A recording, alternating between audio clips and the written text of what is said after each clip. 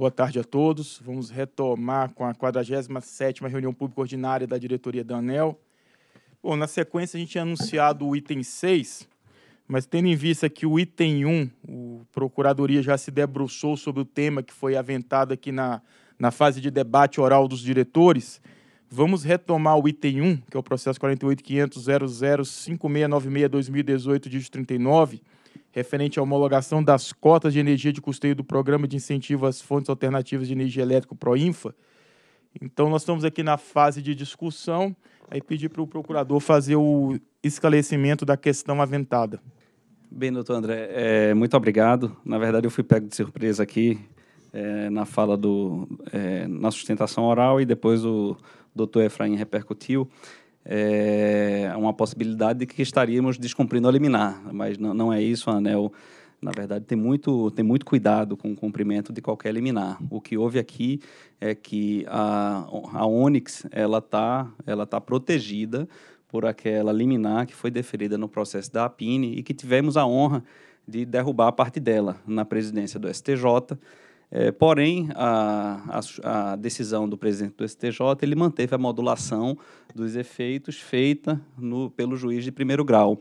Então, a ANEL encaminhou para cumprimento, a ANEL reconhece a validade dessa liminar por evidente, enquanto não derrubarmos, e nós vamos, é uma possibilidade de derrubarmos por completo, mas enquanto ela estiver vigente, nós, nós damos cumprimento. E o que está ocorrendo, na verdade, é que a CCE não fez a repercussão dessa liminar na, no, no rateio no MCP, ela por ela entender que é, a Eletrobras, que representa as usinas no, na CCE, ela, ela perdeu a liminar e, e, perdeu na sentença, e a, o entendimento da CCE é que esse rateio deveria ser feito é, na conta Proinfa pela Eletrobras. A Eletrobras, por sua vez, é, entendeu, entende, na verdade, está encaminhando isso, nós checamos com a Eletrobras, para que a CCE faça esse rateio no âmbito do MCP, que parece-me ser a medida mais acertada. Então, do ponto de vista da ANEL, realmente não, não há, doutor Efraim, um alegado descumprimento. Ok, senhores diretores, a matéria está em discussão. É, doutor André, obrigado, doutor Luiz Eduardo, pelos esclarecimentos. Eu vou apenas fazer aqui uma, uma retificação no item 27, fazer a leitura aqui apenas do item 27, que refere-se aqui o valor da TUST Proinfa. Então, repercutindo os valores, a SGT informou uma retificação, nossa assessoria recepcionou, e eu vou fazer essa leitura. Na sequência, nós poderemos continuar na etapa de discussão. É, o valor da TUST Proinfa foi obtida pelo acréscimo ao custo unitário do Proinfa, da alíquota de PIS e COFINS, conforme regime tributário, 3,65% no cumulativo e 9,25% no não cumulativo. Assim, identificou-se a TUST Proinfa de R$ 9,62 por megawatt-hora para as transmissoras optantes pelo regime cumulativo e de R$ 10,21 por megawatt-hora para o não cumulativo. Ok, feita a retificação. Senhores diretores, eu já havia conversado já com o procurador e sanada todas as dúvidas. Ok, então submeter a matéria à votação. Voto com o relator. Acompanho o relator. Também voto com o relator. Também voto com o relator e proclamo que a, a diretoria da ANEL, por unanimidade, decidiu aprovar a emissão de resolução normativa que fixa as cotas de custeio e as cotas de energia elétrica referente ao Programa de Incentivos às Fontes Alternativas de Energia Proinfa para 2019. E também a diretoria decidiu disponibilizar no website da ANEL o plano anual do Proinfa, o PAP 2009, e a nota técnica 276-2018 da SGT, de 12 de dezembro de 2018. Então, item 1 julgado. Próximo item. É, boa tarde a todos. Item 6, processo 48.500.004886, 2018-93. Resultado da audiência pública número 52 de 2018, instituída com vistas a colher subsídios e informações adicionais para definir o orçamento e as cotas anuais da Conta de Desenvolvimento Energético, CDE de 2019. Diretor-relator, Efraim Pereira da Cruz. Informe que há pedido de sustentação oral. Boa tarde, senhores diretores. Retomando a reunião, processo 48.500-4886-2018-93. Resultado da audiência pública 52-2018, instituída com vistas a colher subsídios e informações adicionais para definir o orçamento e as cotas anuais da cota de desenvolvimento da conta de desenvolvimento energético CDE de 2019. A Lei 10.438, de 26 de abril de 2002, cria a Conta de Desenvolvimento Energético CDE com recursos provenientes das cotas anuais pagas pelos agentes comercializadores de energia com o consumidor final mediante encargo tarifário incluído nas tarifas de uso do sistema de transmissão TUSD e de distribuição TUSD, dos pagamentos anuais realizados a título de uso do bem público, das multas aplicadas pela ANEL às concessionárias, permissionárias e autorizadas e de créditos da União. A partir da medida provisória 579 de 2012, as fontes e os usos da CDE foram ampliados, passando a receber recursos do Tesouro Nacional e a assumir despesas antes cobertas pela Reserva Geral de Reversão, RGR, e pela Conta de Consumo de Combustíveis, CCC. Outras mudanças foram introduzidas pelas, le pelas leis 13.229 e a 13.360, ambas de 2006, de 2016, com destaque para a criação de outros subsídios, a definição do novo critério de rateio de encargo tarifário e o estabelecimento do período de transição para eliminar as diferenças de custos entre regiões. O Decreto 9022, de 31 de março de 2017, estabelece as normas e as diretrizes que regulamentam os dispositivos referentes à CDE das diversas leis e decretos promulgados. O submódulo 5.2 dos procedimentos de regulação tarifária PRORET trata da CDE com relação à consolidação do orçamento, a fixação das cotas anuais, a definição dos repasses de recursos, a gestão econômica e econômica e financeira e a divulgação de informações. Em 6 de novembro de 18, o processo foi distribuído por sorteio extraordinário a esta relatoria. Na 47ª reunião pública ordinária da diretoria, foi aberta a audiência pública 52 de 18, com vistas a colher subsídios e informações adicionais para definir o orçamento e as cotas anuais da CDE de 2019. As medidas provisórias 855 e 856 de 13 de novembro de 18 impactam o orçamento da CDE no que se refere aos reembolsos da conta de consumos de combustíveis das distribuidoras beneficiárias com efeitos nos próximos cinco anos. As superintendências de gestão tarifária, de regulação dos serviços da geração e de fiscalização econômica e financeira emitiram nota técnica 255 de 23 de novembro de 2018, com análise dos impactos das medidas provisórias sobre o orçamento da CDE de 2019. A Câmara de Comercialização de Energia Elétrica consolidou e encaminhou à ANEL a proposta de orçamento da CDE de 2019, bem como as revisões decorrentes das contribuições, considerando as informações fornecidas pela agência, pelo Ministério de Minas e Energia, pelo Operador Nacional do Sistema e pela Eletrobras. Após análise das contribuições, as superintendências elaboraram a nota técnica 278 de 14 de 18, 14 de dezembro de 2018, com a proposta do orçamento da CDE de 2019. É o que tem a relatar. Tentação oral será realizado pelo senhor Edivaldo Alves de Santana, representando a Abrace e a Bividro.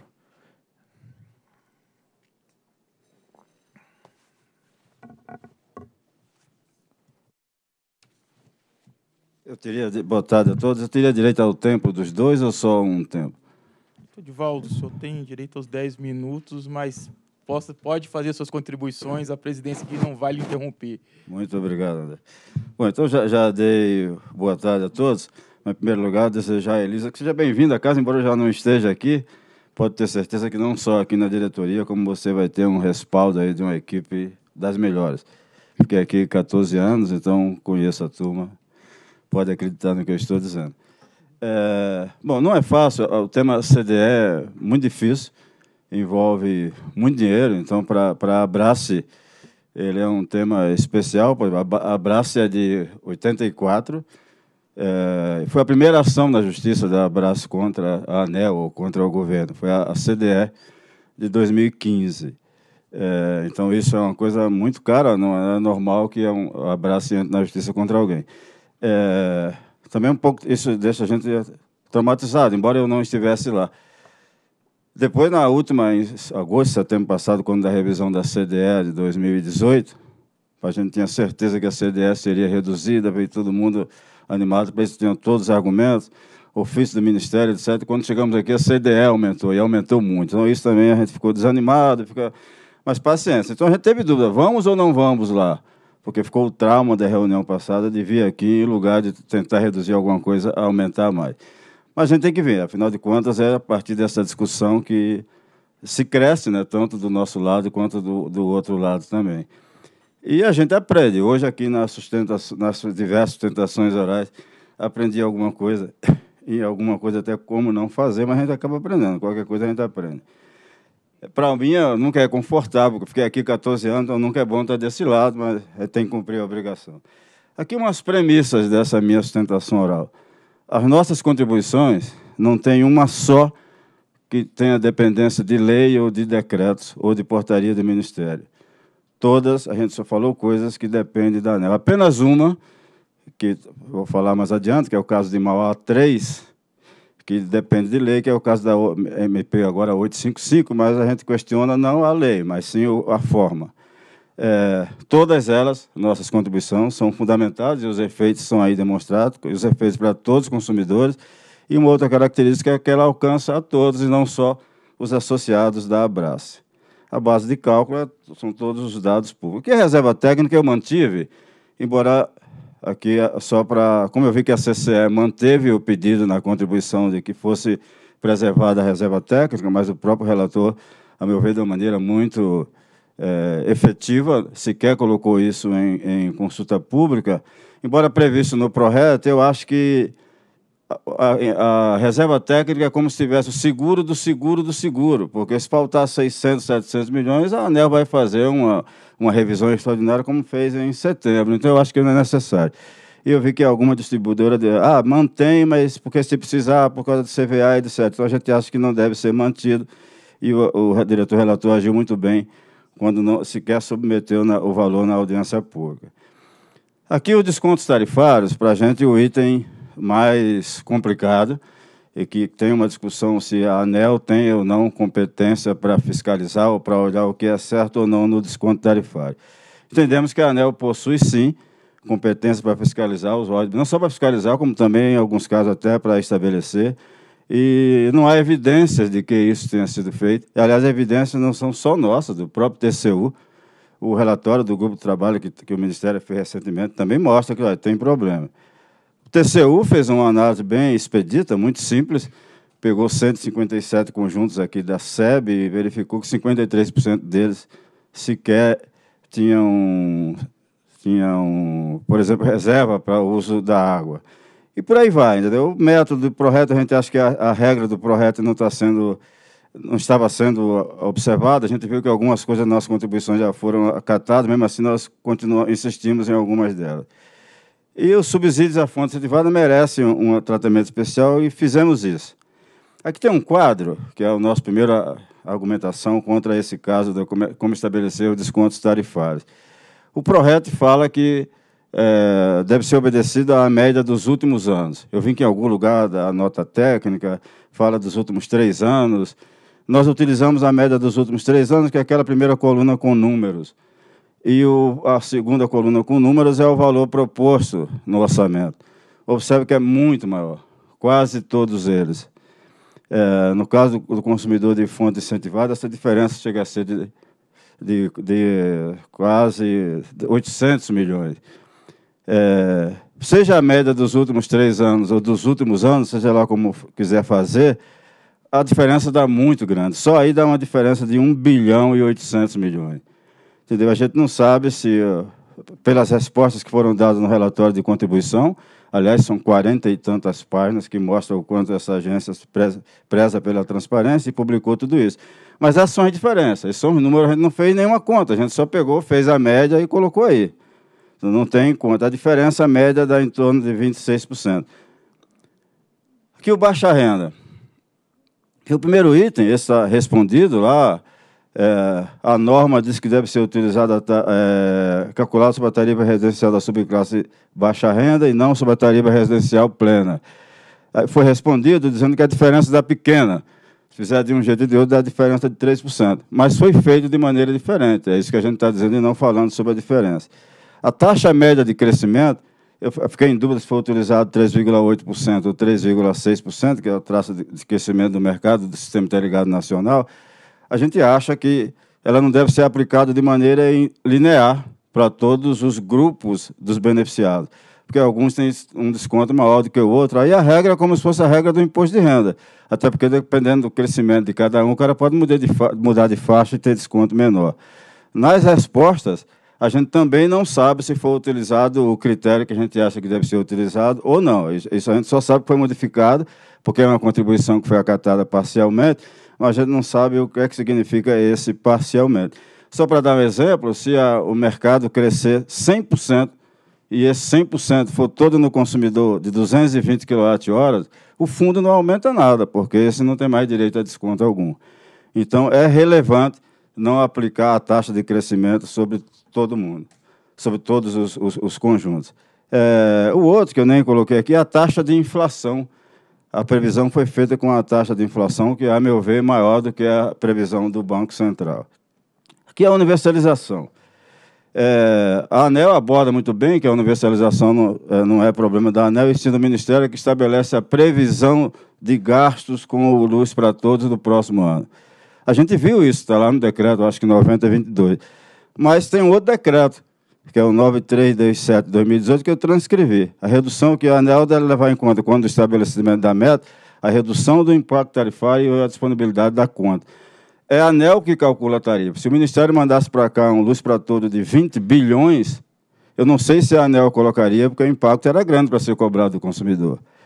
Do período que eu fiquei aqui como diretor, entre 2006 e 2013, algumas vezes nós alteramos o orçamento do Luz para Todos, porque o impacto sobre a tarifa ia ser muito grande, sobretudo no período que o diretor-geral aqui era o Gerson Kell. Até distribuidoras apresentaram contribuição, dizendo que oh, não tem que só apresentar o orçamento, e sim levar em conta a capacidade de execução do Luz para Todos. A gente só pede isso. E aqui outra observação, 32% é para as empresas distribuidoras designadas ou ex-designadas. Será que faz sentido um empresário que entrou na distribuidora ontem ele já conduzia um programa Luz para Todos tão agressivo? Eu acho que não, e acho que não é prioridade. Eu acho até que impor para esse novo concessionário a obrigação de fazer um Luz para Todos, que corresponde a 30% do total do orçamento, acho até que para ele não é bom, porque é, ele vai agregar despesa sem agregar receita. Então, essa é a observação. Primeiro, a gente acha que é sim competência da ANEL, a, a, jamais foi delegado para o Ministério a competência de calcular a tarifa e a gente acha que é a competência porque tem que se avaliar o impacto. Aqui, os consumidores de fontes incentivadas, e aqui a nossa argumentação é mesmo que sejam consumidores da Abraço, não interessa. Por exemplo, o, o, esses descontos, a gente vai falar da acumulatividade dos descontos dos consumidores de fontes incentivadas. Eu só peguei só esse item para não ficar muito extenso essa sustentação oral. O parágrafo 5 do artigo 16 do decreto 62.724, ele é mais velho do que eu acho que a média das pessoas que estão aqui, estabelece que a, tem lá que a ANEL estabelecerá regulamento para o disposto nesse artigo. O artigo 16 é o que trata do subsídio rural e etc. E a ANEL, em 2017, emitiu aquela resolução que diz, olha, depende de comprovação pelo consumidor a, licença de, a, a existência de licenciamento ambiental, tal, tal, tal. É, a nossa dúvida, primeiro, porque isso foi feito só para os irrigantes, porque os consumidores rurais, a agroindústria, também têm as mesmas obrigações, sobre, sobretudo a de comprovar que aquela atividade é rural ou agroindústria. E aí vem aquela, aquela constatação do, do TCU aqui em Brasília, foi fez muito simples. 167 consumidores, acho que são todos de Brasília, e descobriu que 53% não possuíam a outorga, a outorga para o uso da água. É, eu diria que se isso for feito para a maioria dos estados brasileiros, não sei se vai, esses mesmos números vão ser reproduzidos, mas acho até que vai ser pior, porque em Brasília é o lugar mais fácil de fiscalizar isso, basta dar um voo de helicóptero que se descobre onde é que estão, pelo menos, uma, grande, uma boa amostra dos consumidores que são irrigantes. É, o outro é que a, a norma diz que só o consumidor do grupo B pode ter acumulatividade, então, para a gente não ficou claro o que tem sido feito para que as, os outros consumidores não tenham essa acumulatividade. É, e ali uma resposta que está no relatório de contribuição, que aí eu não me lembro qual foi a área que fez, também não interessa, que diz lá, considerando o relevante impacto da CDE nas tarifas, o tema, porque o tema no relatório de contribuição é tratado quase como se fosse uma denúncia contra a acumulatividade, e não é uma denúncia, é uma constatação. Então, diz lá, como se insistiu nisso, considerando o relevante impacto nas tarifas, o tema será incluído no planejamento das atividades da SFE para o próximo ano. Então, eu achei isso muito pouco para questionamentos tão importantes.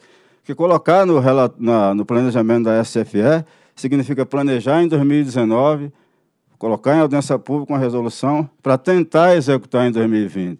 Até lá, com certeza, já deve ter saído uma norma, até, quem sabe, extinguindo esse subsídio. Além disso, se for acatado isso, como é que fica o passado? E o que aconteceu, por exemplo, em 2019, 2018? Eu, eu dou uma sugestão que tenho 100% de certeza que não será do agrado da distribuidora, mas fazer alguma coisa já. Libera, aprova 50%, 60% da CDE para esses casos e o restante para distribuidoras que comprovarem até, por exemplo, junho, fim do ano. É como se publicasse dois anexos na resolução de tarifa, coisa que já fizemos aqui, quando requer comprovações adicionais. Mas esperar que isso seja resolvido mais adiante, de, de acordo com o planejamento, com a relevância dos valores, a gente achou muito pouco. Aqui a, a CCC, é, esses são os casos, talvez tenha as, as maiores divergências. No caso anterior, é se compete a, a ANEL ou não, o que é que tem que fazer. Aqui não é divergências mesmo de, de, de, de entendimento. Que os atrasos nas interligações que tem em quase todos os lugares. No caso da Seron, em vários desses casos, quando eu estava aqui, participei, votei, por exemplo, para a prorrogação da, da, do prazo de interligação, mas não é isso que se discute. Aliás, na contribuição está lá escrito que o direito legal ao reembolso é materializado na existência da despesa de fato, ou seja, gastou com combustível, adquiriu o direito de receber o reembolso. Não é isso que discutimos, é o valor. Se a empresa te, poderia fazer a, a, a, interligação do sistema isolado até 2013, 14 ou 15, é, e isso reduziria o custo do combustível, e muito, os custos não evitados, só no caso da, de Rondônia, entre 2013 e 2017, seria um bilhão, então, por que, que ele vai ter direito ainda ao reembolso integral de todas as despesas com o óleo de agora em diante? Esse é o questionamento. No caso da Amazonas Energia, a mesma coisa. No caso da Eletroacre, idem. E no caso dessas duas últimas, as obras estão atrasadas. Eu vi que, nesse caso da Eletroacre, o próprio relatório de contribuições diz que isso foi parcialmente acatado. Então, o que se discute não é, é se cabe ou se não cabe, e sim o valor. Isso foi, mudou tanto que a partir de 2017, se eu não me engano, o que antes era 75% de ressarcimento, de reembolso das obras realizadas, agora passou a ser 100%. Seja, como se tivesse é, beneficiado o infrator, que atrasou e agora vai ter direito a um reembolso de 100%, quando antes era 75%. Aqui é a mesma coisa, é, é, nesses casos aí é bem mais simples, que a própria distribuidora, em sua contribuição, disse que não teria condição de fazer porque estava atrasado e, portanto, ela mesmo pediu para retirar.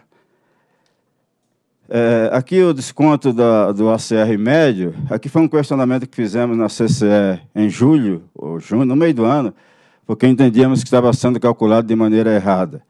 É, a CCE meio concordou, mas mandou correspondência para a ANEL, e ficamos sabendo no início de dezembro que o entendimento da ANEL é que a conta de fato estava sendo errada, sendo feita errada contra o consumidor, e ali está o período, se daria 366 milhões. Por que, que incluímos isso?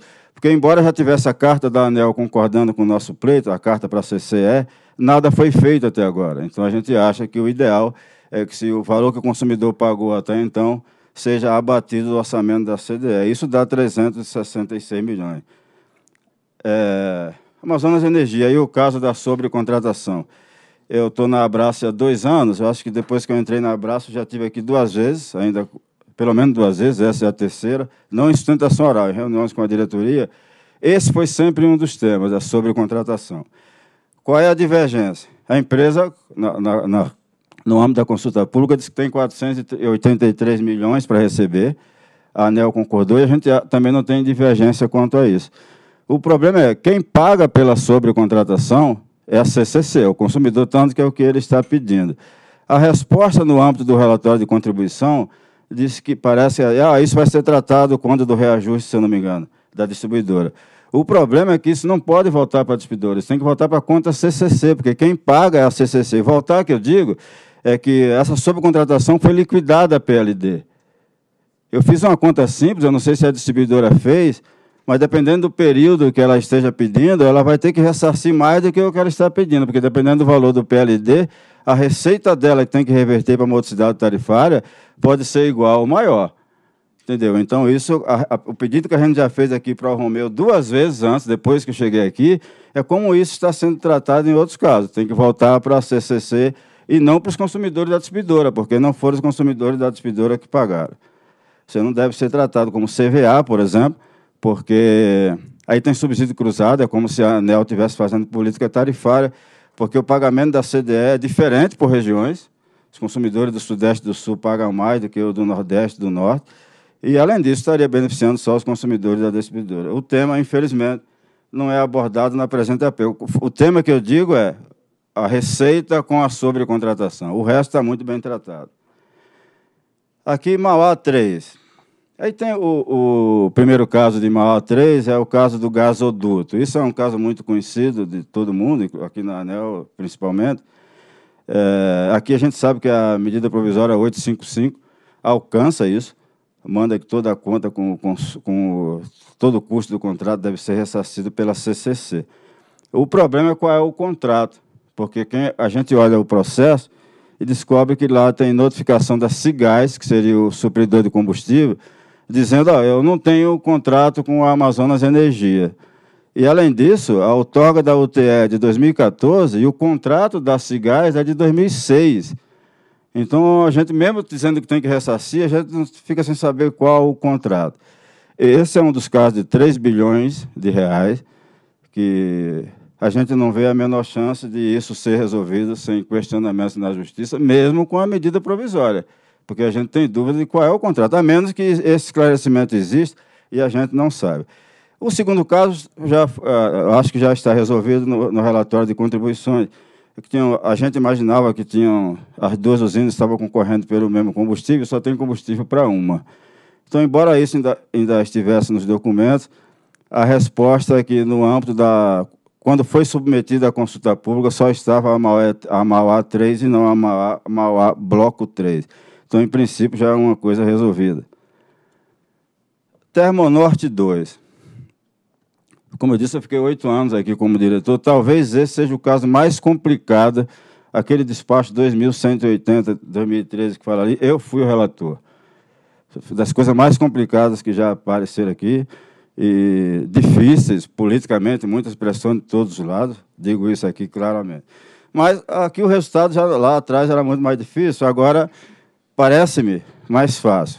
Até Monorte 2 teve sua garantia física reduzida de 289 megawatts médio para 34,8 megawatts médio.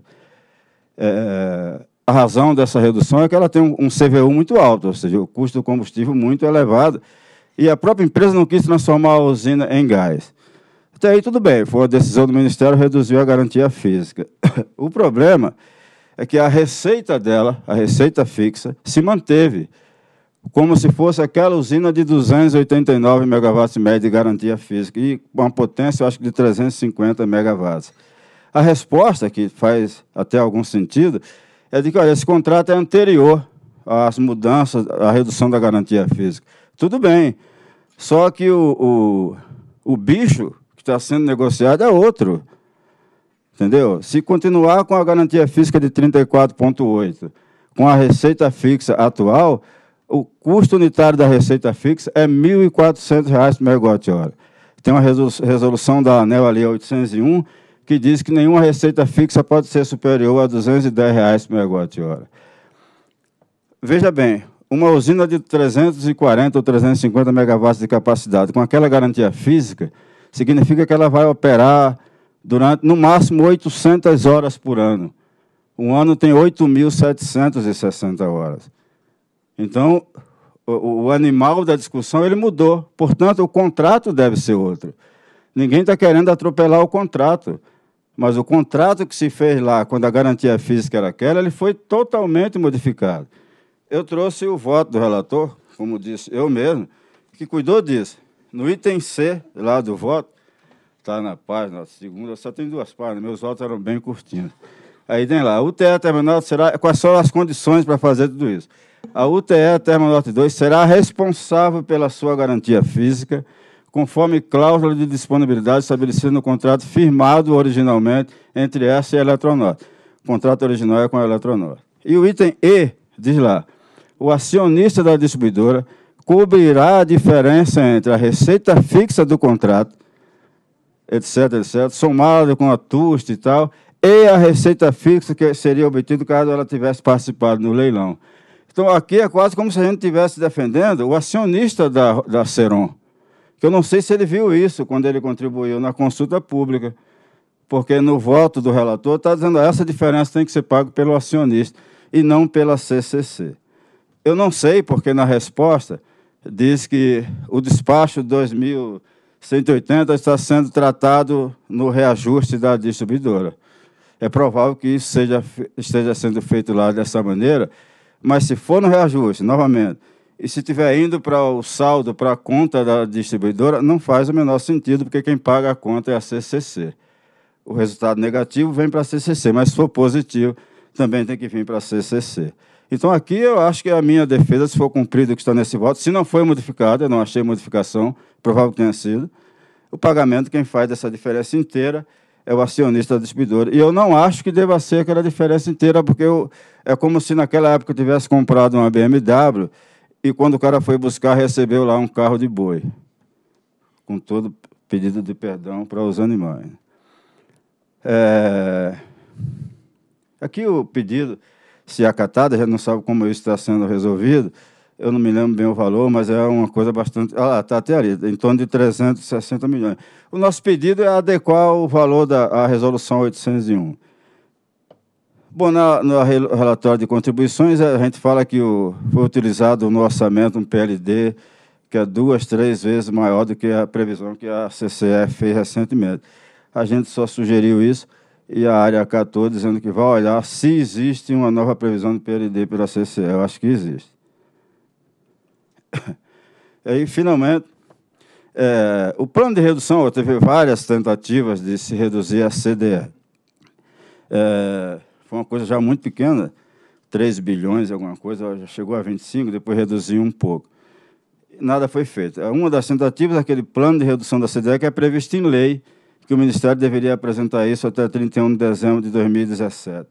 Foi feito, criou um grupo de trabalho, foi feito um relatório. O relatório nada diz de concreto quanto à redução. Talvez a conclusão mais interessante é, ah, a ANEL tem que se empenhar, etc, etc, etc, aí que tudo depende de lei ou de decreto. Eu não acho. A, a CDE tem muita coisa que pode ser resolvida sem lei e decreto. O TCU tem um processo lá no TCU, nós ficamos sabendo porque fomos chamados lá duas vezes este ano. Foi colocado em pauta aí umas três semanas atrás e foi retirado. Ninguém sabe quando volta. É, aquela frase nos deixou, nos deixou muito apreensivo, porque eu acho que um processo com tamanha dificuldade, ele não pode ser resumido nessa frase. Ali, essa frase nos diz duas coisas. Primeiro, que é a mais importante, eu estou entendendo que a percepção da ANEL, aí pelo que eu li na frase, não sei se é essa, é que ela não tem qualquer responsabilidade pela CDE, a não ser colocar em audiência pública, avaliar o resultado e colocar. A gente acha que não é bem assim. Porque senão não estaria aquele considerando o relevante impacto. E sim, considerando o artigo tal do decreto tal, considerando que a ANEL calcula a tarifa, vou resolver. Ali está como só, eu vou resolver porque o impacto está sendo grande, então eu acho que isso não é bom. Eu, eu gosto da ANEL forte, eu acho que compete sim a ANEL. Não vou dizer a fazer coisas contra o contrato ou contra a lei, mas eu mostrei aqui alguns aspectos que a ANEL, é, sem, sem descumprir leis ou decretos, não é que vai reduzir, mas poderia trabalhar com valores bem mais razoáveis.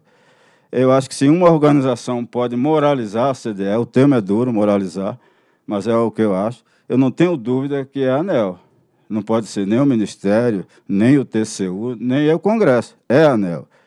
E não é razoável que esta audiência pública fique marcada por aquela frase ali em cima. Eu fiquei muito, assim, até um pouco preocupado com aquela frase, porque aquilo me deu a entender que eu acho que a ANEL está entendendo que nada tem a ver com a CDE. Então é isso, gente. Muito obrigado pela atenção. Eu acho que só usei um pouco mais dos meus 10 minutos e muito obrigado.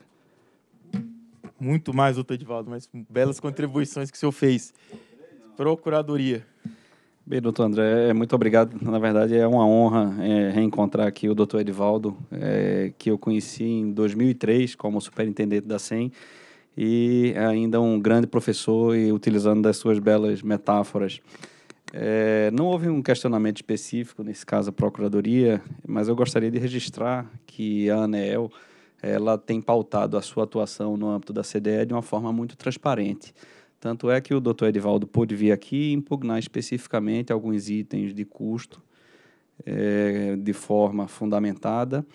E eu acredito que essa postura da ANEL é extremamente correta, assim como a postura da Abrace de vir aqui e transformar a ANEL no foro adequado para esse tipo de debate. E que se evite o trazer determinada questão para o Poder Judiciário, como ocorreu até com a própria Abrace, salvo engano, em 2015 e 2016, porque esses pedidos, doutor André, quando são levados ao Poder Judiciário, é, na verdade, eles visam a excluir alguns itens de custo para determinados agentes, que foi o caso dos, dos afiliados da Abrace, e que, por repercussão, apesar de esse não ser o desejo da própria Abrace, termina caindo no colo de outro. Então, eu acredito que esse é o foro, sim, adequado, doutor Edivaldo, para esse tipo de debate. E a ANEL ela tem que estar aberta a, a ouvir as considerações em relação aos itens e acolher ou rechaçar de modo fundamentado. Então, é, estamos no caminho certo, doutor André, pra, de modo a reduzir essa judicialização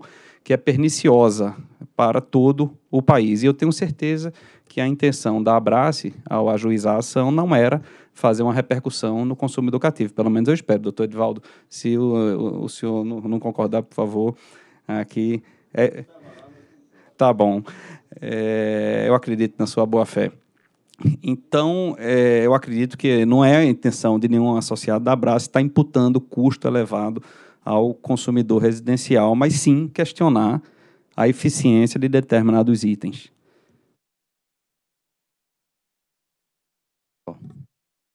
Agradecer o doutor Edivaldo. Aproveitar aqui a, a colocação do caminhão de boi, doutor Edivaldo. A depender do boi que está dentro do caminhão, é melhor pegar o caminhão do que a BMW, tá?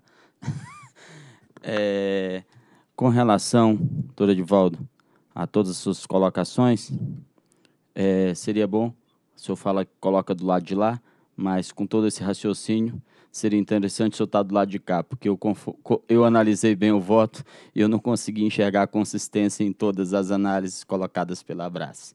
Mas a gente vai pedir aqui a, a área para fazer uma apresentação técnica, senhores diretores, e que todas as colocações aqui feitas pela Abrace, elas estarão sendo enfrentadas, com exceção de uma que tem um rito próprio, que é a sobrecontratação das distribuidoras, principalmente no que tange ao aproveitamento da subcontratação com relação à CCC.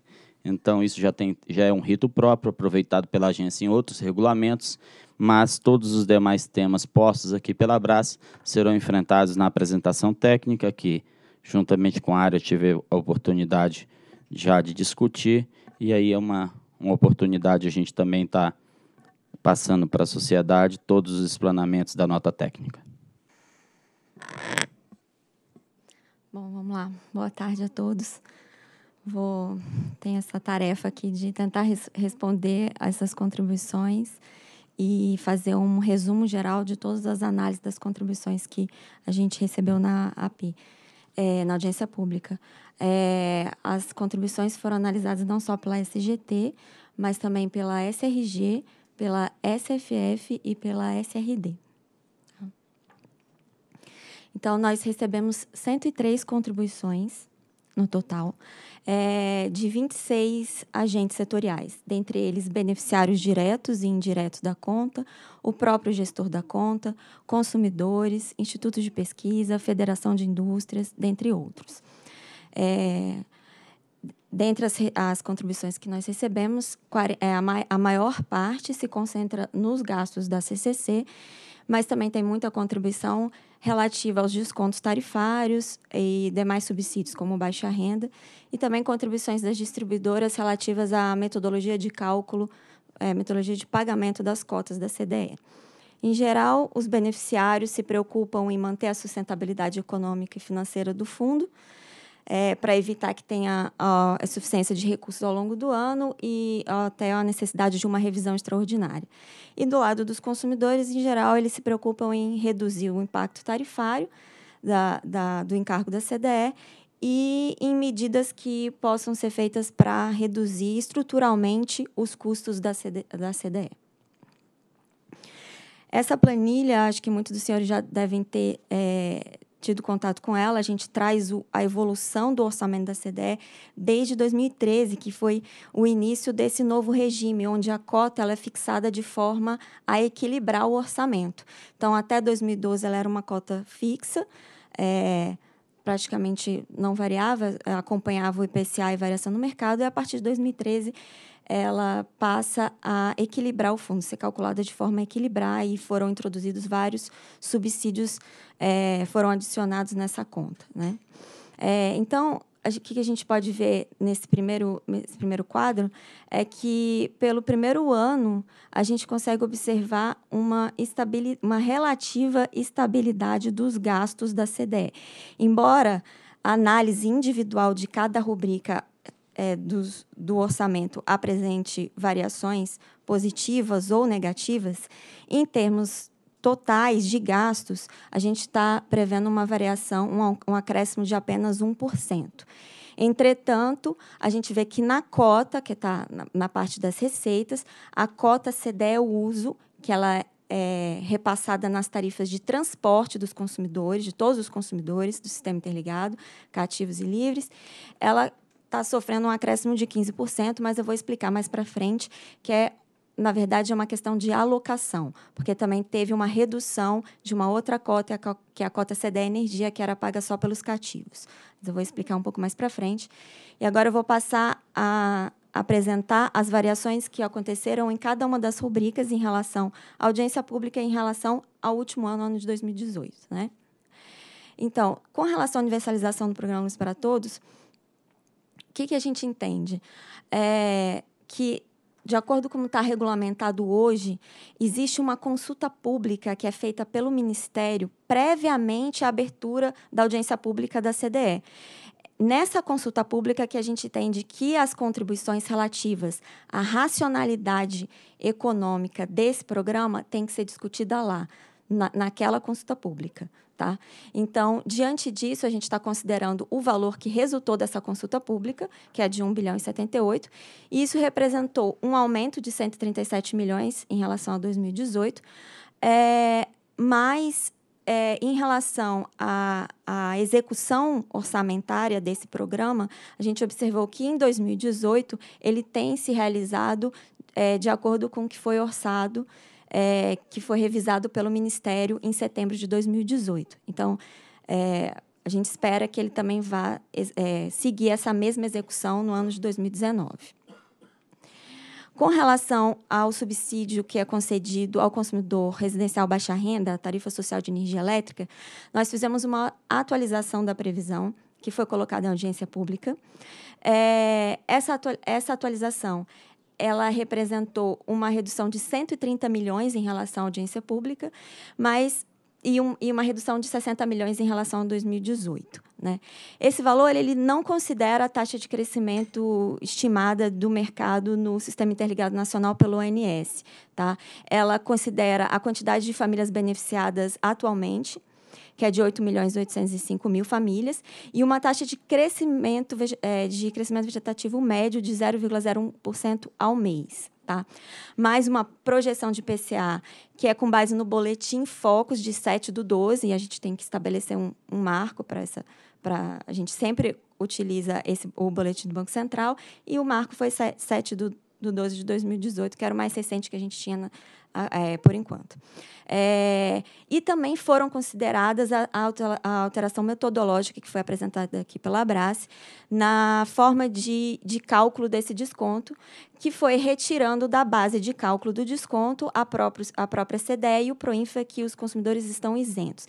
Então, essa previsão, ela já considera essa alteração metodológica. Então, por isso que tem essa redução de 130 milhões. Não é a, a, a redução estimada pela Brace, mas é a redução, a melhor estimativa que a ANEL entende, que tem que ser considerada. É, com relação ao carvão mineral, é, os gastos do carvão mineral nacional, a subvenção, houve um aumento de 31 milhões em relação ao AP e uma redução de 160 milhões em relação ao orçamento de 2018. Esse orçamento ele pelo terceiro ano consecutivo ele está tá havendo uma redução e essa redução desse ano ela reflete basicamente a formação do estoque, estoque estratégico do carvão. Ela já foi feita em, no ano de 2018, então ela não precisa é, ser, compor mais o orçamento. Então a principal redução é em função disso. É, também houve uma, um pequeno efeito em função da redução do estoque estratégico da, da a termoelétrica Candiota 3, em função da limitação física para armazenar o carvão no pátio, e outras alterna, é, alterações metodológicas na forma de, de cálculo desse, desse subsídio. Em relação ao valor do estoque histórico, a gente está usando, por enquanto, um valor provisório, porque ele ainda precisa é, é, passar, é, ele está passando por um processo de fiscalização e essa fiscalização ainda não foi concluída. Assim que essa, essa fiscalização for concluída, os efeitos dela serão, sim, serão refletidos nos pró próximos orçamentos da CDE. Com relação à CCC, é, são vários efeitos, uma conjunção de, de, de fatores, alguns para aumentar, outros para reduzir. Mas, no geral, houve um aumento de 242 milhões em relação ao que a gente colocou em audiência pública e um aumento de 461 milhões em relação ao, orçamento de 2018. Então, quais são os principais fatores? Bom, contribuindo para a redução, a gente tem o aumento do ACR médio, né, que passou de 213 para 290. É, e o saldo em conta. Hoje tem um saldo em conta de 355 milhões e esse saldo está sendo descontado do, do orçamento dos gastos para o ano de 2019. Então, contribuindo para aumentar a conta, tem o início de suprimento da UTMAL A3, em 1 de janeiro. É, tem um cenário de, de limitação da importação de energia da, da Venezuela no sistema isolado de Roraima, que seria de 30 megawatts médios ao dia e 120 à noite é, durante a noite, né? Tem é, outro grande efeito, que é o efeito da medida provisória 855, que ela afastou a aplicação de critérios de eficiência econômica e energética nos reembolsos da CCC para Amazonas. Isso tem um efeito estimado de um aumento de 452 milhões nesse orçamento. É, o pagamento da sobrecontratação da Amazonas, como foi dito aqui pela Brace, tem uma previsão que nos primeiros três anos após a interligação do sistema ao SIM, esse custo de sobrecontratação, sobrecontratação da distribuidora é, que já era previsto, ele não, ele não é repassado nas tarifas, ele é coberto pela CCC, e eu esclareço que nesse valor, que é de 544 milhões, já considera a receita de venda dessa energia no mercado de curto prazo. Então, esse já é o custo líquido da receita de venda. A, a toda des, a, o detalhamento desse cálculo ele conta, consta dos processos específicos que homologaram esse, esses valores. Tá? É, mas também temos outras variações de custo, como o ajuste retroativo do desconto do ACR médio, que foi uma contribuição da, da Abrace. Isso já tinha sido levantado na abertura da audiência pública, mas não tinha sido apurado ainda pela CCE. Por isso que está sendo considerado apenas agora. Isso é, resultou numa redução de 423 milhões no orçamento. Além disso, é, em função da, das contribuições, não só da Abrace, mas também dos próprios beneficiários, houve um ajuste no fluxo de, de pagamento das, das, das subobrigações, levando em consideração a entrada e operação das obras. Isso resultou numa redução de 220 milhões no orçamento. Bom, outro item de importante impacto que é, foi apresentado pela Brás é o resultado dos processos de fiscalização do reembolso da CCC. Esse, esses processos de fiscalização eles estão sendo conduzidos pra, individualmente para cada beneficiário, para todos os beneficiários, e desde julho de 2009 até junho até abril de 2017, que é até o mês antes da assunção da, da, da CCE como gestora da conta. Esses processos, eles estão em andamento na agência, mas eles ainda não foram deliberados. Né? Assim que todos eles for, forem deliberados, a gente vai, aí sim a gente vai ter um valor definitivo para cada um dos beneficiários, se vai ser de crédito ou se vai ser de débito, e a forma como esses créditos ou débitos vão ser, vão ser pagos por cada um de, de direito, né? Então, é, o que a gente é, recomenda, é o que a gente está recomendando à diretoria é que, é, assim que concluído esse processo, seja aberta uma audiência pública específica para tratar da consideração desses, desses processos no orçamento da, da CDE, tá? Então, esse acho que é o principal item de impacto na, na, na contribuição da Abrace. Com relação aos descontos na distribuição, aí é, a gente está tratando de descontos para o rural, irrigante, serviço de água, esgoto e saneamento, fontes incentivadas. A estimativa ela foi atualizada em relação à AP, o que representou uma redução de 266 milhões, mas ainda assim a gente observa um aumento de 166 milhões em relação a 2018. Então, o que, que essa estimativa considera? Ela considera para os demais beneficiários, é, para os beneficiários de fonte incentivada, desculpa, a gente está prevendo uma redução é, significativa de 25% nos gastos totais da CDE com esse subsídio específico, em função de uma análise, que, de um estudo que foi feito pela CCE sobre a redução da disponibilidade de, de lastro de energia especial no mercado livre. Uma, é, essa energia ela era do mercado regulado, foi disponibilizada em 2017 e 2018 para o mercado livre, e agora, em 2019, ela retorna ao, mercado regulado, 80% dessa energia retorna ao regulado e sem direito ao desconto no consumo. Por isso, a gente aplicou uma redução específica para esse, esse subsídio. Com relação aos demais benefícios tarifários, a gente está aplicando uma previsão de variação de mercado de 3,6, conforme o boletim técnico do ONS, e do IPCA de 4,7, conforme o boletim Focus. Aqui a gente apresenta a evolução desses subsídios, que eu acho que é o principal tema que está sendo discutido hoje em dia no âmbito da CDE, é a forma de reduzir esses subsídios. Quais subsídios fazem sentido, a, fa, faz sentido o setor elétrico custear e outros que talvez caberia para uma transferência para o orçamento da, da União. Né?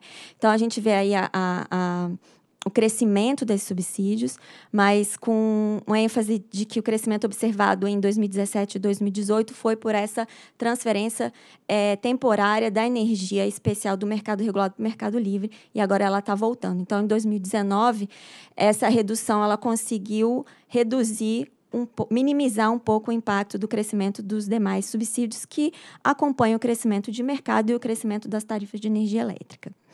Então, com relação às contribuições. Deixa eu voltar aqui, achei que tinha um, um slide e não tem. É, com relação ainda a esses descontos é, na distribuição e as, as contribuições que a gente recebeu, é, de fato, a ANEL tem atuado para promover a redução desses subsídios, é, não só na participação, é, na colaboração na, é, quando da elaboração do plano de redução estrutural dos gastos da CDE, que foi conduzido pelo Ministério, então a ANEL participou é, ativamente desse plano. Lá a gente é, indica é, não só a questão de necessidade de pôr um limite para o teto de gasto da CDE, mas essa questão de transferir alguns subsídios para o orçamento da União, é, tirando é, da, da CDE, né, como os descontos para serviço de água, esgoto e saneamento e rural, que talvez não, de, não, não devessem ser custeados pelo setor elétrico. É, então, a ANEL também tem atuado para viabilizar que essas medidas elas sejam implementadas, seja por alteração de decreto ou por lei. Né? Além disso, a ANEL tem atuado por meio de medidas infralegais. É, no âmbito da regulação, é, recentemente, é, a gente alterou os percentual, o percentual de descontos da fonte incentivada, foi estabelecido para todas as fontes é, no percentual mínimo de 50%, que é o percentual mínimo que estabelece a lei, é, exceto para a fonte de geração de energia com base em resíduos sólidos urbanos e outros resíduos.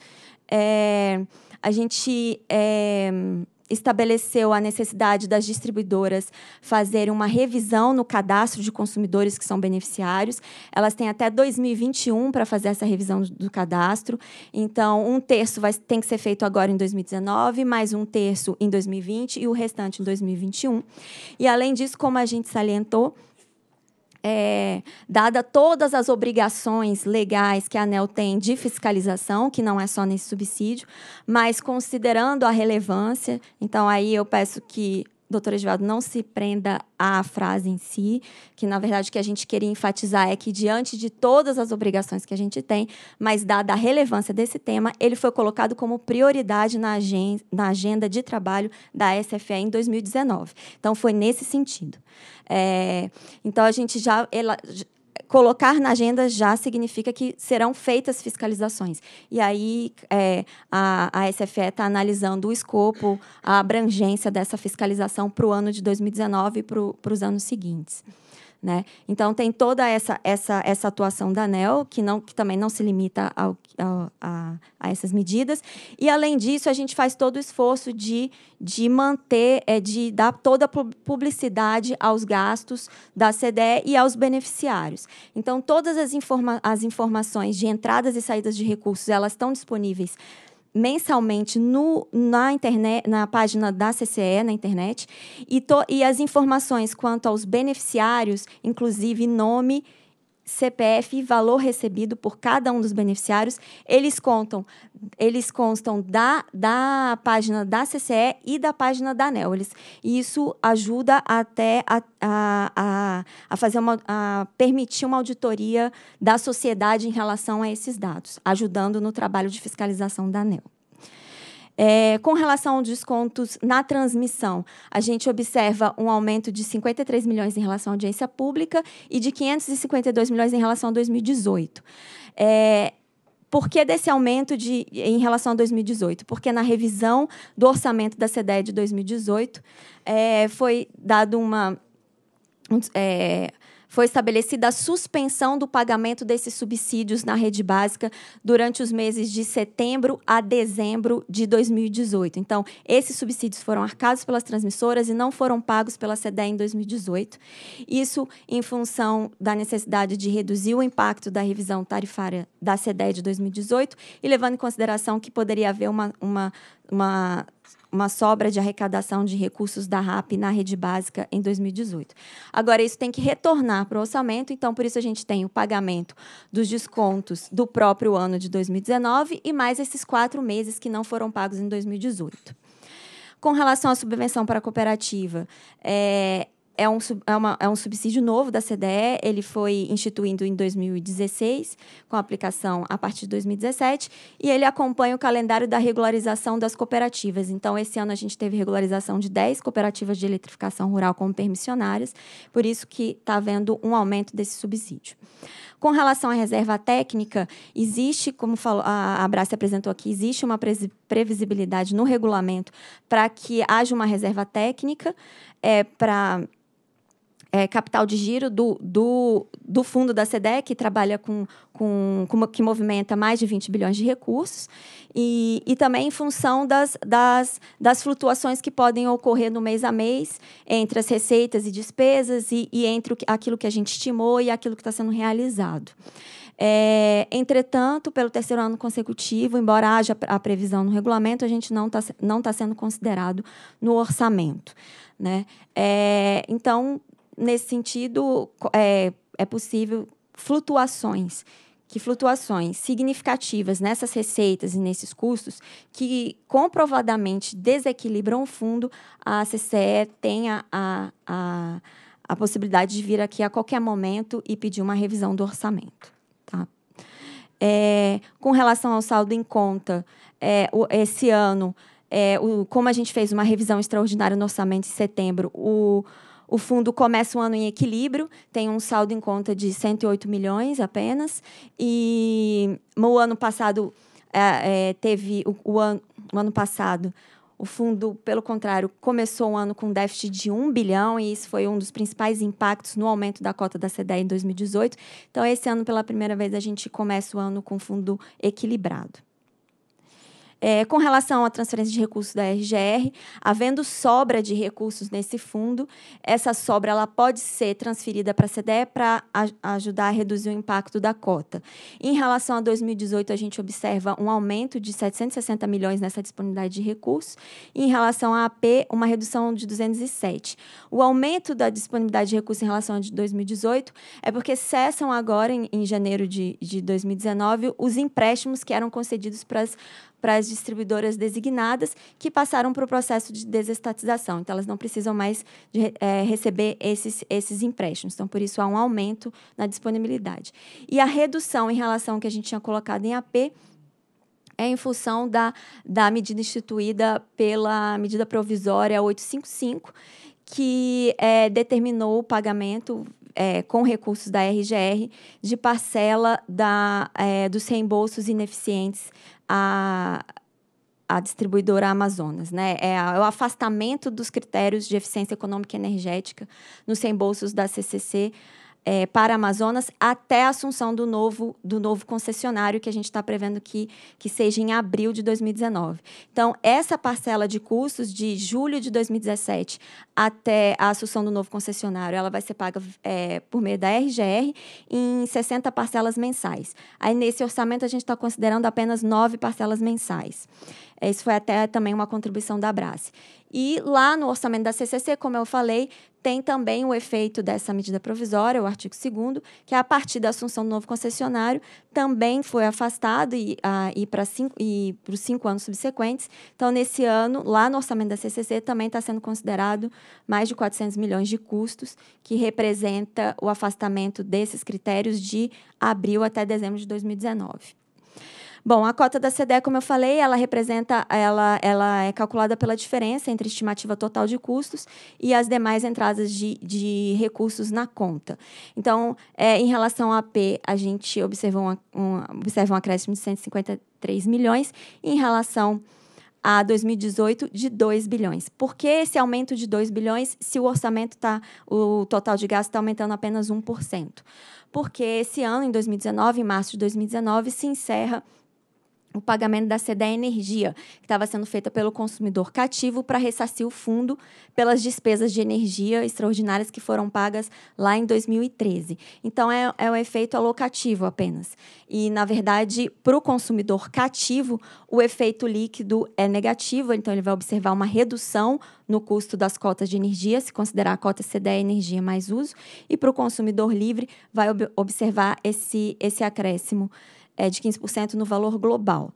Né? Mas era um, um, acréscimo que já estava previsto, e, na verdade, o que a gente vai observar agora é que tanto consumidor cativo com, quanto livre vão passar, vão passar a pagar o custo real da, da cota CDE, o uso, e o, o mesmo custo. Né? Aqui é o rateio da cota entre, entre os agentes, ele está concentrado mais nas distribuidoras, né? E ele observa a diferenciação de custos entre níveis de tensão e regiões. Então, até 2030, a gente ainda está no terceiro ano do processo de transição, ainda existe diferenciação de custo entre, entre regiões. A partir de 2030, não mais vai existir, apenas a diferenciação de custos entre níveis de tensão. A alta tensão vai pagar um terço da baixa tensão e a média tensão, dois terços. E aqui é um, uma estimativa de impacto tarifário da CDE. Isso isolando o efeito da CDE é, nas tarifas, sem considerar os, os demais itens, componentes de custo das tarifas. Então, a estimativa ela foi feita, é, primeiro, para o consumidor cativo e livre, que observa as variações só da TUG primeiro, que são os gráficos. Então, ele, é, em média, para o Sistema Interligado Nacional, é um aumento de 1,45%, mas isoladamente na TUG. Agora, considerando o efeito da, do encerramento do pagamento da CDE Energia, a gente estima que o consumidor cativo vai observar uma, uma redução de 0,2%. Isso é um efeito médio para o Sistema Interligado Nacional. Mas cada distribuidor vai ter um impacto específico e cada consumidor, por região e nível de tensão, também tem um impacto específico. Então, Camila, desculpe lhe interromper, mas é bom frisar que, diante dos cálculos que você está apresentando em nome da relatoria, a proposta leva a uma redução média para o consumidor Brasil cativo de menos 0,2%. Isso, exatamente. Obrigado. É, então, para finalizar, aqui é um atendimento de, de é, uma contribuição das distribuidoras e da BRAD. Elas, é, como tem esse, essa previsão de pagamento ainda de três parcelas da cota CDE Energia, a gente está modulando essas cotas de forma que o pagamento para as distribuidoras ele fique uniforme ao longo do ano, considerando o valor das duas cotas, CDE Uso e CDE Energia. Isso tem o objetivo não só de manter um fluxo constante para o fundo, evitando sobre a arrecadação nos primeiros meses, mas também de evitar uma, um desequilíbrio de caixa para as distribuidoras nos primeiros meses, principalmente para aquelas distribuidoras do primeiro semestre que ainda estão com descasamento de cobertura tarifária em relação à revisão de 2018. Então, ela é, é, é o equilíbrio é benéfico para o fundo e também para as distribuidoras e também para o consumidor, porque diminui o impacto da, das CVAs. Obrigada. Finalizei. Procuradoria. Bem, a Procuradoria já se manifestou, ah, doutor. Perdão, é, terminou sendo invertido aqui. depois. É, senhores diretores, depois da explanação da Camila, que de antemão já parabenizo, e aí reafirmo as palavras da doutora Elisa, a, a excelência da qualidade do, do nosso quadro feminino foi demonstrado aqui, sobretudo pela capacidade técnica, o que para mim facilita muito que agora eu já posso caminhar direto para o dispositivo, porque foi, foi bem combinado entre o relator e a área técnica no sentido de a gente esgotar todo o voto na apresentação, mas antes eu gostaria de só de frisar alguns temas, dada a relevância colocada pela Brace, e aí eu não entrei no mérito, mas doutor Edvaldo foi conforme colocado, eu creio que isso sana todas as dúvidas a questão da fiscalização que está sendo dividido em três anos. Um terço agora em 19, um terço em 20, um terço em 21. E a gente observa que a questão do comportamento das duas rubricas tratadas aqui, tanto rural quanto a irrigação, a gente observa que tem um comportamento aí desde 2013.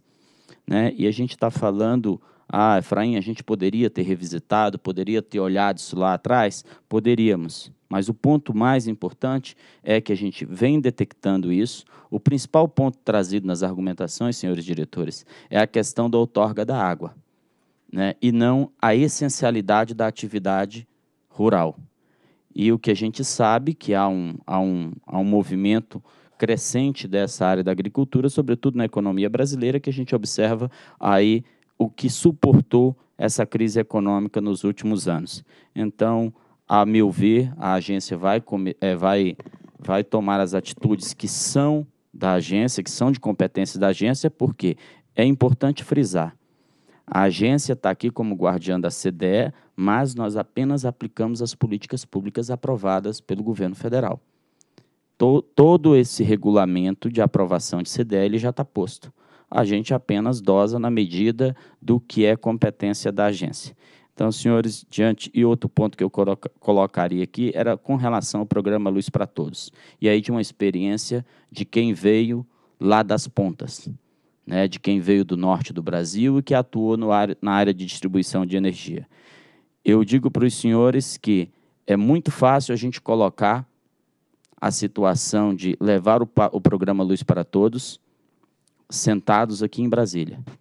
Difícil é a gente estar tá no interior de Rio Branco, no interior do Acre, no interior de Rondônia, lá nos rincões do norte, Amazonas, Pará, Mato Grosso, para aquelas pessoas que em pleno século XXI não sabem o que, que é a energia.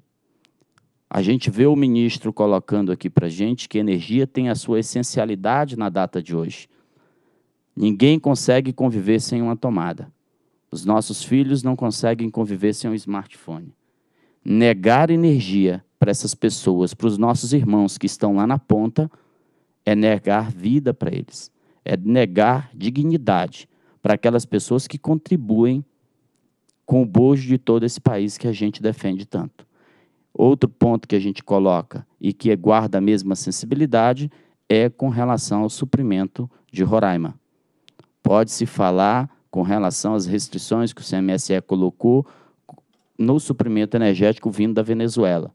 Questionar os 360 milhões que imputam essa tomada de decisão. No entanto, a única observação que a gente está querendo dar com relação a isso, e o governo brasileiro passa uma transparência, é que ele trata todos os brasileiros em pé de igualdade.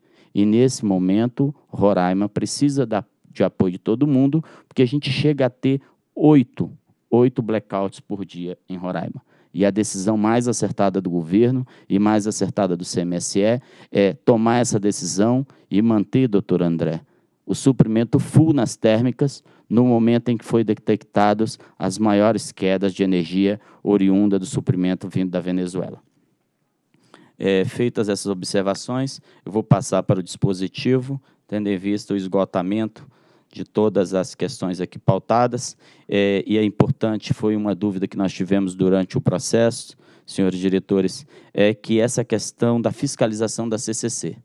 Nós não temos nada decidido, recebemos algumas, algumas reuniões para tratar desse tema. A decisão colocada foi no sentido de que isso será tratado de forma isolada. Recebemos também advogados é, interpelando a questões de honorário de sucumbência dentro da Câmara de Comercialização. Também matriculamos esse, esse problema para uma para uma decisão mais específica em audiência pública, assim que a gente tiver algo mais concreto, e é algo que eu vou debater depois com o procurador. E outra questão colocada também pelo Grupo Energisa, também foi colocada ali, que é resultado da fiscalização da CCC. Então, como essas pessoas estiverem em reunião com o relator, a gente vai estar tratando isso de forma específica numa audiência pública a ser aberta aí no decorrer de 2019, assim que nós encerrarmos essa questão da fiscalização e a gente tiver os desdobramentos das outras ações.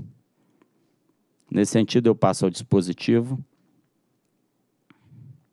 Ressaltar aqui, bem colocado pelo diretor-geral, o que denota a preocupação da agência, a gente está passando para um aumento na conta de CDE, algo em torno de 1%. No entanto, a gente traz uma redução para os consumidores cativos, em média, a nível nacional, de 0,2%. Dispositivo. A partir de tal análise das considerações apresentadas no processo 48.500.4886 de 2018-93, voto por aprovar o orçamento anual da Conta de Desenvolvimento Energético CDE de 2019 no valor total de 20 bilhões 208 milhões, que contempla o Plano Anual de Custo PAC da Conta de Consumo de Combustíveis CCC de 2019 no valor de 6 bilhões 310 milhões os custos administrativos, financeiros e tributário CAFT da Câmara, Câmara de Comercialização de Energia Elétrica, com a gestão de fundos setoriais no valor de 11 milhões. A cota anual CDE uso a ser paga pelos agentes de transmissão e distribuição de energia no valor de 16 bi 238 milhões. As previsões para os demais usos e fundos da CDE os custos unitários da CDE de 2019, definidos em megawatt-hora, valor megawatt-hora, a serem percebidos pelos consumidores de energia elétrica das diferentes regiões e níveis de tensão e atendimento. Definir os custos unitários da CDE uso de 2019 por subsistema e nível de atendimento aplicáveis às unidades consumidoras conectadas às instalações de transmissão e distribuição de energia, conforme minuta de resolução homologatória em anexo fixar as cotas anuais e mensais da CDE Uso de 2019 para as concessionárias de distribuição de energia, conforme minuta de resolução homologatória em anexo, devidas no período de janeiro a dezembro de 2019, devendo ser pagas até o dia 10 do mês de competência fixar os valores das tarifas aplicáveis às unidades consumidoras conectadas às instalações de transmissão da rede básica, vigentes no período de janeiro a dezembro de 2019, conforme minuta de resolução homologatória em anexo. Estabelecer a vigência das cotas CDE Energia fixadas no artigo 6 da resolução homologatória 2446 de 2018 até a competência de fevereiro de 2019 revogar o item I do despacho 314 de 2016 para retirar a limitação do montante de gás natural a ser considerado no custo total de geração. E, letra G, conforme minuto em anexo, proceder às seguintes alterações na Resolução Normativa número 801 de 2017. Alterar as fórmulas dos parágrafos 1 e 3 do artigo 14 e do artigo 20 para fins de retificação. Autorizar a Câmara de Comercialização de Energia Elétrica a proceder ao reembolso preliminar que se refere ao artigo 61 até 31 de dezembro de 2019. É o voto, senhores diretores. Em discussão. Bom, primeira, primeira a falar. Primeiramente, parabenizar o doutor Efraim pela condução do processo, a SGT também por todo o trabalho, cumprimentar o doutor Edivaldo aqui presente e falar que a CDE, principalmente desde que eu saí da agência em 2015, até 2015 pouco se falava em CDE, porque o valor alocado aos consumidores era muito pequeno, mas de 2015 para cá, tanto no Congresso como desde que eu voltei na agência, muito tem se falado na CDE em toda a preocupação que a ANEL tem. A Camila colocou, de fato, diversas ações que a ANEL tem trabalhado para buscar essa redução da CDE.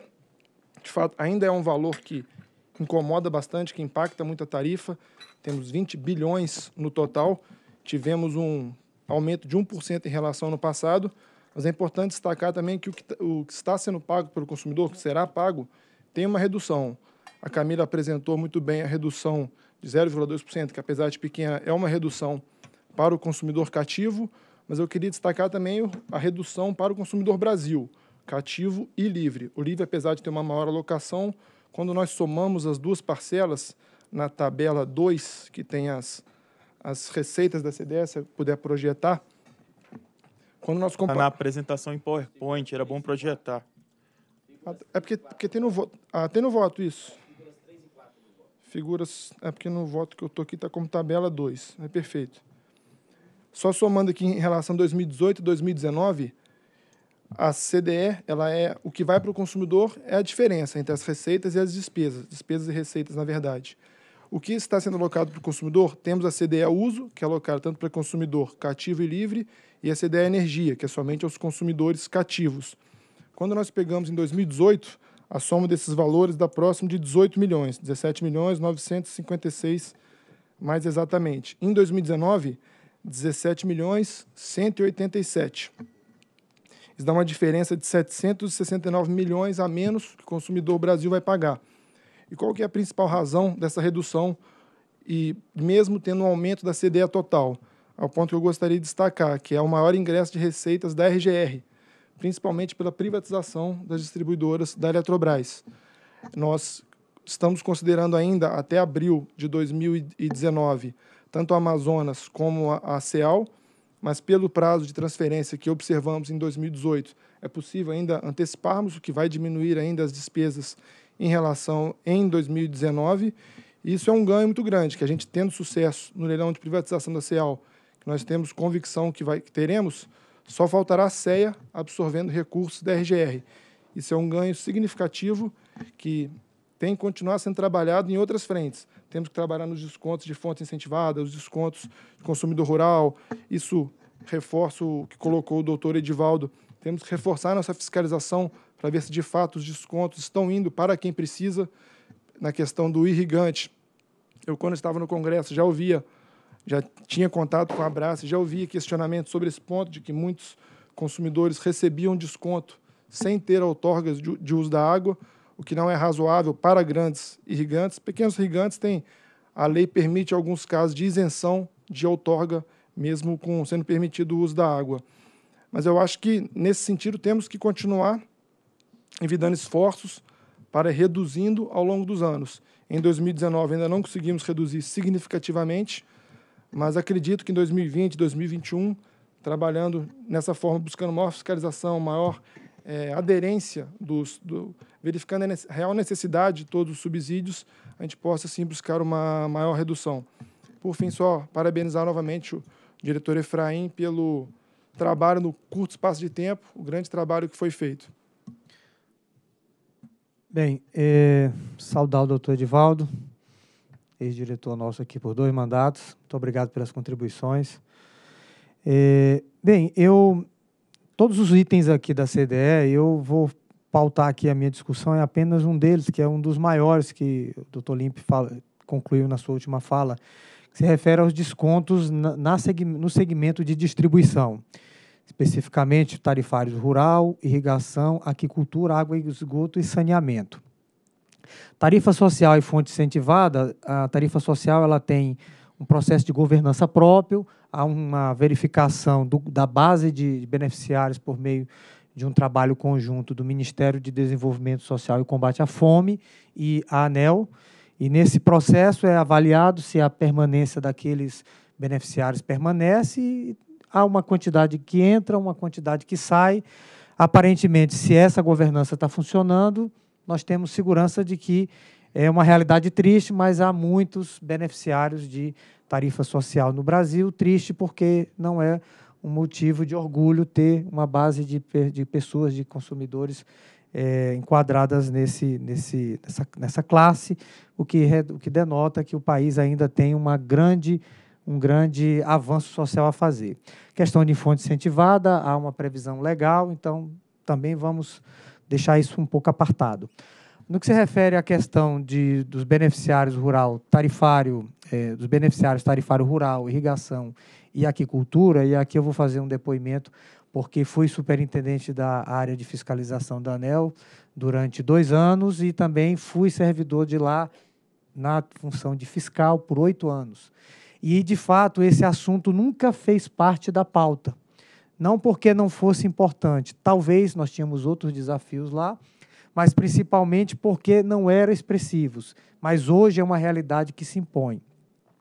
E aí, um ponto que foi falado na apresentação do doutor Edivaldo é a fiscalização vai atuar. E o passado? Isso é uma preocupação. A ação da fiscalização, ela tem o efeito de retroação. Se foi identificado no processo de fiscalização que beneficiários faziam uso indevidos, ou seja, uma má versação do uso do benefício e do, do subsídio público, aquele uso pode ser retro, pode tem o efeito de retroação. É claro que dentro de um regulamento há um período que isso pode ocorrer. Isso não deverá, por óbvio, recorrer é, um período muito maior do que a regulação ou próprio própria baliza legal permita.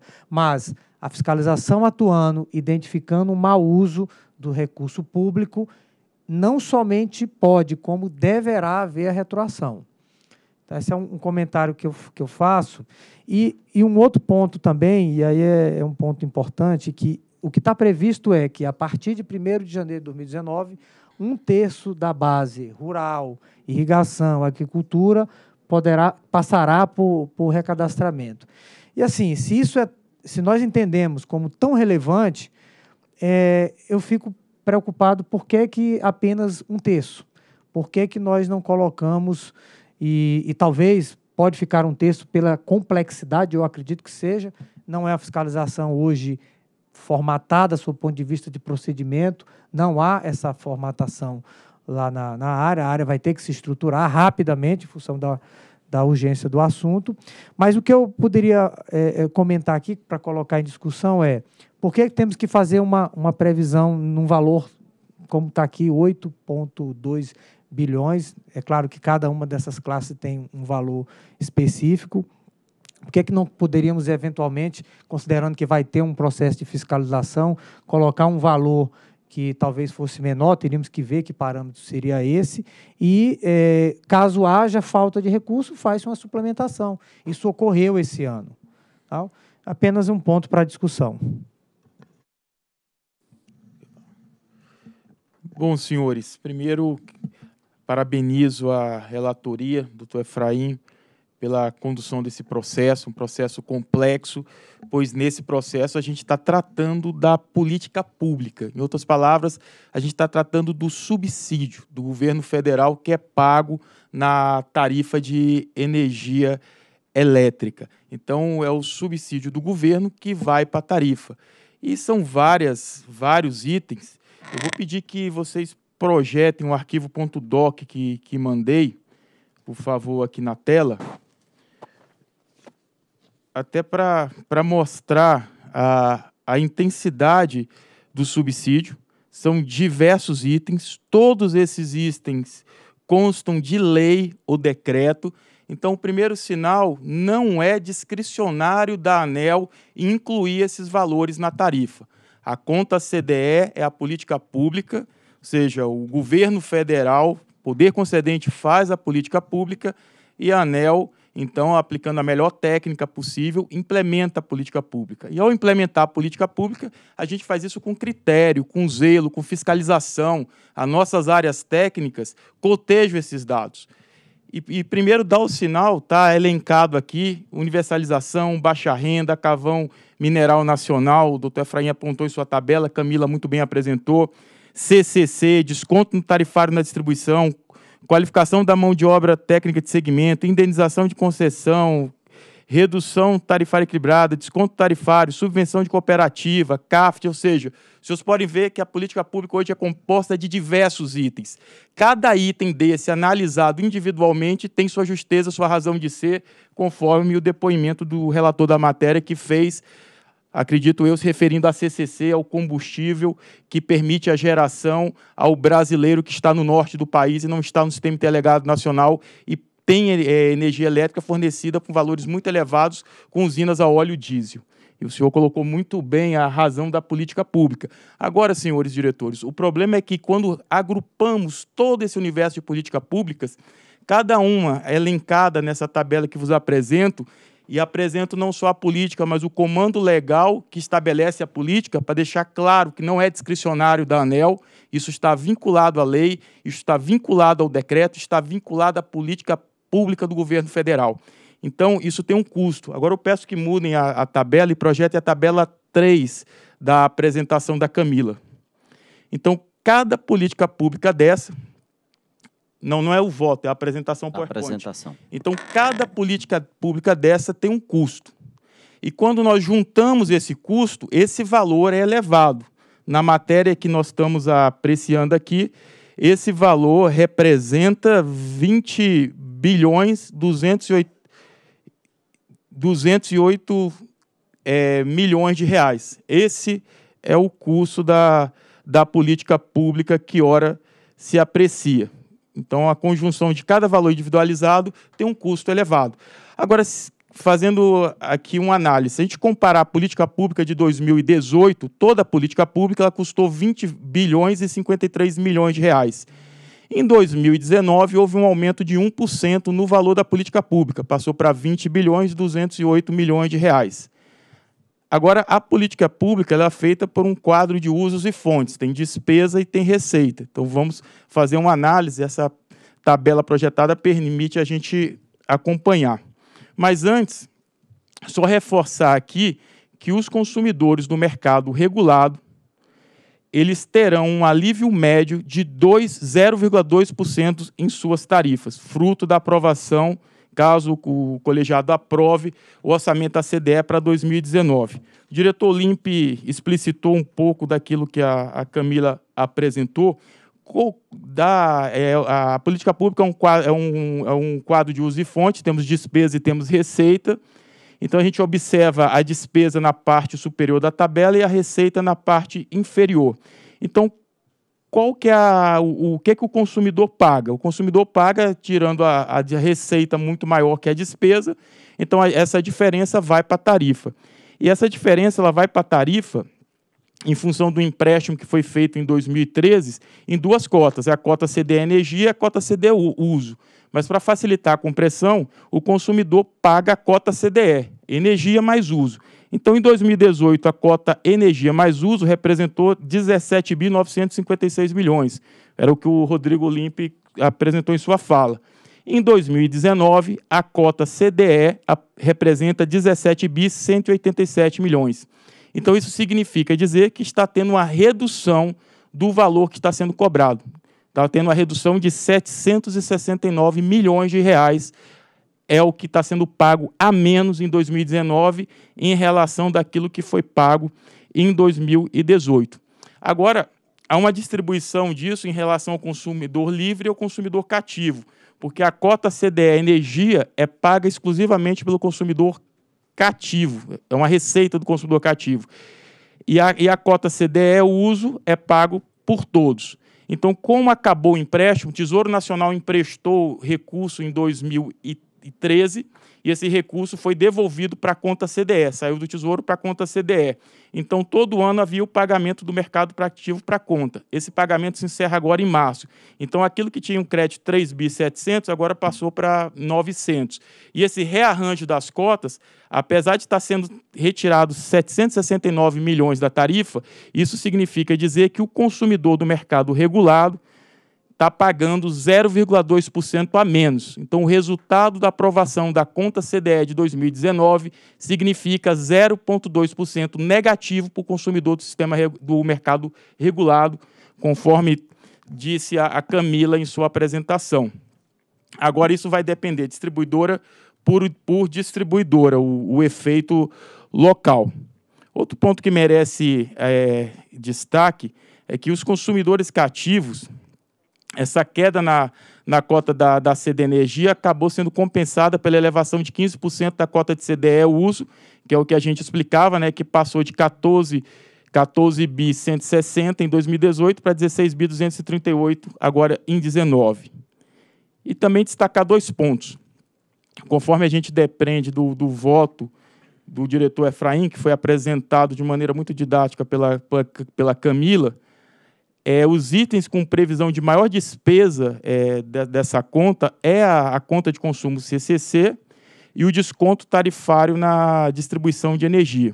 Então, com relação aos gastos da CCC, identificamos um aumento de 461 milhões de reais em relação ao orçamento de 2018, fruto da medida provisória 855 de 2018 então, posso dizer que a, MP 855 custou à CCC 461 milhões de reais. Isso por quê? Pelo fato de ter afastado a aplicação de critérios de eficiência econômica e energética nos reembolsos dos custos de geração de energia no estado do Amazonas. E também vale destacar que, em relação à proposta do orçamento que foi, feito, foi efetuado na audiência pública, as despesas com desconto tarifário na distribuição foi reduzida em 262 milhões por conta de consumidores que estão voltando ao mercado regulado e deixam de ter desconto existente na compra de fontes incentivadas. Esse é um ponto que nós estamos falando constantemente quando temos oportunidade de nos pronunciar. Inclusive, um saiu no dia de minha posse na diretoria da ANEL como diretor-geral, num jornal de grande circulação, é, a matéria onde a gente aponta, e aqui eu destaco ali a, a tabela, na, na despesa, lá, desconto tarifário na distribuição, ou seja, esse é, é a conta de, de quanto que está sendo tendo desconto no fio, é uma conta que ela está se elevando, vocês vejam que em 2014 era 4 bi, 2015 passou para 5 bi 400, 2016 para 6 bi 156, 2018 8 bi 300, 2019 8 bi 700. E aqui, doutor Divaldo, tem um potencial de esse número descolar cada vez mais.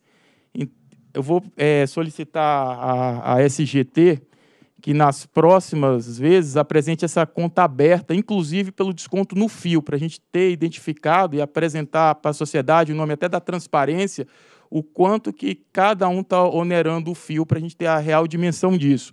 Mas fato é que, em grande medida, esse valor está sendo potencializado pelo desconto que está sendo dado do fio aos consumidores que estão no Mercado Livre e compram energia de fonte incentivada com o avanço do, do mercado livre e com o avanço da, das fontes incentivadas, esse desconto ele tende a estar sempre aumentando.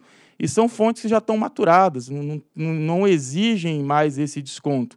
Então, é um ponto que a gente recomenda, isso está estabelecido em lei, recomenda é, a opinião da Agência Nacional de Energia Elétrica ao Congresso Nacional que esse é, reavalie ou faça a discussão com a sociedade sobre a necessidade de a gente continuar é, tendo esse desconto. Se a gente pegar o desconto do consumidor e o desconto da fonte, essa conta aí gira em torno de 3 bilhões de, de reais. É uma medida que, que merece ser avaliada. Outro ponto é, importante é, nessa questão são os demais descontos no fio. E aqui a gente também tem um, um entendimento de que esse desconto que está tá no fio hoje para uma, uma classe específica de, de consumidores, que são os consumidores rurais e dentre outros, esse desconto, primeiro, a gente defende que seja reavaliado o cadastro. Então, diante disso, foi aprovado um, uma resolução na ANEL, trata-se da resolução 800, de, foi aprovada de dia 19 de dezembro de 2017. Ela fez uma alteração na resolução 414, onde a gente determina justamente a reavaliação desses cadastros. É, ou seja, dos, hoje tem um desconto para o consumidor rural, para irrigação, agricultura, água, esgoto, saneamento. A gente fez uma reavaliação de cadastro em 2014 na tarifa social e a gente observou uma redução é, é, grande na, no, naquele universo que usufrui do desconto, porque o desconto hoje está sendo concedido, nesse caso, por meio de decreto, mas esse cadastro precisa ser avaliado pelo fato de possivelmente estar tá, tá se usufruindo desse desconto consumidores que não têm a legitimidade para tanto e a gente vai conseguir isso fazendo, revalidando esse cadastro. Então, o comando já, tô, já foi dado, é na resolução 800. Qual que é a periodicidade disso? A periodicidade é de a cada três anos, o diretor Sandoval até demonstrou, se possível, a gente antecipar é, esse trabalho, não sei se for... É, mas essa matéria passou por, por audiência pública, deve ter suas razões de ser para estar tá em três anos, mas é óbvio, é claro que o que a gente puder fazer para antecipar essa análise de cadastro em todo esse universo que está recebendo desconto, a gente vai fazer. Então, isso começa agora. Agora, dia 1 de janeiro de 2019, a gente está reavaliando os cadastros dos beneficiários desse desconto.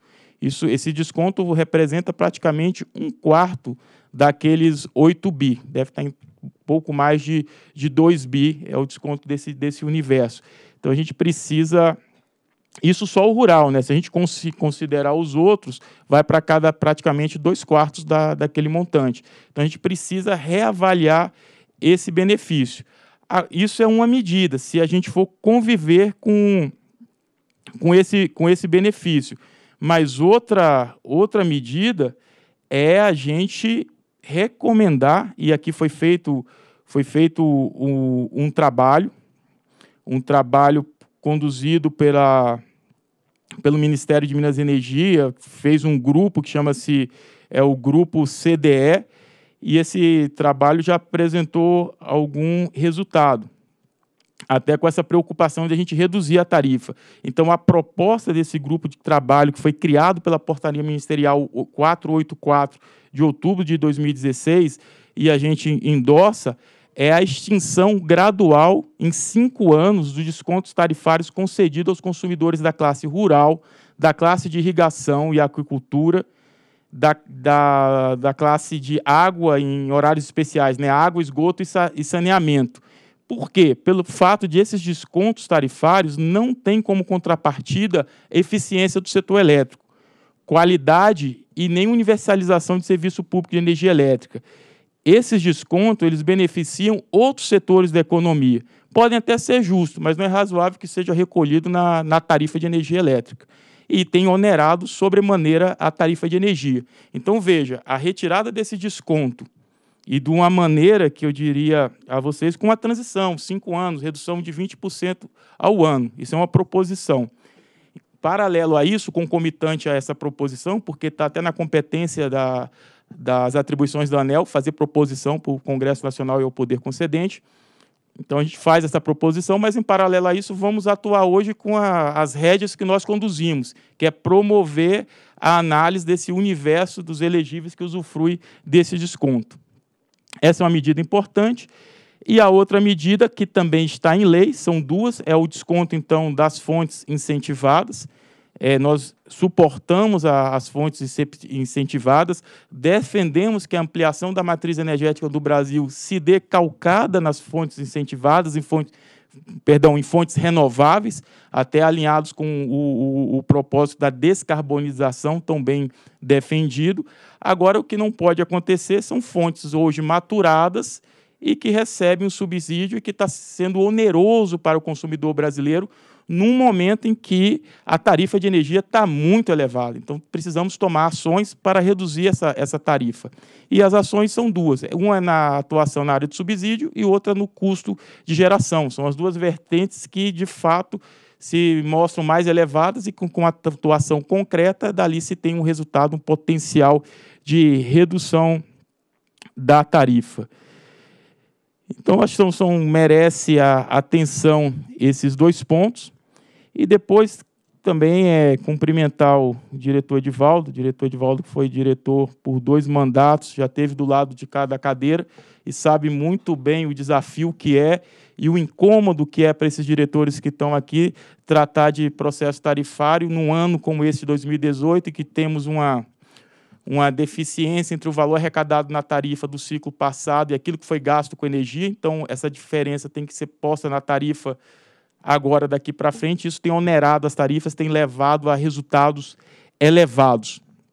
Então, você sabe a dificuldade disso.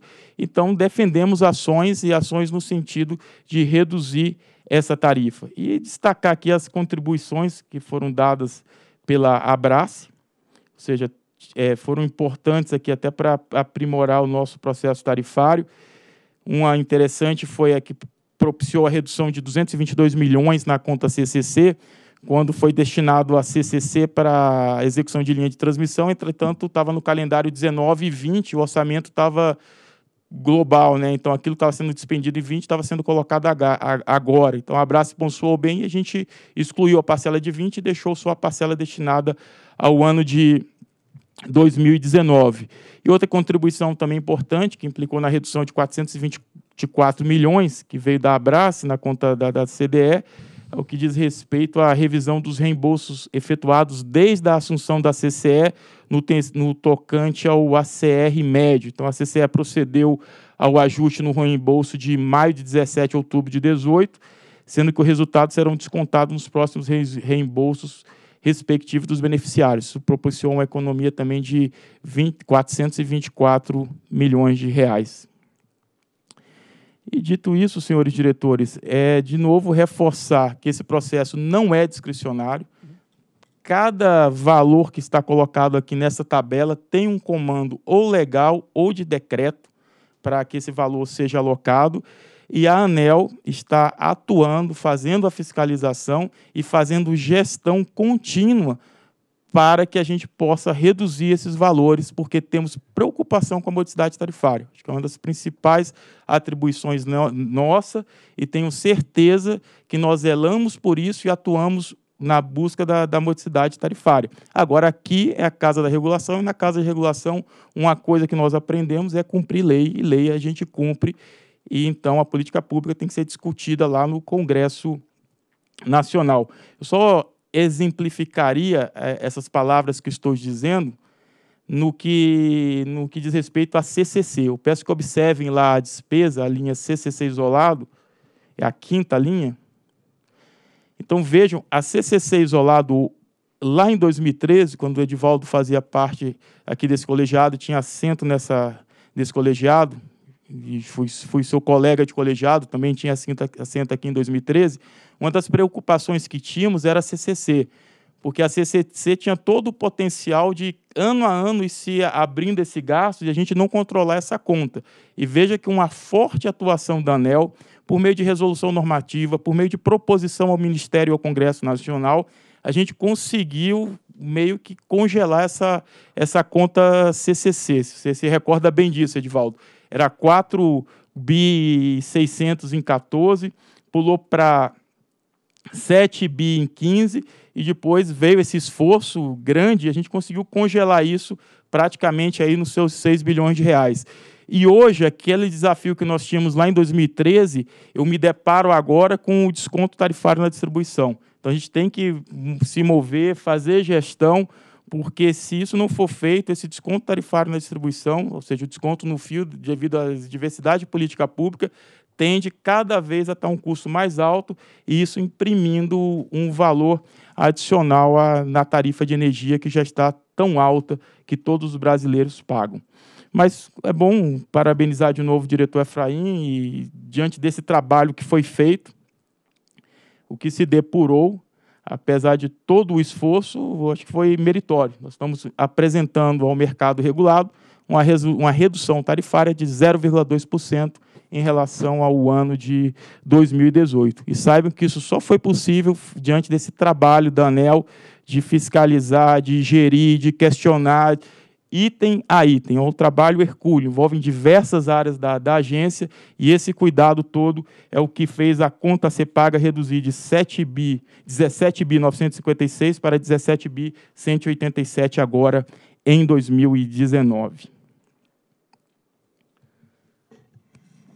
Bom, senhores diretores, em votação. É, é, doutor André, só mais, só mais um ponto. É, é claro que apresentado aqui de forma muito muito imprecisa ainda, mas o ponto que eu coloquei, aí eu verifico aqui com, com o relator, se seria possível, porque uma vez que nós temos um plano aprovado, como foi falado a, em dezembro de 17, para re, é, revis, revisitarmos um, um, uma, um, o cadastro aí em três anos, até 2019, 2020, 2021.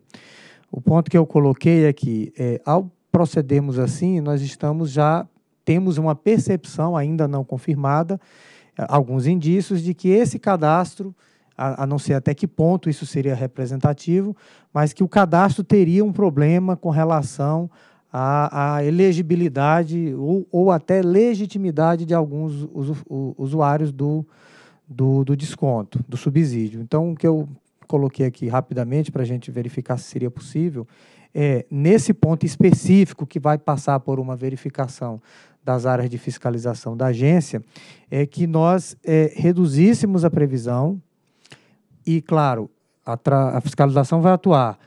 Havendo a sinalização de, de, de menos recursos na conta e ainda não conclusão desses trabalhos por parte da área, nós traríamos a discussão novamente e aprovaríamos uma suplementação de recurso. Veja, o que eu estou sugerindo é um alívio aqui nesse momento, considerando que a fiscalização irá atuar.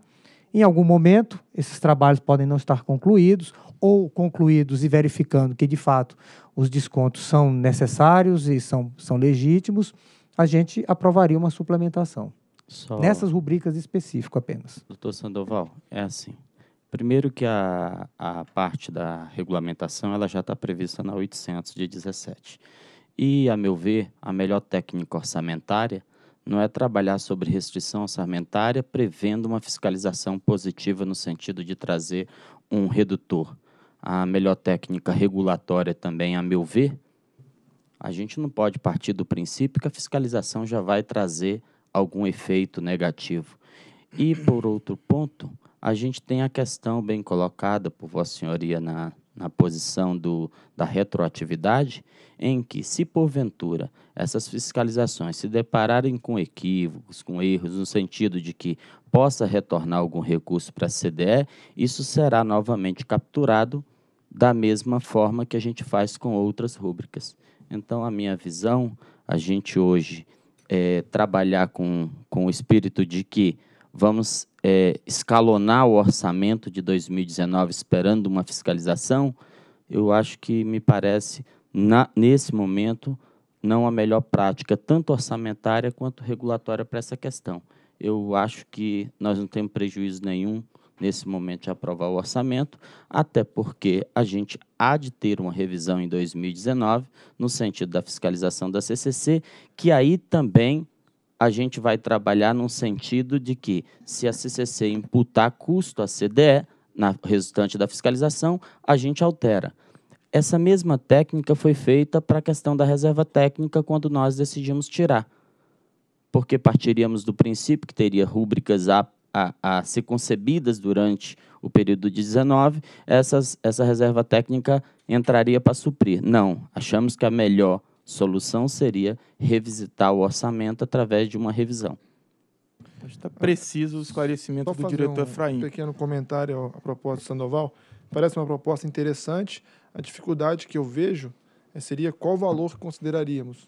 Teríamos que fazer uma estimativa do valor a ser fiscalizado, reduzido pela é, fiscalização. É, é que se a gente partir do princípio que fiscalizações vão gerar receitas, não é a melhor prática. É, e, mesmo que se parta, é difícil saber qual o valor Exatamente, entendeu? A prática orçamentária ela não, se, ela não se pauta por esse sentimento de fiscalização. Você pode até se pautar por questões de receitas, mas eu não posso enxergar fiscalização como receita. Concordo com o doutor Efraim.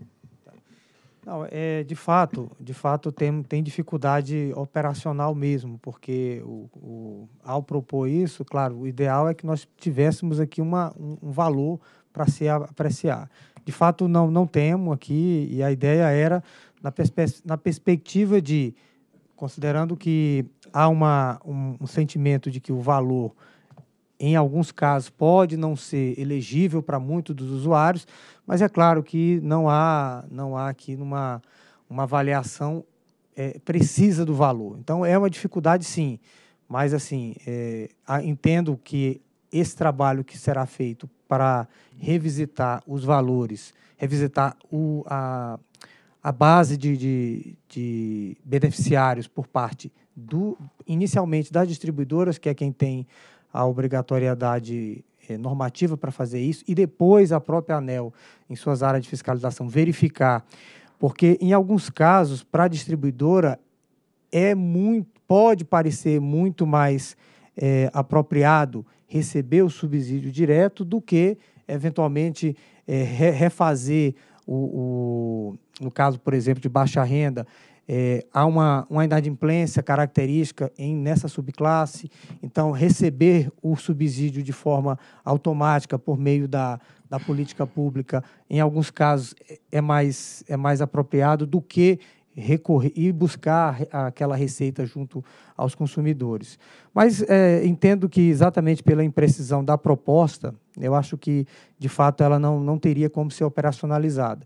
Se tivesse tido mais tempo, talvez eu tinha teria ter trazido essa proposta mais fundamentada. O importante é que a fiscalização ocorra e ocorra da melhor forma, para que o desconto, de fato, beneficie quem é, é legítimo para recebê-lo.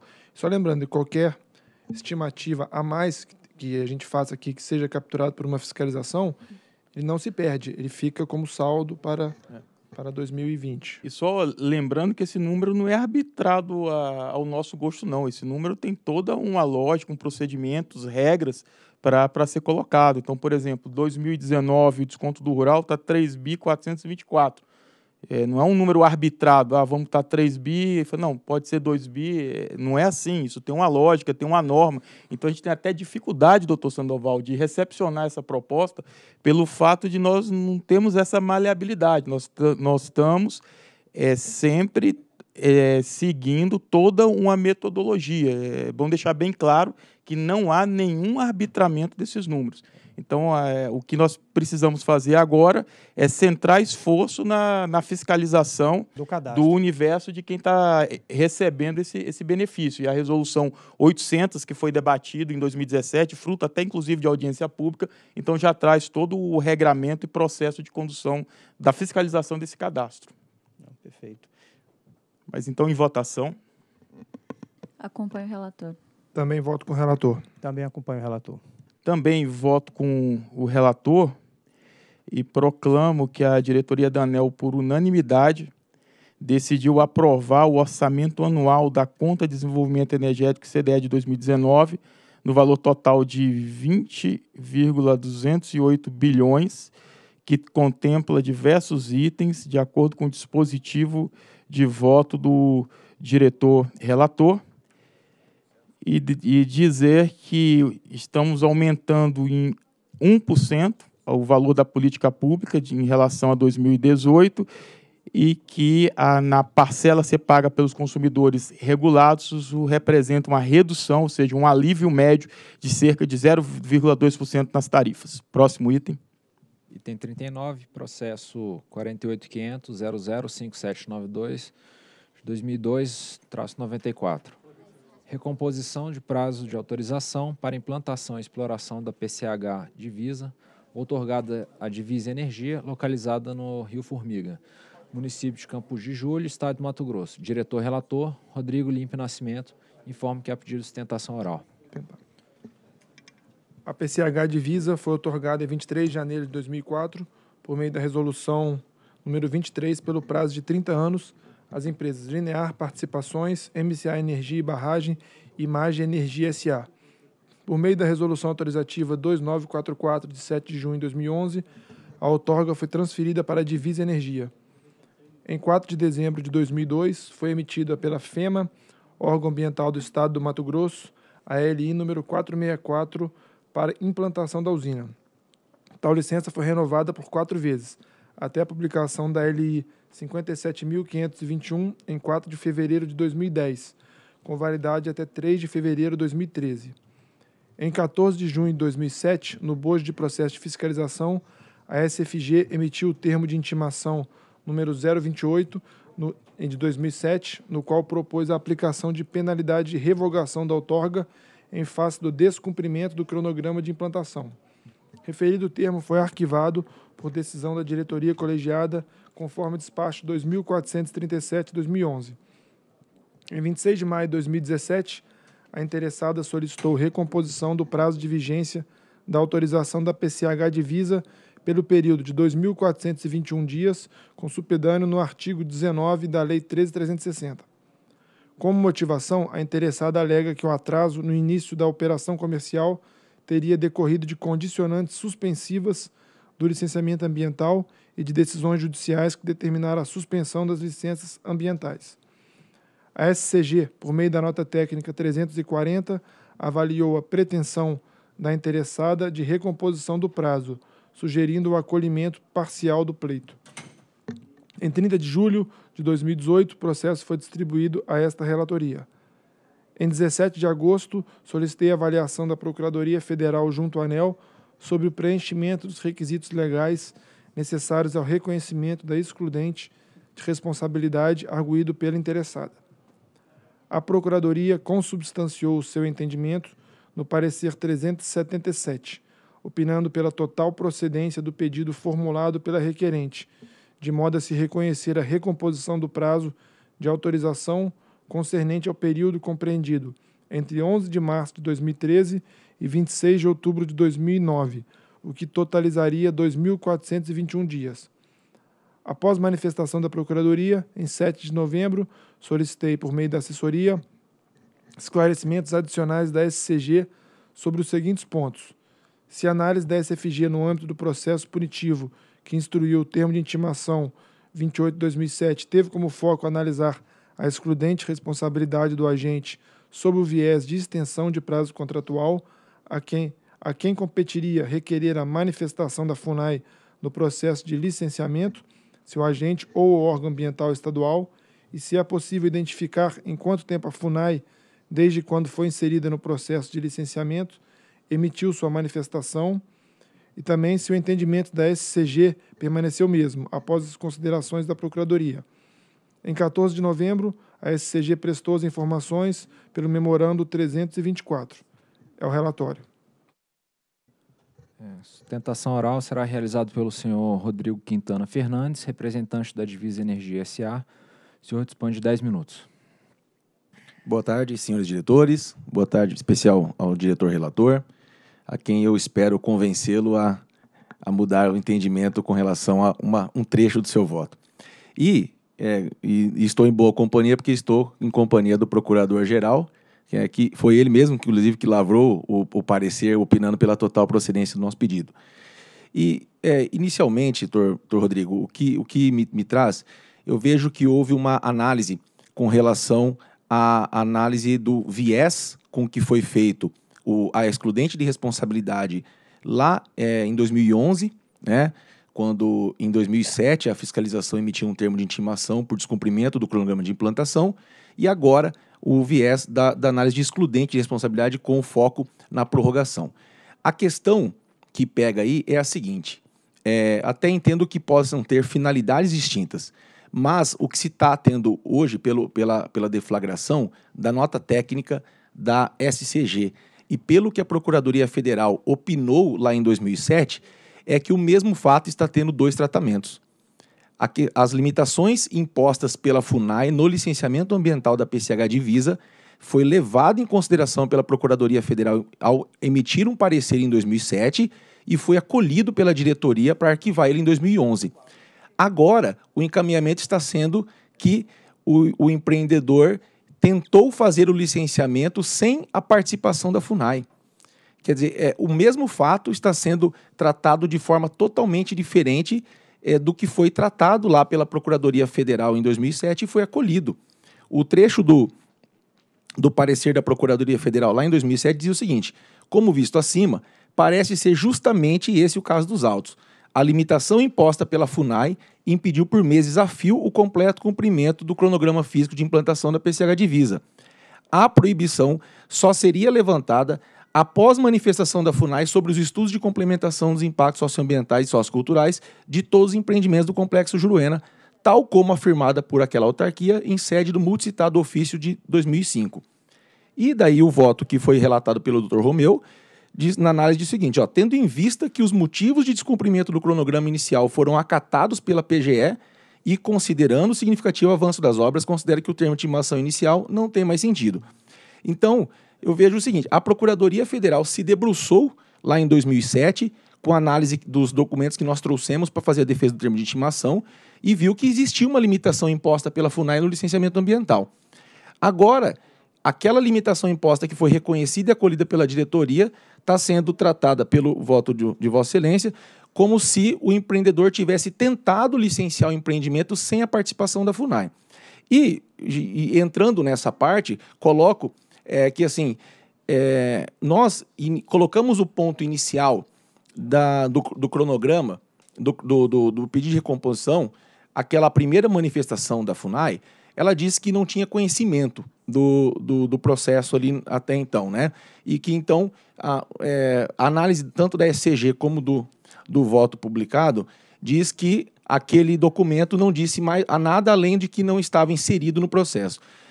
Assim, é, aquela análise sempre dos atos da FUNAI, ela tem que ser feita de uma forma sistemática, porque ela não, ela não age sempre dando um não para o empreendedor.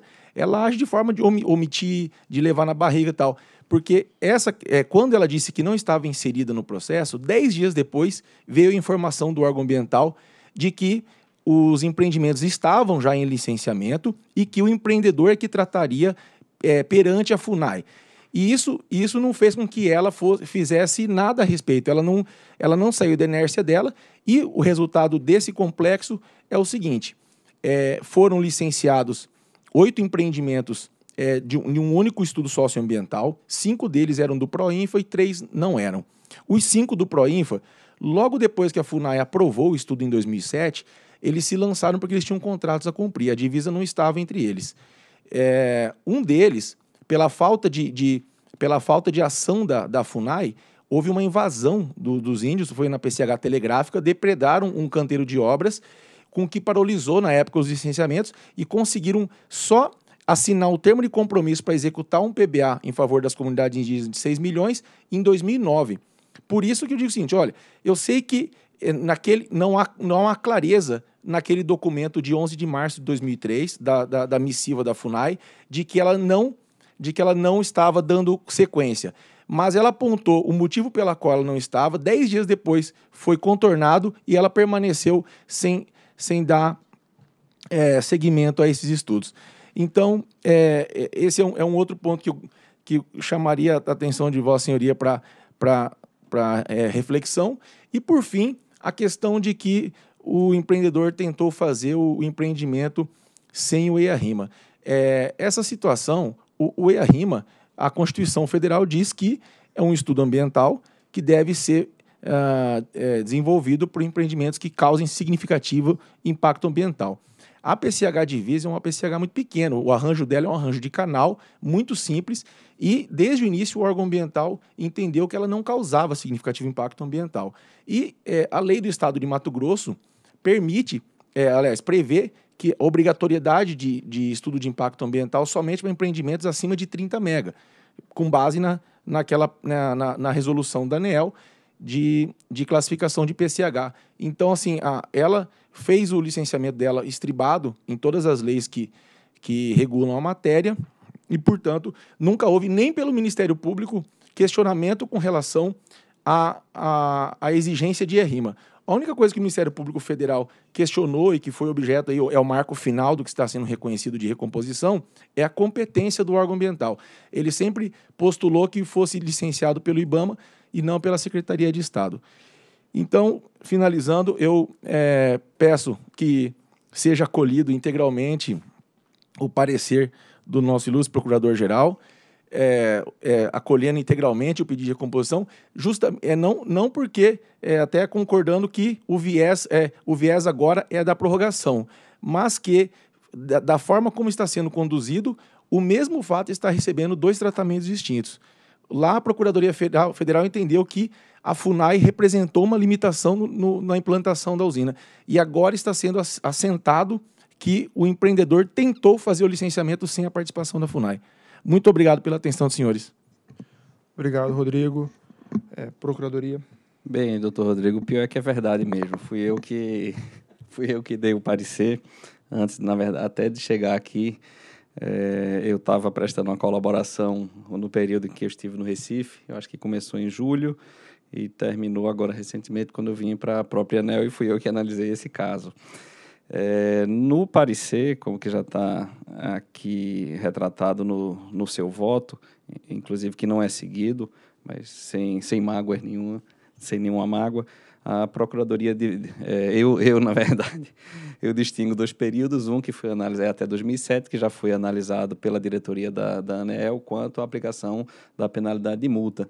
Naquele momento, a multa é, não foi aplicada pela diretoria porque se entendeu que havia uma excludente de responsabilidade. Eu não consigo separar o processo punitivo de, do, da repercussão administrativa e civil quanto ao cronograma. E o segundo ponto é em relação ao período posterior a 2007, que não foi abrangido por essa decisão da diretoria e que a própria SCG fez um, um reconhecimento aqui é, da excludente de responsabilidade. Esse, nesse ponto, inclusive, eu estava bem desatualizado em relação a, aos posicionamentos da Procuradoria, porque eu passei cinco anos fora e, inclusive, aqui eu preferi não entrar no mérito dessa é, da manifestação da SCG. Eu entendo que a Procuradoria não deve ser invasiva nesse ponto, na análise técnica, mas reconheço que meus colegas eles têm, vinham fazendo isso, uma análise mais completa. E nesse parecer a gente não fez, eu apenas acatei a análise que havia sido feita pela SCG. Então, por isso que a opinião foi pelo provimento integral do pedido. Obrigado, procurador. Obrigado novamente, doutor Rodrigo, pela sustentação muito clara. Aí eu até pego um caso recente em que eu também respeitosamente divergi do parecer da Procuradoria. O senhor ainda não estava de volta, mas procurador anterior. Nos, é, a divergência é basicamente na questão da separação da análise, para efeitos excludentes ou para efeitos punitivos. Eu consigo entender uma. visualizar a possibilidade de separação desses efeitos. É o que eu trago no voto na sequência. Em síntese, pleiteia interessada a recomposição do prazo de outorga da PCH Divisa, localizada no estado do Mato Grosso, referente ao período entre 11 de março de 2003 e 26 de outubro de 2009, o que faz com fundamento no artigo 19 da Lei 13.360. Esse empreendimento foi otorgado com 10.800 kW de potência instalada para ser explorado sob regime de PI e prazo de vigência de 30 anos, nos termos da Resolução 23 de 2004 sustenta a interessada que fatos alheios à sua vontade e capacidade de gerenciamento, imputáveis exclusivamente ao poder público, tais como atraso na emissão das licenças ambientais e ações judiciais, impuseram-lhe um atraso de 2.421 dias na implantação do cronograma original, de modo que o início da operação comercial apenas se iniciou em 9 de novembro de 2011, quando a previsão seria em 1 de dezembro de 2006 Aduz ainda que a diretoria da ANEL, ao determinar o arquivamento do auto de infração, que previa revogação da autorização por meio do despacho 2437, já teria reconhecido a excludente de ilicitude no atraso incorrido para a implantação do empreendimento. Com, a, com amparo nesses fundamentos, a interessada pretende o reconhecimento da existência de excludente de ilicitude pelo atraso no, no cronograma de implantação da PCH Divisa, no período entre 11 de março de 2003 e 26 de outubro de 2009, 26 de outubro de 2009 é a data em que o TRF da primeira região reformou a decisão que suspendeu as licenças ambientais. A SCG analisou o pleito da requerente conforme nota 340 e opinou pelo seu acolhimento parcial, de modo a reconhecer 1.258 dias de atraso imputável ao poder público, conforme ressalta a SCG.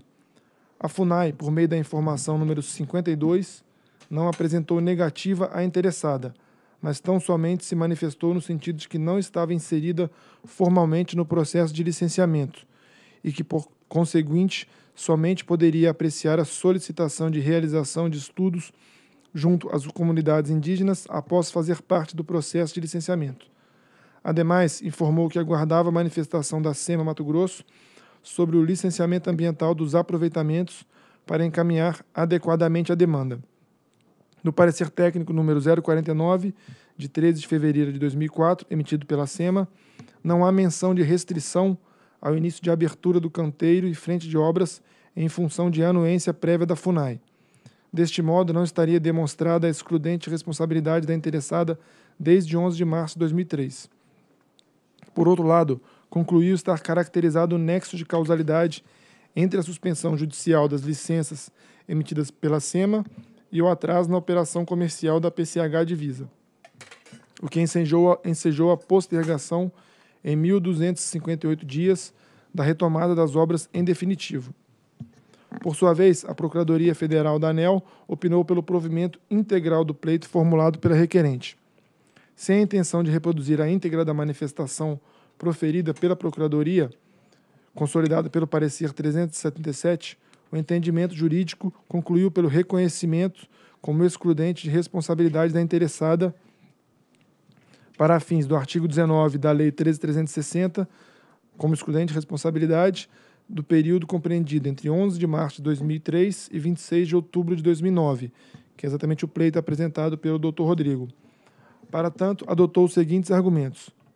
Em relação aos fatos ocorridos até a lavratura do termo de intimação número 28 de 2007 e que impactaram no cronograma da PCH Divisa, já teria ocorrido reconhecimento pela diretoria da ANEL sobre a isenção de responsabilidade da requerente em razão da responsabilidade exclusiva do poder público, não cabendo a reapreciação meritória quanto a esse ponto.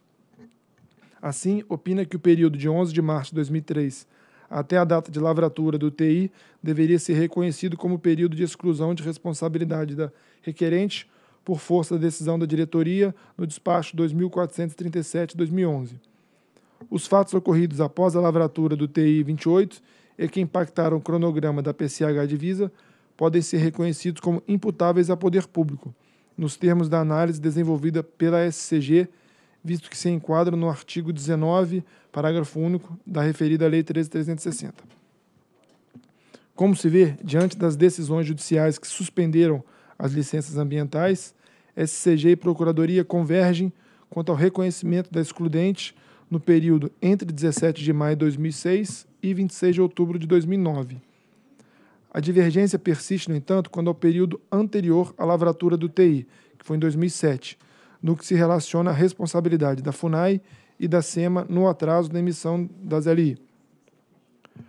Passa-se a analisar os dois períodos de forma separada.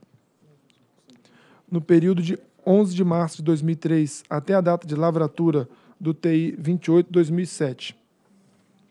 Como visto, a manifestação jurídica que opina pelo deferimento total do pleito da requerente embasa-se no fundamento de que, no bojo do processo de fiscalização, a diretoria da ANEL teria reconhecido a excludente de responsabilidade do agente por ato do poder público, e assim não caberia neste momento a sua reavaliação, já que coberta pela coisa julgada administrativa.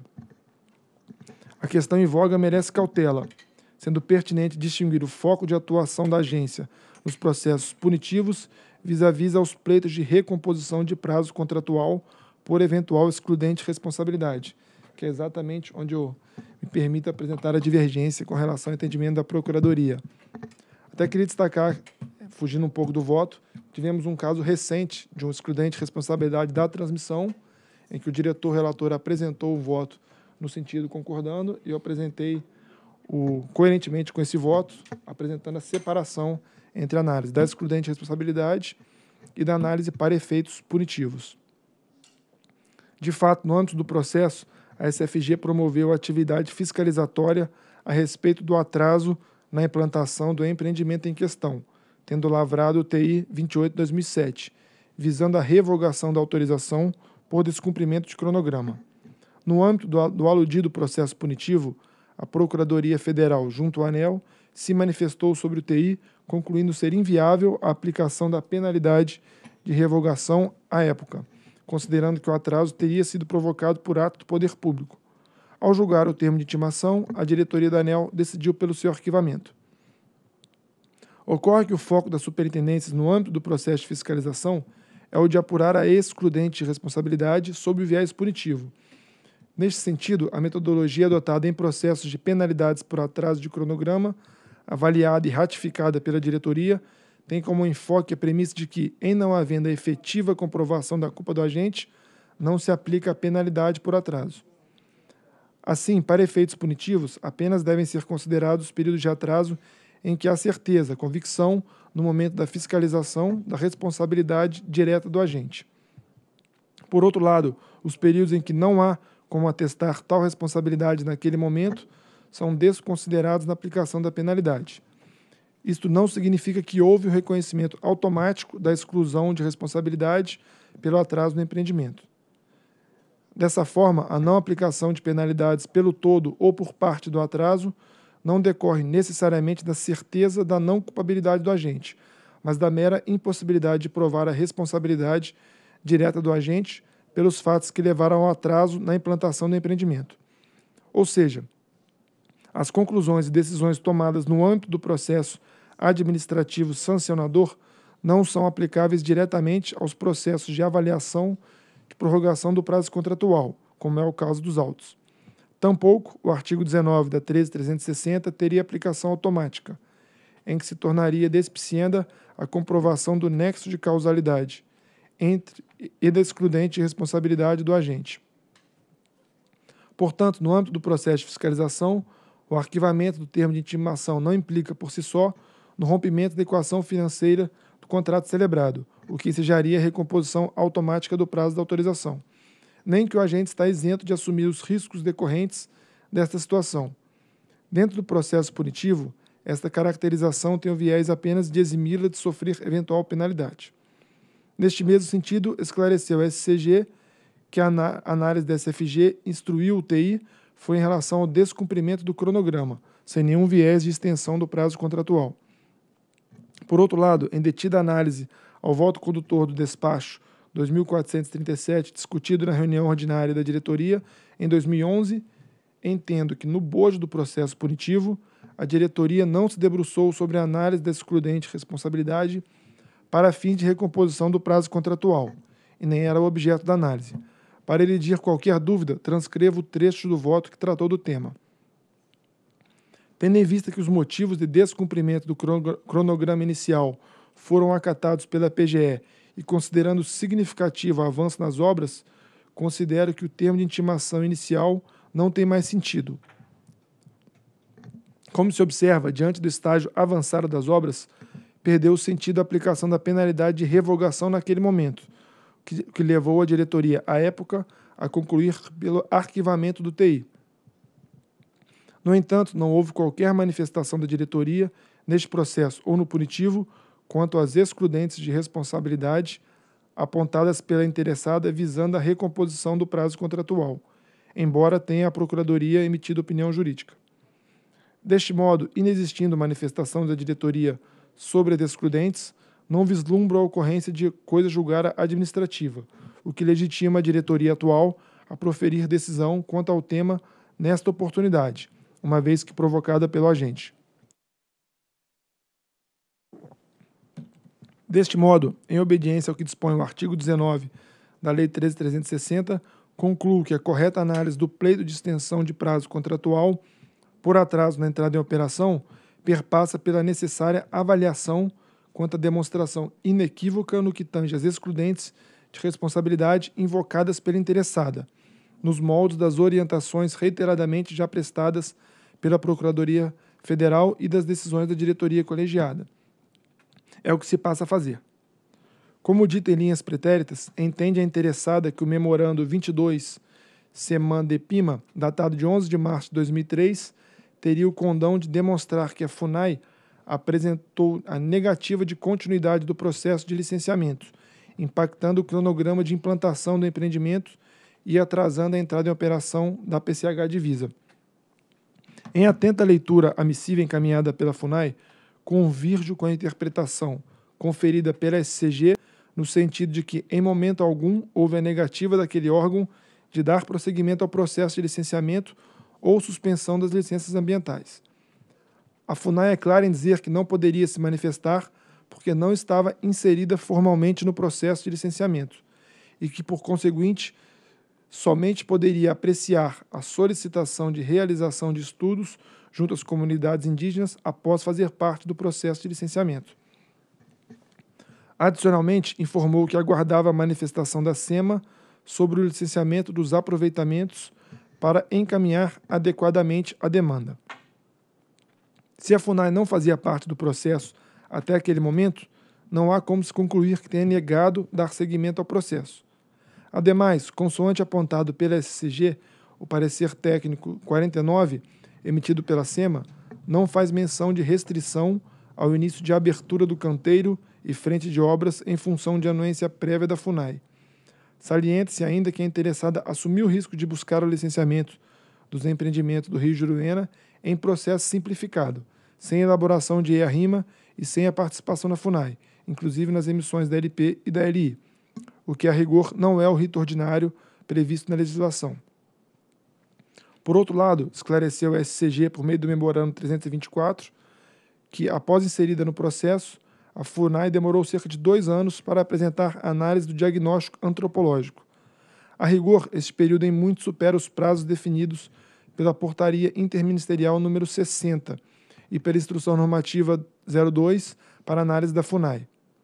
Ocorre, no entanto, que o parágrafo 5 do artigo 9 da Instrução Normativa 02 de 2015 prevê que a contagem do prazo de análise da FUNAI será suspenso durante a elaboração do pedido de esclarecimentos ou complementações.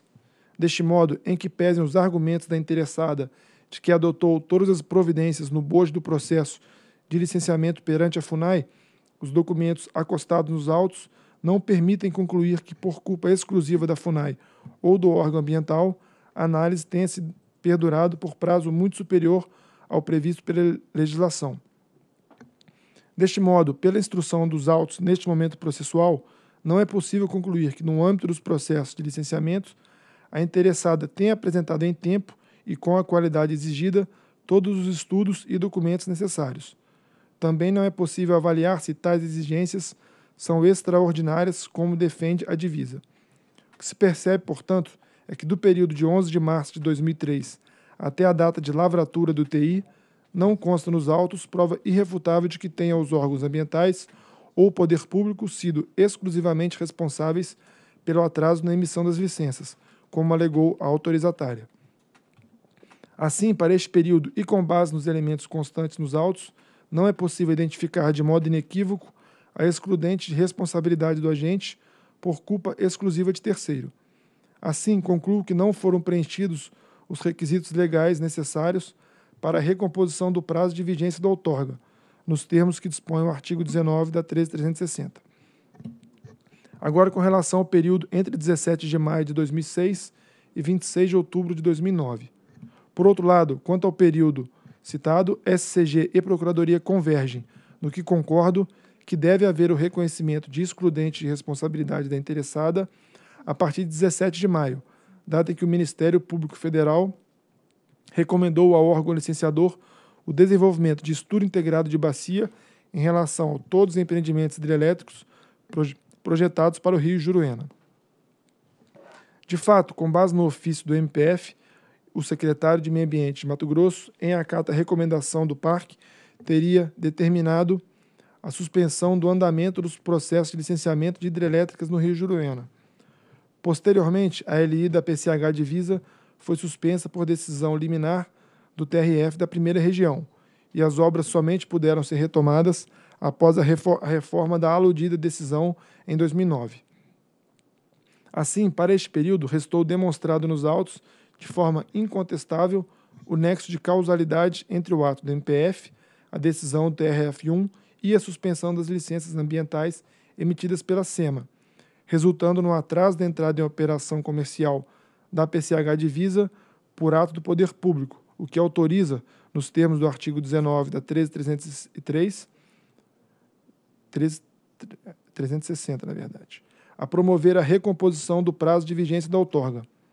Neste sentido, devem ser acrescidos 1.258 dias a vigência da outorga da PCH Divisa, em razão da recomposição do prazo referente ao período de 17 de maio de 2006 a 26 de outubro de 2009. Portanto, passando ao dispositivo, como conclusão, antes do dispositivo, conclui-se, quanto ao período de 11 de março de 2003 até a data de lavratura do termo de intimação número 28 de 2007, não há que se falar em coisa julgada administrativa, estando a diretoria autorizada a apreciar, nesta oportunidade, os argumentos da interessada visando a recomposição do prazo de outorga. No entanto, tomando por base os documentos constantes nos autos, não foi possível identificar culpa exclusiva da FUNAI ou da SEMA no atraso no processo de licenciamento ambiental, impedindo o reconhecimento de excludente de responsabilidade em favor da interessada.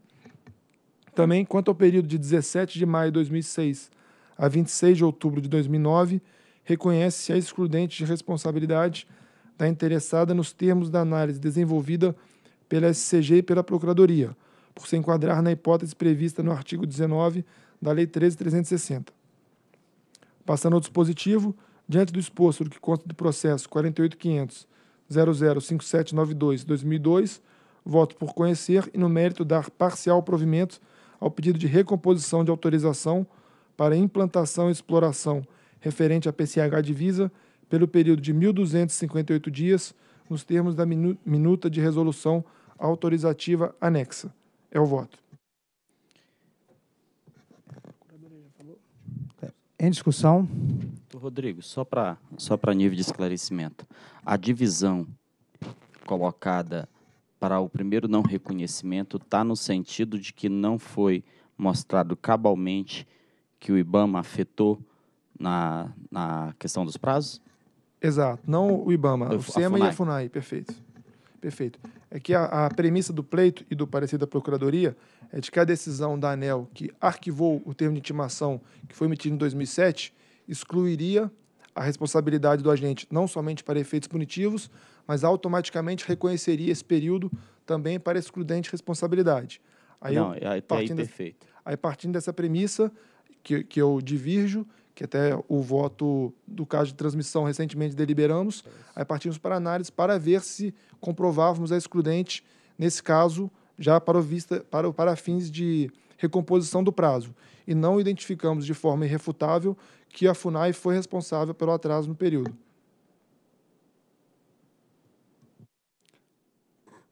Ou seja, me permita, me permita eh, contribuir. O fato de haver uma fiscalização, uma, uma, um processo de fiscalização que tem, às vezes, outras motivações, ou seja, não houve esse processo específico, não houve a avaliação de uma fiscalização para variar o nexo de casualidade. Casualidade, ou seja, é, trazer de forma reflexa a conclusão de um processo que não tinha o fito daquele objetivo específico, trazer para um processo de excludente de responsabilidade é o que está sendo é, afirmado, em outras palavras, pelo, pelo relator. É, Deve-se, então, né, é, avaliar que somente há essa vinculação se houver uma avaliação específica e, e, específica e dedicada para avaliar o excludente de responsabilidade. Mas pelo que eu estou entendendo, o TN tratou do mesmo tema o tema deve ser, ter se tratado o atraso de obra é, punitivo, é, tudo, mas, mas, não para verificar a questão da, da, do, do atraso com fins de excludente de responsabilidade. Pois é, mas, mas você entendeu que o objeto é o mesmo? O objeto é o mesmo, mas o objeto foi atraso de obra. Tá? É, é, aqui a gente tem, tem hum, algumas interpretações, e eu já acompanhei algumas discussões nesse sentido, que é a fiscalização, ela tem, no caso específico, verificar o atraso da obra. Agora, o atraso da obra não se vincula necessariamente com excludente de responsabilidade. De. Para efeito de recompensa, recompensa, recomposição de, de, de prazo, como foi citado pelo relator. Apesar de ter sido fiscalização de, a- de obras, atraso de obra, não há uma vinculação automática entre aquela fiscalização e uma análise de excludente de responsabilidade para fins de recomposição do prazo de outorga. É, a divergência é exatamente essa, em relação ao que pontua a Procuradoria e o que eu apresentei no meu voto. Em Doutor, voto- desculpa, só- pois não, não é, eu- se eu- se eu puder complementar, Fica à vontade. É, a Procuradoria ela, ela não diverge totalmente do que o é, doutor Rodrigo está falando.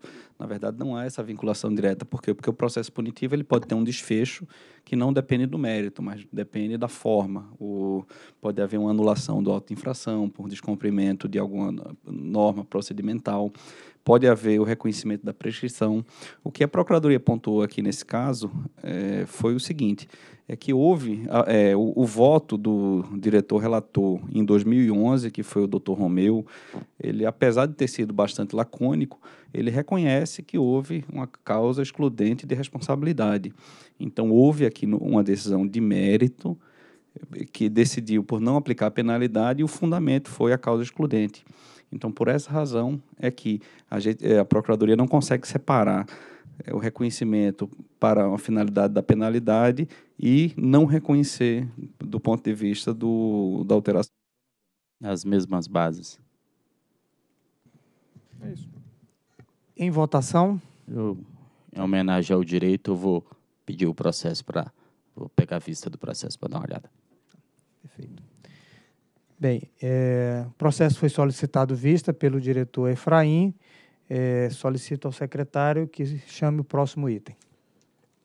É, informo que haverá uma alteração na ordem de deliberação e, portanto, ao invés de chamar o item 3, é, chamo o item 8, processo 48.500.003062, barra 2017-15, resultado da audiência pública número 54 de 2018, instituída com vistas a colher subsídios e informações adicionais para revisão do submódulo 5.5 e 5.6 dos procedimentos de rede, para incorporação da nova representação dos patamares de carga para fins de planejamento e programação da operação eletroenergética do Sistema Interligado Nacional, SIM, diretor-relator Sandoval de Araújo Feitosa Neto.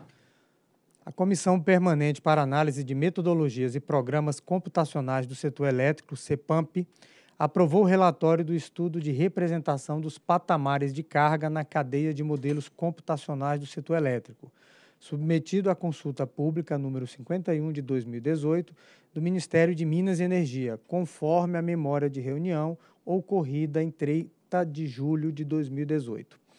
A CEPAMP aprovou ainda a recomendação do grupo técnico GT de metodologia para a utilização de- dos novos patamares de carga a partir da primeira semana operativa de janeiro de 2019, observado o artigo 2º, parágrafo 1º da Resolução 7 de 2016 do Conselho Nacional de Política Energética.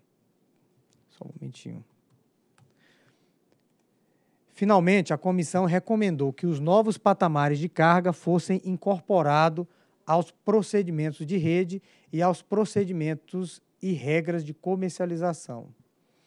Assim, em 26 de outubro de 2018, o Operador Nacional do Sistema Elétrico encaminhou a proposta de ajuste nos procedimentos de rede, incorporando a nova representação dos patamares de carga à cadeia de modelos computacionais do setor elétrico, para fins de subsidiar o planejamento e a programação eletroenergética do Sistema Interligado Nacional. Em 12 de novembro de 2018, o processo foi a mim distribuído.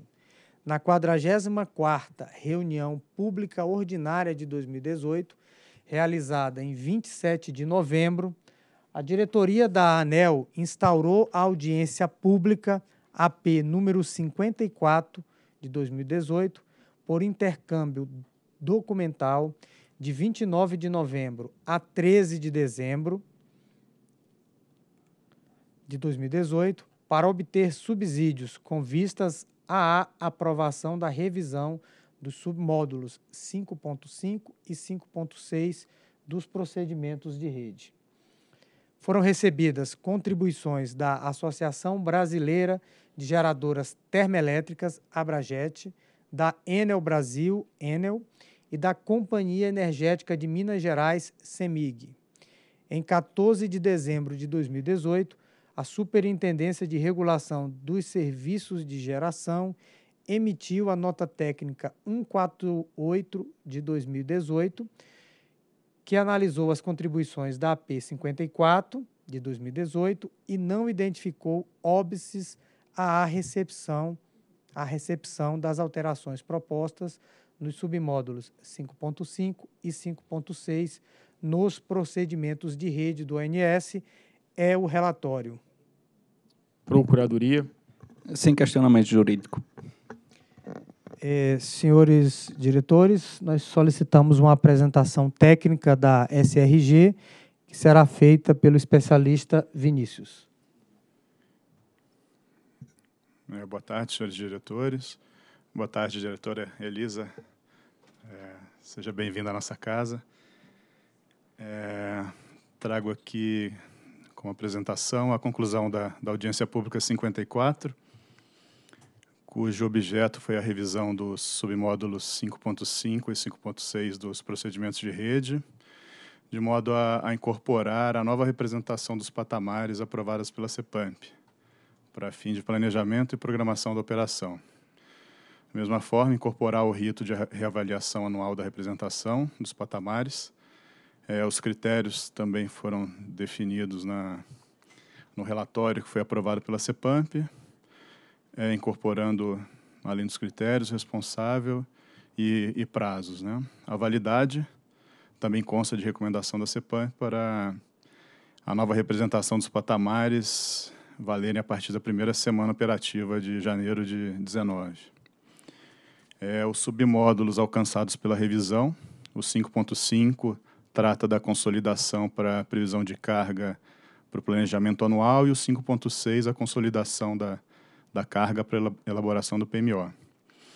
Aqui é importante ressaltar as condições de contorno da, da AP 54. As discussões de mérito ocorreram todas no âmbito da, da competência da CEPAMP.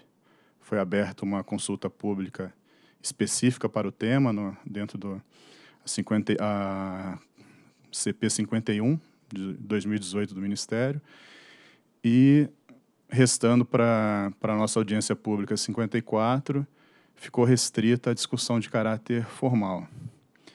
É, de forma prática, a tabela existente nos dois submódulos, ela, ela foi substituída, né, atualizada pela nova tabela, que, com a nova representação dos patamares para os modelos computacionais, e inserido um comando, a ONS, é, de que trata a, a, reavaliação anual que consta do, do, do relatório aprovado pela CEPAMP, né? seguindo a, a, metodologia, e estipulado uma data limite para divulgação desses resultados, até 30 de 11 de cada ano.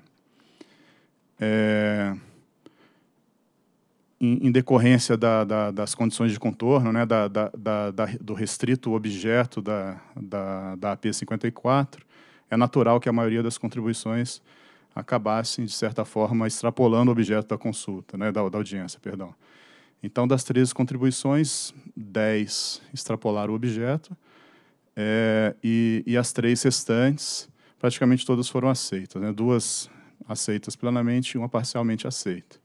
A contribuição mais, mais importante é, são contribuições que vieram da Enel e da CEMIG, é, solicitando a reavaliação desse prazo limite de 30 do 11 para apresentação da divulgação da, da reavaliação anual do, dos patamares. Né?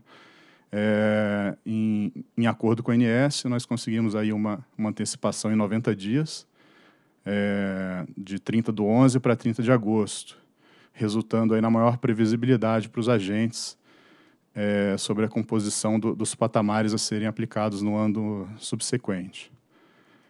Então, é, dessa forma, né, é, não, nós concluímos no, no, fechamento da, da AP é, por não haver óbices à, recepção da, das alterações propostas e recomendações, é, a aprovação da, da, revisão dos dois submódulos e, e, e aplicação da, dessa revisão a partir da, da primeira semana operativa de janeiro de 19, né, que inicia agora em 29 de dezembro, é, conforme de, definição da, da, da CEPAMP. Né.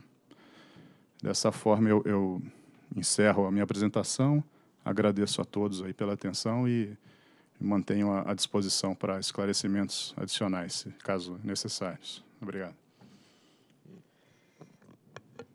Bem, senhores diretores, a apresentação feita pelo Vinícius, a qual eu já agradeço. Muito obrigado, Vinícius, pela apresentação. Ela, como foi bem falado, nós fizemos uma, uma abertura de audiência pública, foi uma abertura bastante célere, no sentido de que essas alterações já passem a valer a partir de 1 de janeiro de 2019. A audiência pública ela residiu no sentido de fazer o ajuste nos procedimentos de rede e também nos procedimentos de regras de comercialização.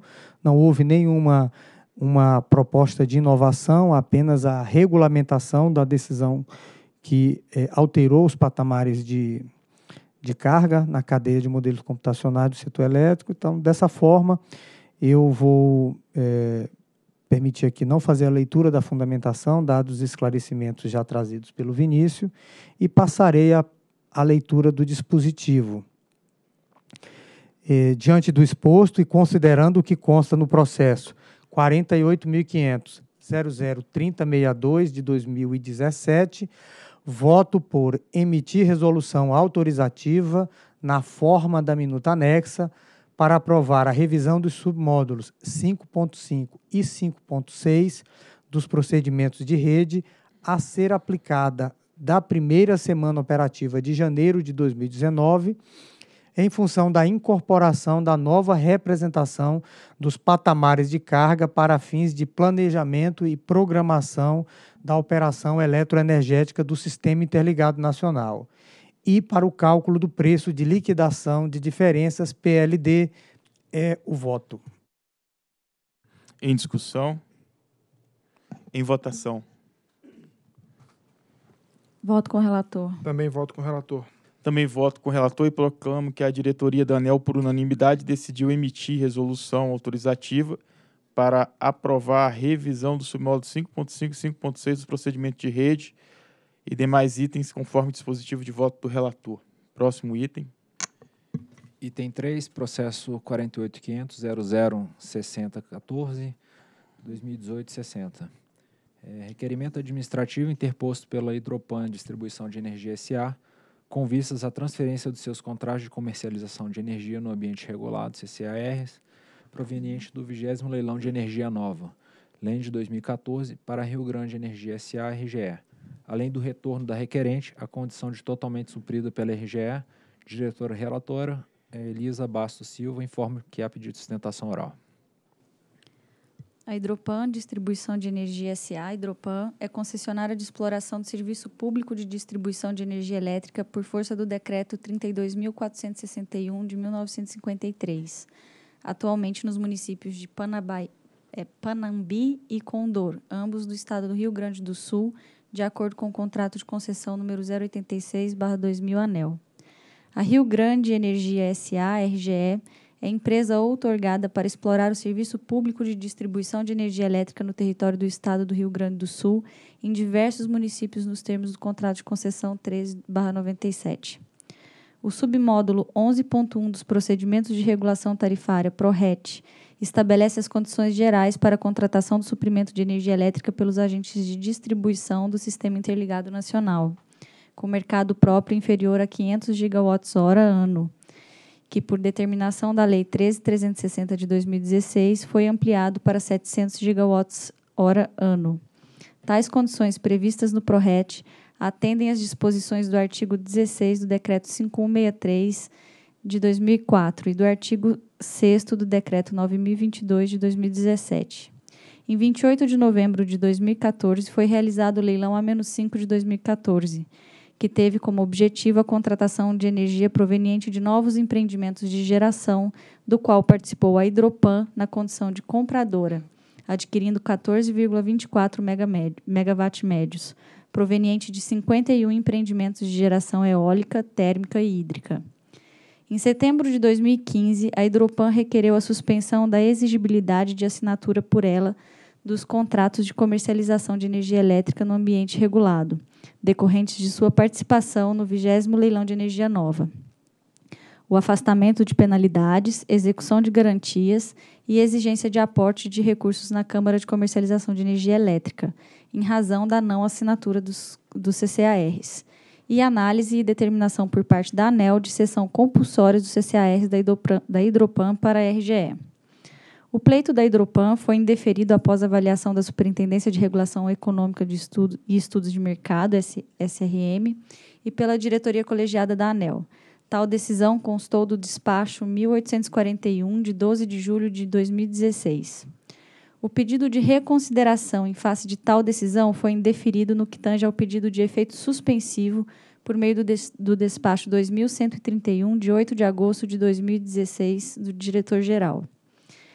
Em 16 de novembro de 2016, foi instaurado o processo de fiscalização pela SFF em vista da não assinatura dos contratos regulados e, determinado a Hidropan que assinasse os contratos por meio do termo de notificação 99/2016 SFF de 8 de dezembro de 2016. Em 14 de fevereiro de 2017, durante a realização da quinta reunião pública ordinária e avaliação pela diretoria colegiada quanto ao mérito do pedido de reconsideração em face do apelo feito pelo representante da Hidropan durante sustentação oral, o diretor relator re retirou a matéria de pauta e concedeu o prazo de 60 dias para que a concessionária pudesse apresentar proposta de solução à agência. Não tendo sido protocolada qualquer manifestação no prazo concedido e estendido, o pedido de reconsideração foi no mérito julgado e teve provimento negado por meio do despacho 1141, de 25 de abril de 2017. Em sequência ao processo de fiscalização instaurado, após ter sido confirmada a não assinaturas dos CCARs em 25 de abril de 2017, foi lavrado auto de infração 007/2017 SFF com aplicação de penalidade de multa pecuniária Hidropan. Em 11 de outubro de 2018, por meio do ofício HP 257/2018, a Hidropan apresentou proposta de acordo entre ela e a RGE com o objetivo de transferir os seus CCARs provenientes do 20 leilão de energia nova para a RGE e voltar a ser suprida pela RGE. Por meio do ofício 175 de 2018, de 17 de outubro de 2018, a SRM solicitou manifestação da RGE quanto ao disposto no ofício 275 de 18. Em resposta, por meio da Carta 087, protocolada em 6 de novembro de 2018, a RGE apresentou suas considerações acerca do acordo proposto. Em 10 de dezembro de 2018, fui sorteada relatora da matéria e, em 12 de novembro de 2018, a SRM emitiu nota técnica número 214/2018 com sua avaliação. É o relatório. O pedido de sustentação oral será fe... a sustentação oral será realizada pelo senhor André Serrão Borges Sampaio, representante da Hidrelétrica Panambi SA. O senhor dispõe de 10 minutos. Senhor diretor-geral, a doutora relatora, saudações também pela sua presença nesse colegiado. Na verdade, nosso pedido era de preferência, não era de sustentação oral. Uh, na verdade, estávamos apostando aqui na celeridade, um caso já muito conhecido e debatido. Teria enorme prazer em falar aos senhores, mas apostando aí na celeridade do tempo, dispensamos por hora. Muito obrigado. Bom, da fundamentação. Só procuradoria. Ah, desculpe. Não houve questionamento à procuradoria. Fundamentação. Trata-se de pleito da aprovação pela ANEL da proposta de que a Hidropan transfira para a RGE os CCARs decorrentes do leilão A-5 de 2014 e que a Hidropan permaneça como concessionária suprida pela RGE para o atendimento de todo o seu mercado de consumidores a partir de 1 de janeiro de 2019, com condições específicas apresentadas pelas partes. Para o entendimento da questão, convém considerar que a Hidropan está classificada para o ano de 2019 como agente de distribuição com mercado próprio, inferior a 700 gigawatts hora ano, conforme dispõe despacho número 889 de 2018 da Superintendência de Gestão Tarifária. O mercado próprio da Hidropan apurado em 2017 foi de 88,02 gigawatts hora ano, o que equivale a 10,04 megawatts médios. Os agentes de distribuição com mercado próprio inferior a 700 gigawatts ano, hora, hora ano, condição da Hidropan, podem adquirir energia elétrica nos leilões de ambiente de contratação regulada, ACR, de geração distribuída, GD, do atual agente supridor com tarifa regulada ou licitação pública por ela promovida. Atualmente, a Hidropan adquire toda a energia para atender o seu mercado a partir de um contrato de suprimento de um contrato com a supridora RGE, nos termos da modalidade 3 do atual agente supridor, descrita no parágrafo anterior. Essa modalidade de contratação pressupõe o atendimento de sua carga mediante o pagamento de tarifa de energia regulada e estabelecida pela ANEL. Contudo, em 2014, por decisão empresarial, a Hidropan optou por alterar sua modalidade de aquisição de energia da alternativa 3, do atual agente supridor com tarifa regulada, para a alternativa 1, nos leilões de ambiente de contratação regulada, ACR. Neste sentido, ela celebrou o aditivo ao contrato de comercialização de energia com a RGR para designar valor nulo de energia contratada a partir do ano de 2019 e participou do leilão A-5 de 2014 do ambiente de contratação regulado adquirindo 14,24 megawatt médios nesse certame, que estabeleceu o início de suprimento a partir de 1 de janeiro de 2019.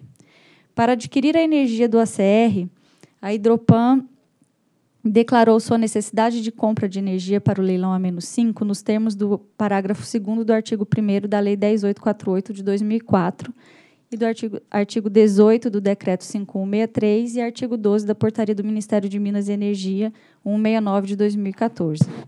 Assim, conforme regras do leilão A-5 de 2014 expostas no edital do certame, a Hidropan tinha obrigação incondicional de ter iniciado e concluído o processo de adesão à CCE e ter assinado CCARs com os agentes vendedores a preço de comercialização ou receita fixa associada aos lotes atendidos.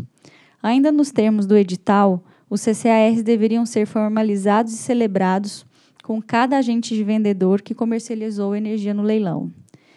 Em razão de não concretização de projeto e construção da usina, alguns agentes geradores, vendedores desse leilão, tiveram suas outorgas revogadas pela ANEL, de modo que os 14,24 megawatts médios originais foram reduzidos para 9,662 megawatts médios conforme tabela a seguir.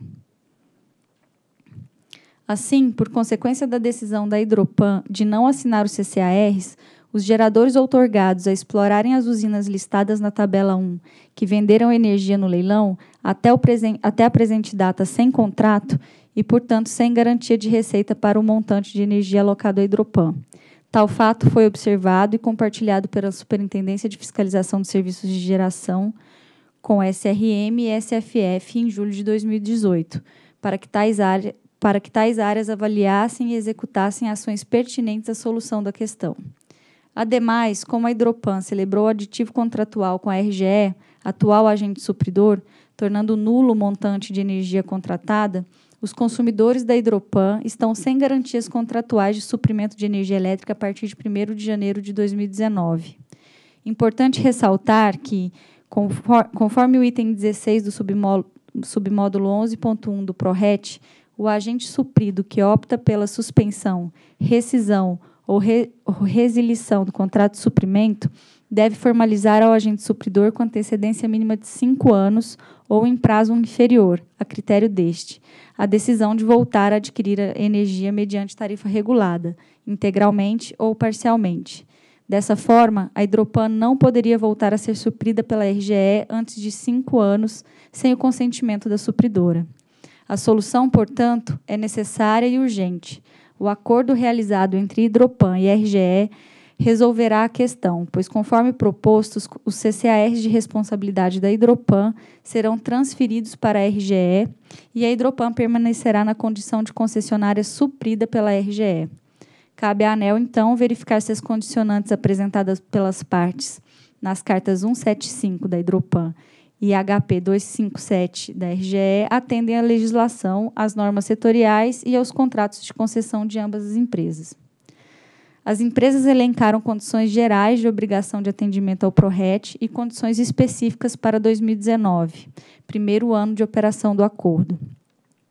Tais medidas dispõem sobre necessidade e prazo para celebração de aditivos contratuais, possibilidade de parcelamento de pagamentos e definição de índices para correção monetária de valores, tratamento quanto à possibilidade de sobrecontratação da RGE e de possíveis penalidades e ou glosas decorrentes, recepção pela RGE das cotas de Itaipu, Angra 1 e 2, Proinfa e garantia físicas consequentes da assunção dos CCARs.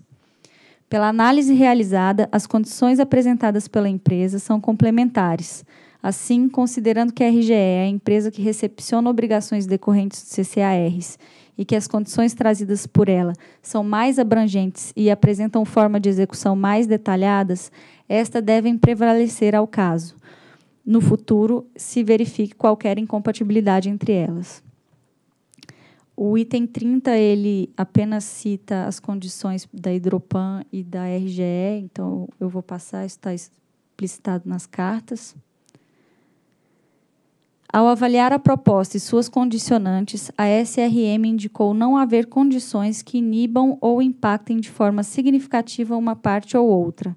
Reforçou ainda que os eventuais impactos financeiros negativos dessa operação de assunção dos contratos da Hidropan pela RGE devem ser refletidos somente no acionista da Hidropan, não cabendo qualquer prejuízo a ser repassado aos consumidores ou aos acionistas da RGE, nem aos consumidores da Hidropan. Acrescentou a SRM que a sazonalização do acréscimo de energia contratada, oriunda dos CCARs da Hidropan nos CCARs da RGR, com mesmas empresas vendedoras no 20 LEM de 2014, deve seguir o mesmo padrão dos contratos assinados pela RGE com as vendedoras do leilão. Reforçou como correta e necessária a condição apontada pela RGE de que as cotas de Taipu, Angra 1 e 2, Proinfa e de garantia física da, da Hidropan também deverão ser revetidas para a RGE. Sobre o impacto contratual assumido nesta operação, dados levantados pela SGT indicam que o efeito é pouco significativo para o acionista e o consumidor da RGE. Os contratos de energia adquiridos pela Hidropan ao participar do leilão a menos 5 de 2014, já deduzidas as, as outorgas revogadas, de 84.639,12 megawatts-hora representam 0,96% da energia requerida pela RGE para atender ao seu mercado de consumidores em 2018. Por fim, quanto à Hidropan, é oportuno frisar que a assunção dos CCARs pela RGE não a exime da penalidade aplicada no âmbito do processo de fiscalização em andamento e que atualmente aguarda a apreciação do colegiado sob a relatoria do diretor Efraim Pereira da Cruz, quanto às alegações trazidas em sede de recurso. Diante da análise, concluo que o requerimento administrativo interposto pela Hidropan deve ser aprovado, considerando as condições elencadas pela RGE. Vou direto, passo direto para o dispositivo. Diante do exposto e do que consta do processo 48.500 6014-2018 60, voto por acatar o requerimento administrativo interposto pela Hidropan Distribuição de Energia SA, Hidropan, para aprovar transferência dos contratos de comercialização de energia no ambiente regulado, CCARs, provenientes do 20 LEM de 2014 da Hidropan para a RGE, aprovar o retorno da Hidropan à condição de totalmente suprida pela RGE a partir de 1 de janeiro de 2019, condicionar a eficácia do item 1 ao atendimento dos critérios apresentados pela RGE, sendo vedado o repasse de eventuais impactos financeiros negativos decorrente dessa operação no ano de 2019 aos consumidores da RGE e da Hidropan. Determinar a RGE que encaminhe os novos contratos e aditivos de suprimento da Hidropan para homologação da ANEL e determinar a CCE que a sazonalização do acréscimo de energia proveniente dos CCARs da Hidropan nos CCARs da RGE siga o mesmo padrão determinados nos contratos assinados pela RGE com as vendedoras do 20 leilão de energia nova de 2014. É o voto. Em discussão? Esse processo é bom é, só ilustrar que a gente consegue arrumar um desfecho para uma situação, digamos assim, atípica. Ou seja, a Hidropan, lá atrás, ela foi até aconselhada pelo, pela diretoria da ANEL que buscasse comprar sua energia no leilão. E assim o fez em 2014, até pelo fato do, do leilão propiciar um mix de preço inferior do que o, do seu então supridor, que era a RGE. E excepcionalmente no leilão que a Hidropam participou, que foi o 20 leilão de 2014, esse leilão ele se caracterizou por uma contratação térmica e fez com que o preço do médio do leilão fosse muito elevado, de tal sorte que a Hidropan, seguindo uma orientação que a ANEL o deu, acabou por elevar demais o, o seu mix de energia. E preocupado com a, com a modicidade tarifária, a empresa então começou a fazer uma série de gestão é, buscando proteger seu consumidor, tendo em vista a, a eminência de aumentar sobremaneira o seu mix e a repercutir, na, em última instância, na tarifa de energia. E aí eu, eu ressaltaria aqui o papel de mediação da ANEL. A ANEL tem um papel de mediar as demandas do setor e prevaleceu-se o bom senso, ou seja, fizemos uma mediação com a capitaneada pelo Dr. Júlio da SRM, com os envolvidos, sobretudo a RGE, e eu acho que a gente chega a um desfecho para uma situação excepcional, onde então a Hidropan continua sendo suprida pela RGE e, e essa energia é absorvida pela RGE, que apesar de ser uma quantidade pequena, foi 14,24 megawatts médios, no mercado da RGE é um número muito pequeno, chega a ser significante. Entretanto, no mercado da, da Hidropan é um, um, número muito significativo e traria um efeito que posso classificar como perverso para o consumidor da Hidropan. Acho que aqui é o desfecho né, de, um, de, um, de uma situação atípica e a gente consegue chegar ao bom termo sempre privilegiando o consumidor e a modicidade tarifária. Então, em votação. Voto com a relatora. Também acompanho a relatora. Também voto com a relatora e proclamo que a diretoria da ANEL decide por unanimidade acatar o requerimento administrativo interposto pela Hidropan para aprovar a transferência dos contratos de comercialização de energia do ambiente regulado proveniente do 20 leilão de 2014 da Hidropan para a RGE e aprovar o retorno da Hidropan à condição de totalmente suprida pela RGE a partir de 1 de janeiro de 19 e demais itens nos termos do dispositivo de voto da relatora. Próximo item. Item 10, processo 48.500.002258, 2017-92. Resultado da audiência pública número 82 de 2017, instituída com vistas a colher subsídios e informações adicionais para a revisão da Resolução Normativa número 454/2011, que estabelece os critérios e condições para entrada em operação comercial de funções de transmissão a serem integrados ao Sistema Interligado Nacional, SIM. Diretor relator Rodrigo Limpe Nascimento.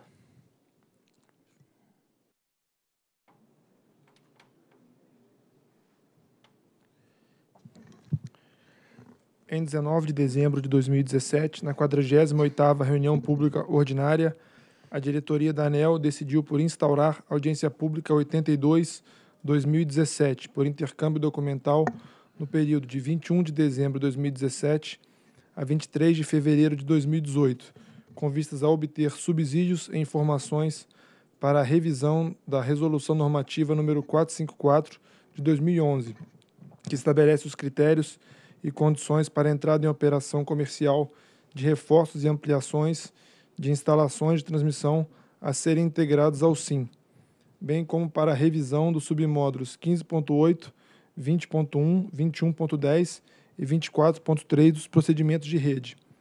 Por meio da nota técnica número 55, a SRT apresentou análise das contribuições recebidas e encaminhou minuta de resolução que deverá substituir a Resolução Normativa 454 de 2011, assim como as revisões dos referidos submódulos dos procedimentos de rede.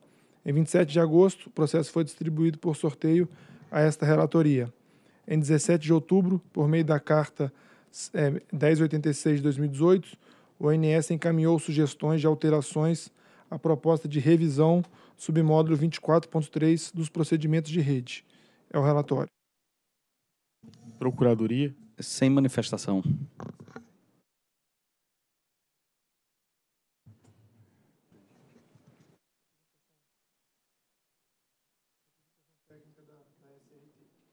Apresentação, chamar a doutora Alexandre para fazer a apresentação.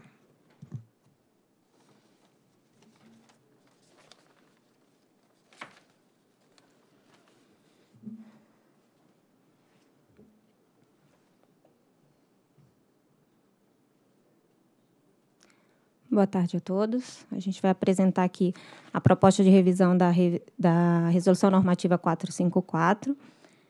É, ela trata do aprimoramento dos critérios e condições para entrada em operação comercial das instalações de transmissão a serem integradas ao Sistema Interligado Nacional. Essa é uma atividade regulatória da Agenda 2016-2018, com uma audiência pública realizada agora no começo de 2018, em janeiro e fevereiro, que foi a audiência pública 82 de 2017, aprovada lá em dezembro. A audiência pública 82, é, ela inovou no, no aspecto de que nós dispusemos também os submódulos afetados pela minuta da resolução normativa dos procedimentos de rede. Então, a gente teve 18 instituições que apresentaram 414 contribuições entre contribuições da minuta de resolução e dos procedimentos de rede. É, o quadro apresenta aí a, o aproveitamento das contribuições. É, 60% das contribuições foram parcialmente ou totalmente aceitas.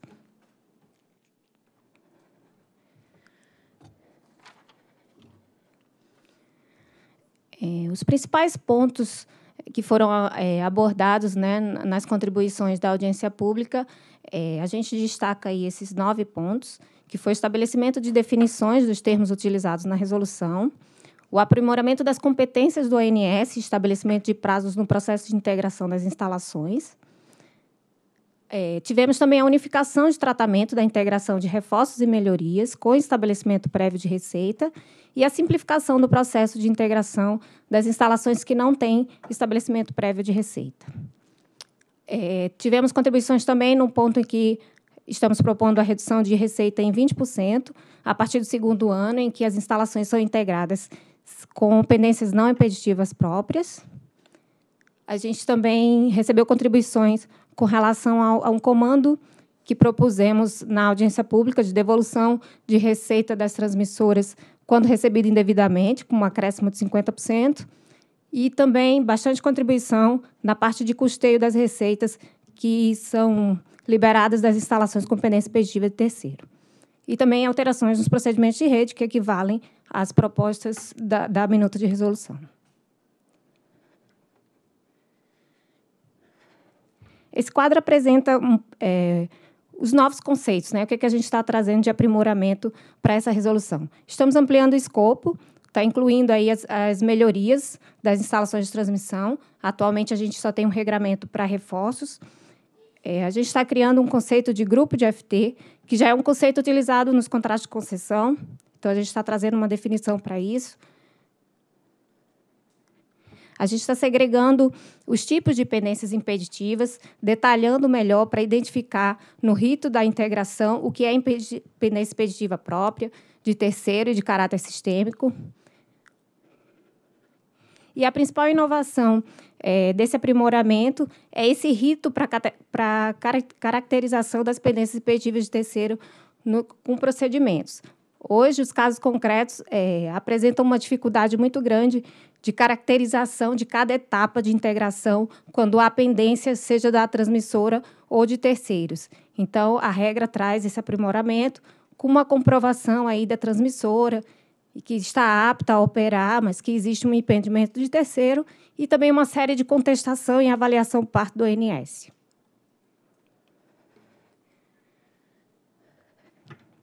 Atualmente, a, a 454 ela, ela divide o processo de integração das instalações com, com aprovação né, de, de, de três documentos e em duas etapas, que é a operação em testes, quando as instalações elas são testadas e não há remuneração para a transmissora da integração dessas instalações, então é emitido um, um documento que chama termo de liberação para testes, e na fase de operação comercial, em que os documentos podem ser um termo de liberação parcial ou definitivo, a depender se existe pendência própria ou de terceiros nesse processo.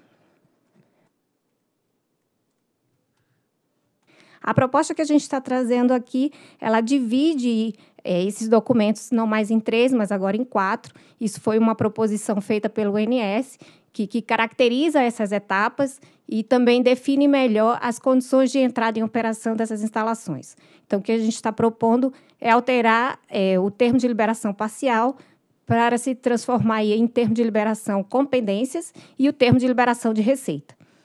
No termo de liberação com pendências, é, a instalação entra em operação comercial com pendências, seja da transmissora, e ela, e ela é não impeditiva. E no termo de liberação de receita, existe é, a, a pendência impeditiva de terceiros. Então, o que existe aí, ela está apta, mas ela não está integrada ao sistema.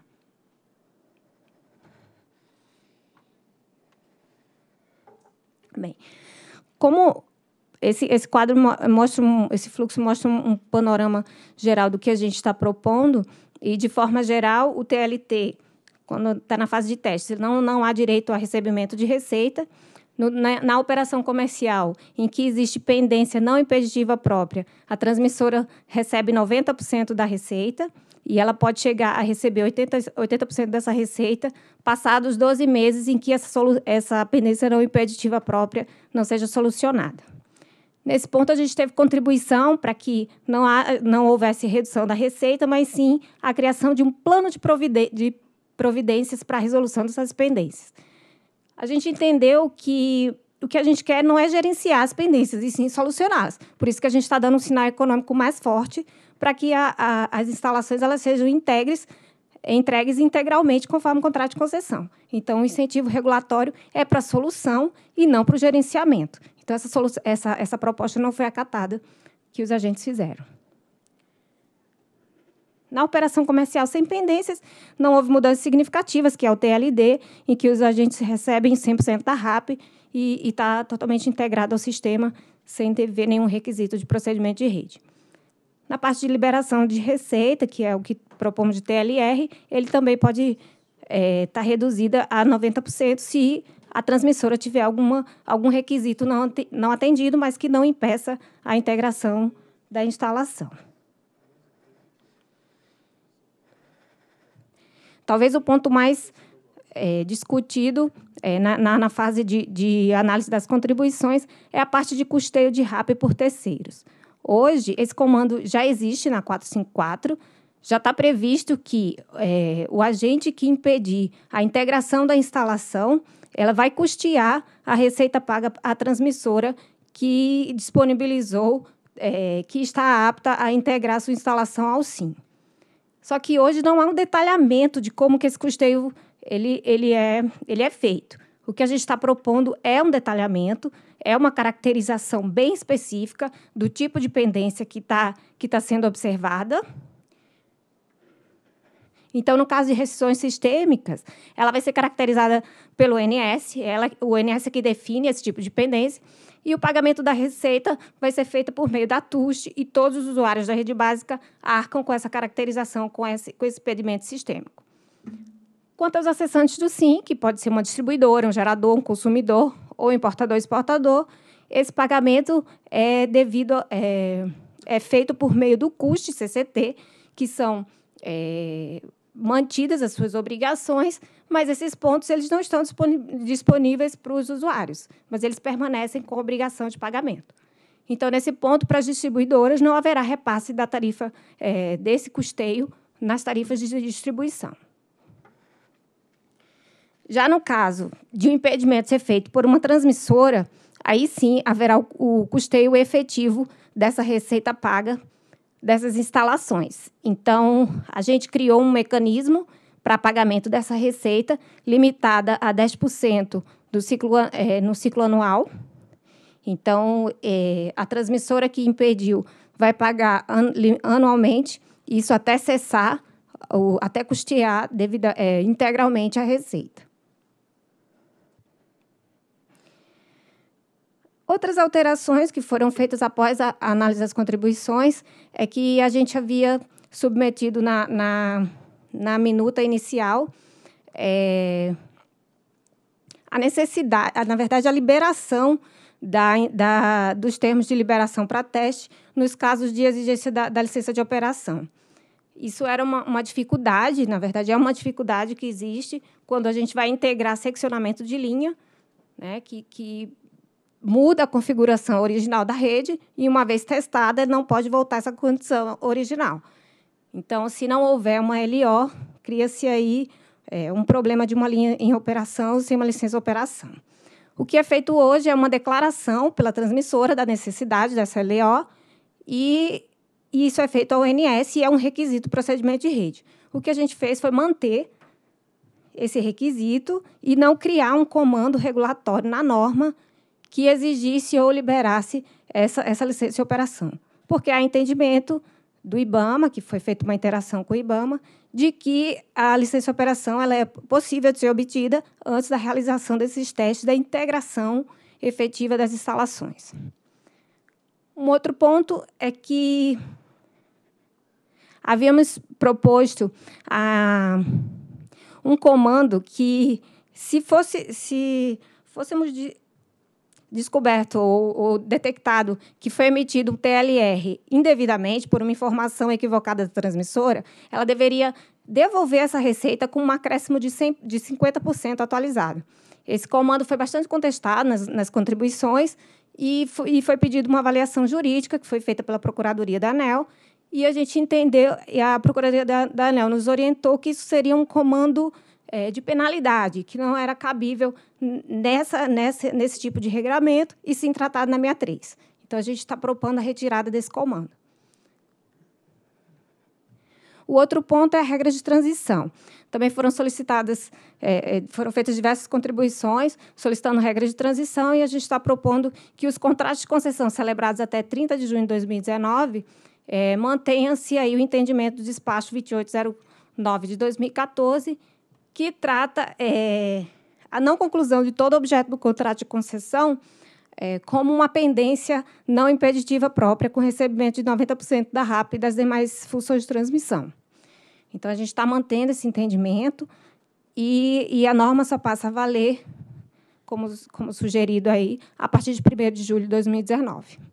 O último ponto é só uma adequação de posicionamento das normas, em que a gente está alterando a 67 e a 68 incluindo um requisito de adicional de receita de OIM. É um comando já existente, a gente só está realocando.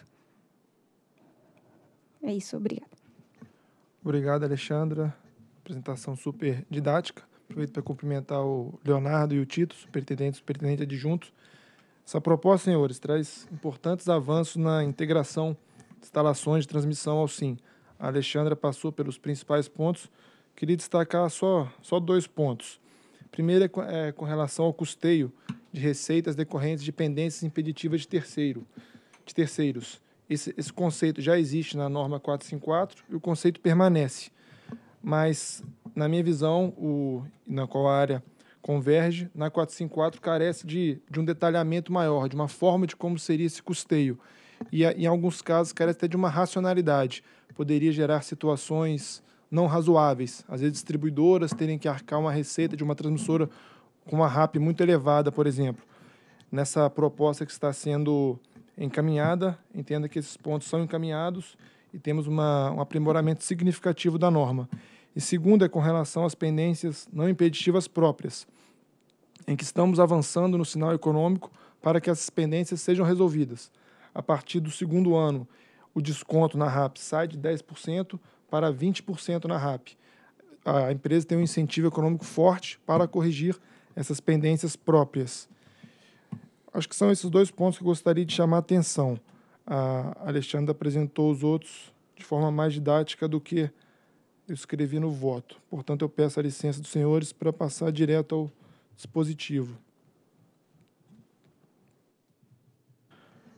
Com base no exposto no que consta do processo 48.500.00.2258 de 2017, voto pela emissão de resolução normativa que dispõe sobre critérios e condições para entrada em operação comercial de funções de transmissão a serem integradas ao SIM, revogando a resolução normativa 454 de 2011 e o despacho 2809 de 2014 e das revisões dos submódulos 15.8, 20.1, 21.10 e 24.3 dos procedimentos de rede. É o voto. Em discussão? Doutor Limpe, parabéns pelo voto. Acho que esse processo é um processo que se encerra e se encerra bem. É, eu, durante muito tempo, essa resolução foi instrumento de trabalho, tanto na área de regulação como na área de transmissão. Ela, ela tinha alguns, alguns itens lá que criavam uma dificuldade na operacionalização, especificamente o item lá de ressarcimento pelo terceiro, pela pendência impeditiva é, verificada. Então, isso na realidade, isso foi colocado lá em 2011 como uma prova de que como não deve ser feito um regulamento, esse item específico. Porque esse item específico ele foi introduzido ali durante a deliberação, sem uma avaliação de impacto regulatório, sem avaliação de, de uma análise de custo-benefício e de operacionalização, que é o ponto mais importante. De lá para cá, você ficou aí durante praticamente sete anos com uma letra morta na resolução. Então, é, houve depois uma força de trabalho que começou na SRT, quando eu estava lá, e depois, quando eu fui para a SFE, ela voltou para lá, e nós fizemos um trabalho conjunto com as duas áreas, no sentido de identificar para cada grupo de, de agentes, ou seja, distribuidores, como é que o distribuidor iria se responsabilizar por aquela pendência impeditiva de terceiro, como que um usuário, um consumidor livre poderia ser responsabilizado, como um gerador e depois como os transmissores, que é um relacionamento mais comum ali é, na fronteira entre transmissores. Então, acho que a proposta encaminhada além de outras que foram identificadas aqui como bastante, bastante interessantes, aquela que, redu, que aumenta de 90 para 80, né, de, reduz de 90 para 80% da receita como uma sinalização para retirar aquela pendência impeditiva que não é própria. Então não faz nenhum sentido você continuar convivendo. Em alguns casos chegou-se até a se discutir se os 90 é, aquela receita realmente está está adequada, porque o agente está recebendo 90% e não está retirando aquela pendência. Então, parabéns pela instrução, acho que ela teremos aí uma, uma boa regulamentação nesse sentido é, daqui para frente. Ok, também me associo às palavras do diretor Sandoval e cumprimento o relator pelo trabalho que fez. Em votação, Voto com o relator. Acompanho o relator. Também voto com o relator. Também voto com o relator e proclamo que a diretoria da ANEL, por unanimidade, decidiu pela emissão de resolução que dispõe sobre critérios e condições para entrada em operação comercial de funções de transmissão a serem integradas ao Sistema Interligado Nacional, revogando a resolução 454 de 2011 e o despacho 2809 de 14 e as revisões do submódulo 15.8, 20.1, 21.10 e 24.3 dos procedimentos de rede. Próximo item. Item 9, processo 48.500.004629, 2016-90. Resultado da audiência pública número 73-2016, com vistas a colher subsídios e informações adicionais para aprimoramento do módulo 1 dos procedimentos de distribuição de energia elétrica PRODIST. Diretor-relator, Efraim Pereira da Cruz. Processo 48.500, 4629, 2016-90. A Resolução Normativa 345, de 16 de dezembro de 2008, que aprovou a primeira versão do PRODIST, estabeleceu em seu artigo 2 a existência do módulo 1, Introdução do PRODIST, o qual define terminologias e conceitos a serem observados. Desde a publicação da Resolução Normativa 345 de 2008, foram aprovadas nove revisões do módulo 1, todas decorrentes de alterações em outros módulos com repercussões nas definições do módulo introdutório, com inclusões, alterações ou exclusões de definições. Em 2016, 2016 foram aprovadas alterações nos módulos 2, 3, 5, 6 e 8, além da criação do módulo 10, as quais ainda não foram refletidas no módulo 1. Ademais, verificou-se a necessidade de revisar amplamente o módulo 1, extrapolando as adequações decorrentes de alterações em outros módulos, ajustando também às boas práticas de redação legislativa, conforme apontado pela nota técnica 144 da SRD de 18 de agosto de 2016. Nesse contexto, a 42ª reunião pública ordinária de 2016, a diretoria colegiada da agência decidiu instaurar a audiência pública 73 de 16 pelo período de 11 de novembro a 12 de dezembro de 16, com o objetivo de obter subsídios para o aprimoramento da revisão 10 do módulo 1 do Prodist. Em 10 de julho de 17, após o período para o envio de contribuições da AP73, foi publicada a Resolução 775, de 27 de junho de 17, que instituiu o módulo 11, Informações na Fatura de Energia Elétrica e Informações Suplementares do Prodist. Também, após o encerramento do período de envio de contribuições à AP73, foi publicada a Resolução 794, de 28 de novembro de 17, que aprova a nova revisão dos módulos 1 e 8. Na nota técnica 85 de 18, SRD em seu anexo 1, relatório de análise de contribuições, analisou as contribuições recebidas na, recebidas na referida audiência. Em 10 de setembro de 18, o processo foi a mim distribuído em virtude do término do mandato do diretor-relator Tiago de Barros Correia. É o relatório. Procuradoria. Sem necessidade de análise ju jurídica. Tem apresentação técnica, senhor diretor.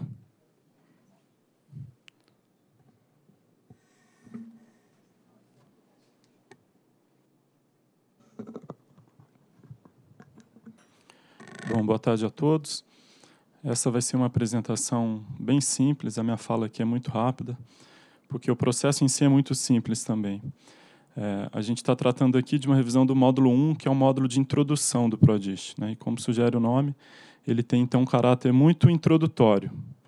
Ele basicamente é, é constituído pelo glossário, que é, é, a maior parte do módulo, e tem algumas outras é, sessões que eu vou chamar aqui de resumo, que compilam é, informações de outros módulos e algumas informações também do setor elétrico.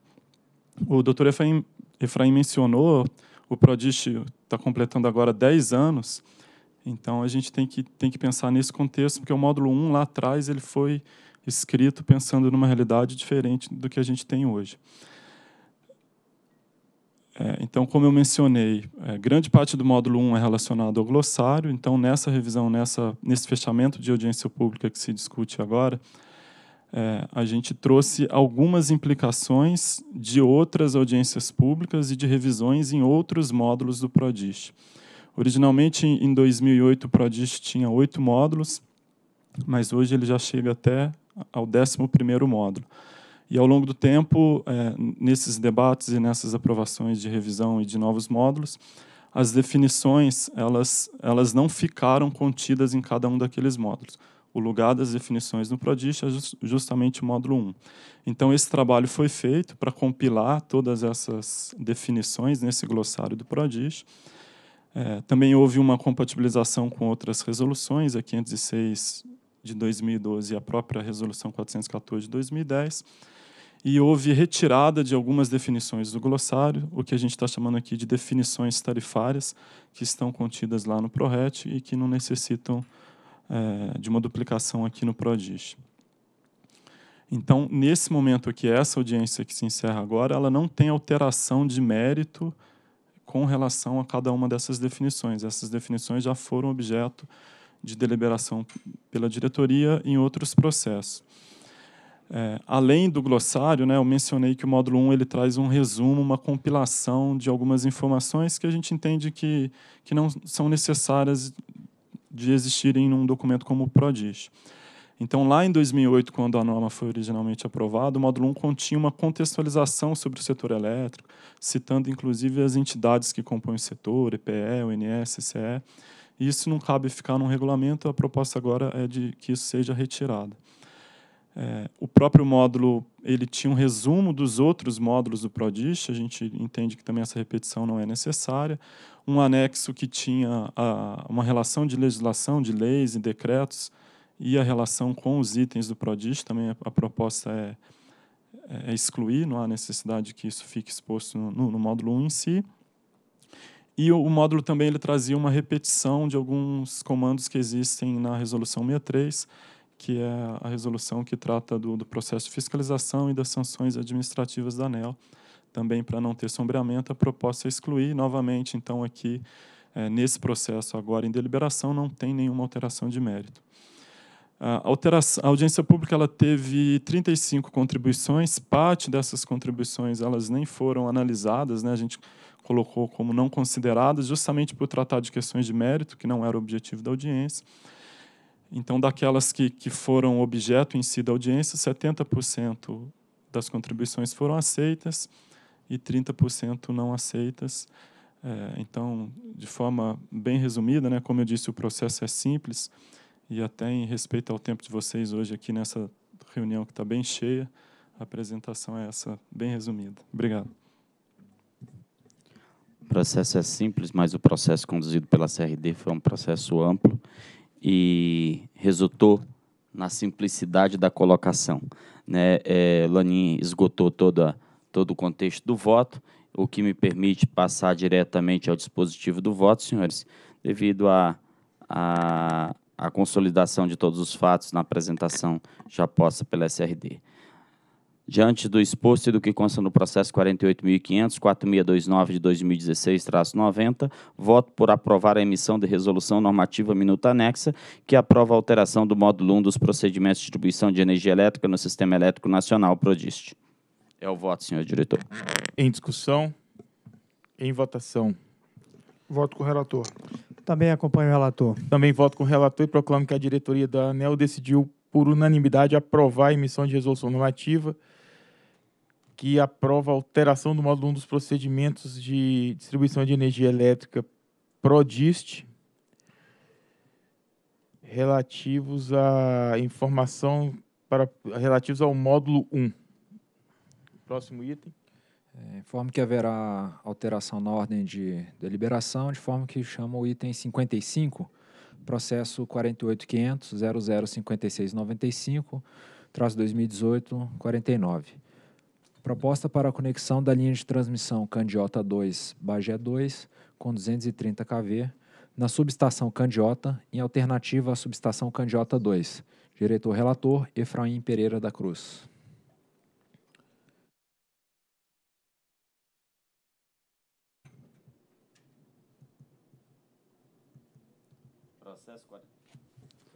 Processo 48500 Processo 48.500.5695.1849. SE Vaineward Transmissão de Energia SA.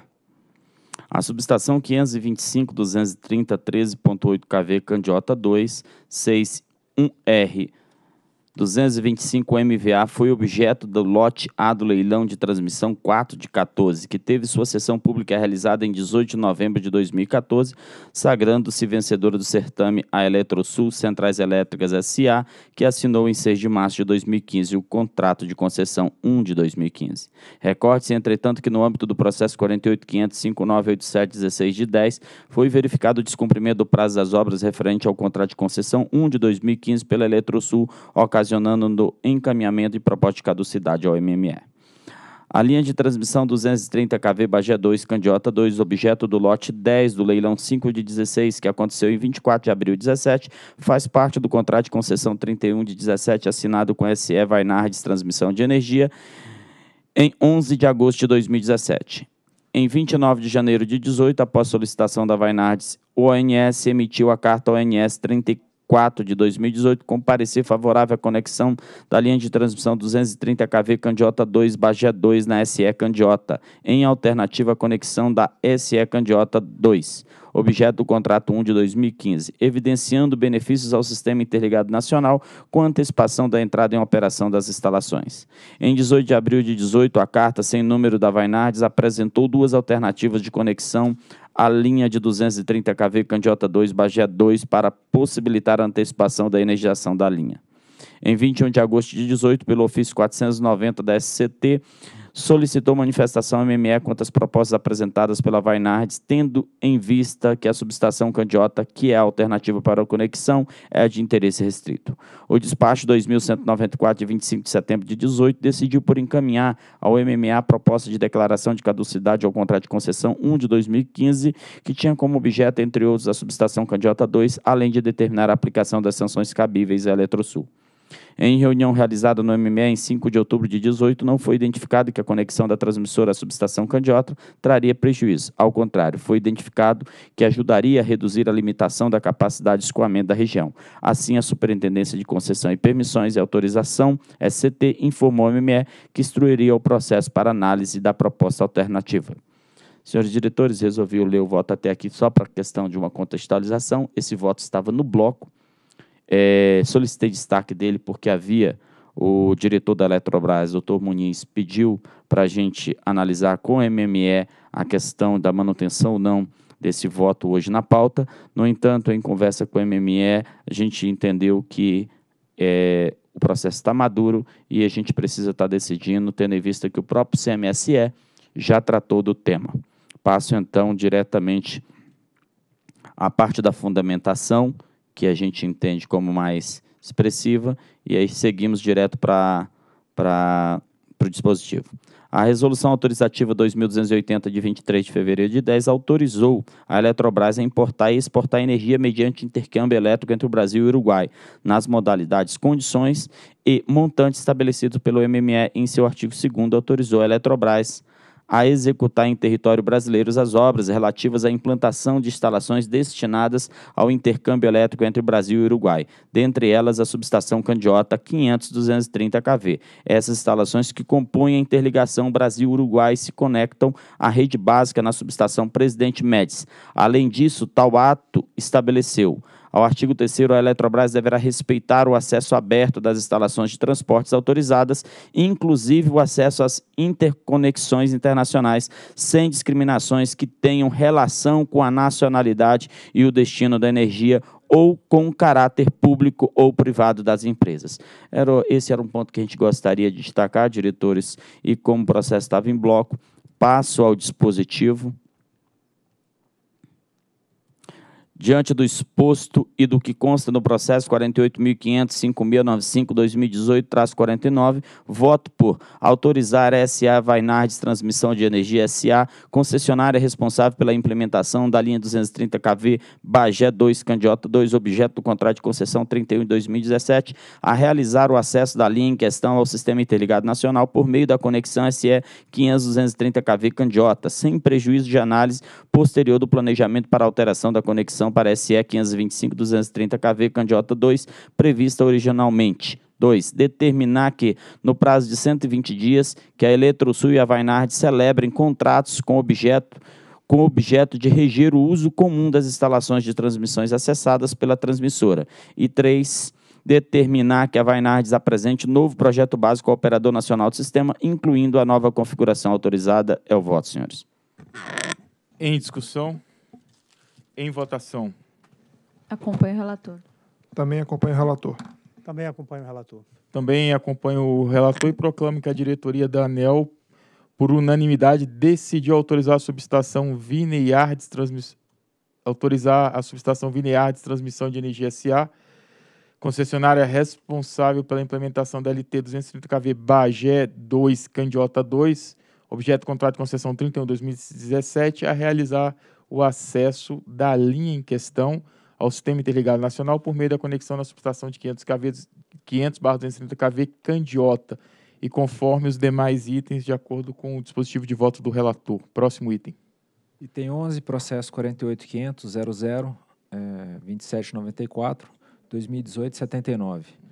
Proposta de abertura de audiência pública com vistas a colher subsídios e informações adicionais para elaboração do submódulo 12.2 dos procedimentos de regulação tarifária PRORET, referente ao processo de reajuste da receita anual de geração RAG das usinas hidrelétricas em regime de cotas, nos termos da Lei nº 12783 de 2013, diretor-relator Sandoval de Araújo Feitosa Neto. A medida provisória 579 de 2012, posteriormente convertida na Lei 12783 de 2013, estabeleceu as condições para a prorrogação das concessões de geração hidráulica de energia elétrica no regime de cotas de garantia física e potência, doravante garantia física. A resolução homologatória 1408 de 2012 homologou a primeira receita anual de geração, RAG, para as usinas hidrelétricas que prorrogaram as concessões de geração com vigência de 1 de janeiro de 13 a 30 de junho desse mesmo ano.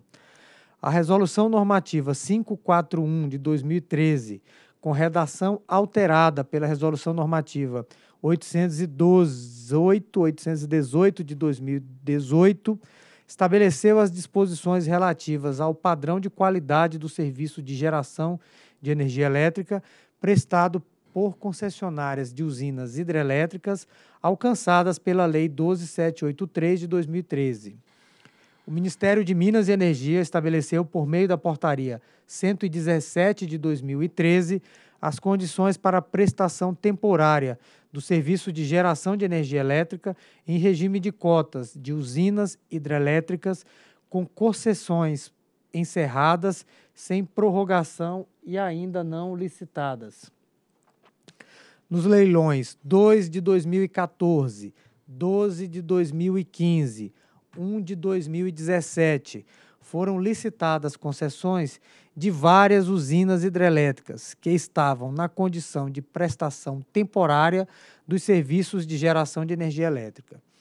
Na agenda regulatória para o biênio 2018-2019, aprovada por meio da Portaria 4821 de 2017, foi incluída a atividade 70 da agenda regulatória para a elaboração do submódulo 12.2 do procedimento de regulação tarifária PRORET para regulamentar o processo de reajuste da RAG com prazo para abertura de audiência pública no segundo semestre de 2018 por meio da nota técnica 233 de 2018, de 23 de outubro de 2018, e do que consta do anexo 2 do relatório de análise de impacto regulatório 1 de 2018 da SGT, a Superintendência de Gestão Tarifária, SGT, propôs os critérios e procedimentos para regulamentar o processo de reajuste da RAG das usinas cotista,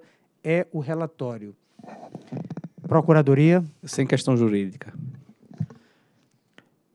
Inicialmente, esclareço que a nota técnica 233 de 2018 não apresenta opções para a formação das receitas das usinas cotistas, apenas regulamenta como serão aplicadas as diretrizes já existentes e define os tratamentos específicos, desprovidos de regramento, de forma a uniformizar a aplicação dos comandos legais, contratuais e normativos. Atualmente, há 69 usinas hidrelétricas alocadas no regime de cotas que podem ser separadas em três grupos, quais sejam 34 usinas com contratos de concessão prorrogados, uma usina na condição de prestação temporária dos serviços de geração de energia elétrica e 34 usinas com contratos de concessão celebrados mediante leilões. Nos processos de reajuste da RAG, efetuados para cada um desses conjuntos de UHS, são aplicadas as diretrizes gerais de cálculo constantes nas leis e decretos, na portaria MME 117 de 2013, em normas exaradas por essa agência e na fórmula geral de cálculo da RAG, expressas nos contratos de concessão. Assim, conforme já mencionado, o submódulo 12.2 do PRORET não discute alternativas para a formação das receitas das usinas cotistas apenas regulamenta a aplicação dessas diretrizes e define os tratamentos específicos desprovidos de regramento. Na minuta do submódulo do PRORET é apresentada a proposta de regulamentação para o reajuste da RAG e os procedimentos para atualização monetária, atualização de GAG das usinas com contratos de concessão prorrogados, na condição de prestação temporária e da usina de Três Irmãos. Atualização de GAG das usinas licitadas a partir de 2015. Atualização do retorno de bonificação pela outorga RBO. Cálculo da cobertura referente aos encargos de uso dos sistemas de distribuição e transmissão. Cálculo da cobertura referente aos encargos de conexão, cálculo da parcela de ajuste por indisponibilidade ou pelo desempenho apurado, cálculo dos encargos setoriais, tarifa de fiscalização do serviço de energia elétrica e pesquisa e desenvolvimento, e, por fim, cálculo da parcela de ajuste PA. Cabe destacar que, embora não custe nos contratos de concessão, a SGT propôs a regulamentação da parcela de ajuste PA que é um mecanismo que sempre foi utilizado nos reajustes da RAG para compensar diferenças de ciclos anteriores que podem ser, por exemplo, oriundas de análise de recursos administrativos. Apenas para destacar, o, a regulamentação da parcela de ajuste PA, ela não é nova, ela já existe quando da discussão da, da, do cálculo da receita anual das concessionárias de transmissão. Além disso, o submódulo do PRORET também apresenta proposta de procedimentos para o cálculo da RAG inicial para usinas que vierem a ser alocadas no regime de cotas durante a vigência do ciclo. A proposta do submódulo 12.2 do PRORET, elaborada pela SGT, deverá ser submetida à audiência pública por intercâmbio documental com duração mínima de 45 dias. Passo a leitura do dispositivo que, diante do exposto e do que consta do processo 48.500 002794 de 2018, voto por instaurar audiência pública por intercâmbio documental no período de 20 de dezembro de 2018 a 4 de, de fevereiro de 2019, visando obter subsídios e informações adicionais para o aprimoramento da proposta de regulamentação do submódulo 12.2 dos procedimentos de regulação tarifária PRORET é o voto. Em discussão. Em votação. Acompanho o relator. Acompanho o relator. Também voto com o relator. É, a diretoria da ANEL aprovou por unanimidade o processo é, 48.500, que decidiu pela instauração de audiência pública por intercâmbio documental no período de 20 de dezembro de 18 a 4 de fevereiro de 2019, visando obter subsídios e informações adicionais para o aprimoramento da proposta de regulamentação do submódulo 12.2 dos procedimentos de regulação tarifária PRORET, próximo item. Item 13, processo 48500 000858 2018-05. Proposta de abertura de audiência pública com vistas a colher subsídios e informações adicionais para análise de impacto regulatório, AIR, sobre aprimoramento do modelo tarifário aplicado ao grupo Baixa Tensão BT. Diretor relator, Rodrigo Limpe Nascimento. O decreto 62.724 de 68 estabeleceu normas gerais de tarifação para as empresas concessionárias de serviços públicos de energia elétrica. Inicialmente, seu artigo 13 definia que as tarifas para o grupo B deveriam ser calculadas sob a forma binômia, com uma componente de demanda de potência e outra de consumo de energia, e fixadas após conversão para a forma monômia equivalente. Por sua vez, o decreto 8828 de 2016 revogou o referido artigo 3 artigo 13, possibilitando a implementação de tarifas multipartes para os consumidores de baixa tensão, a exemplo do que já ocorre para os consumidores da alta tensão. A Resolução 414 define em sua seção 5 o custo de disponibilidade baseado em uma franquia de consumo mínimo. Trata-se de uma forma de estabelecer o custo de acesso para o grupo B. Para unidades consumidoras monofásicas ou bifásicas a dois condutores, o consumo mínimo é 30 kWh mês, enquanto que para as bifásicas a três condutores, 50 kWh mês e para as trifásicas 100.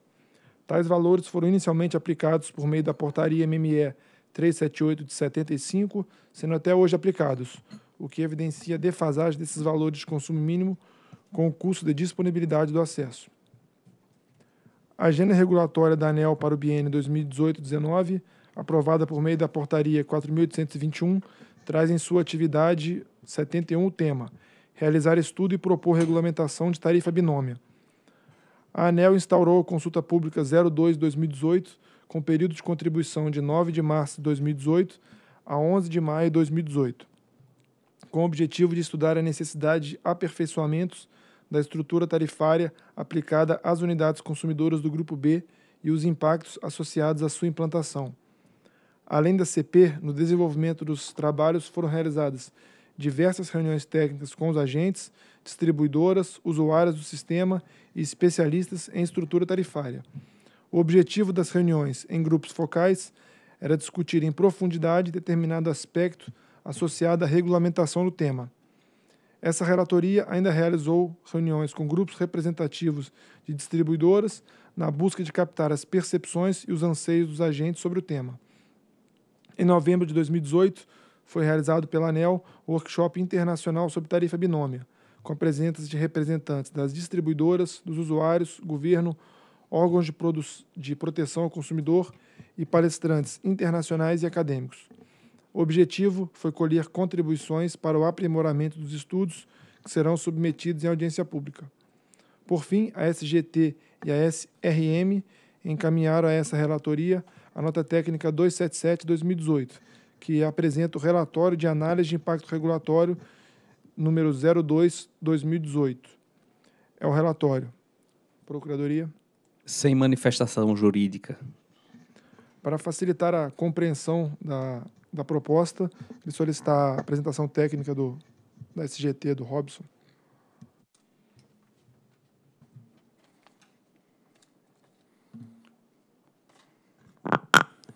Bom, boa tarde a todos.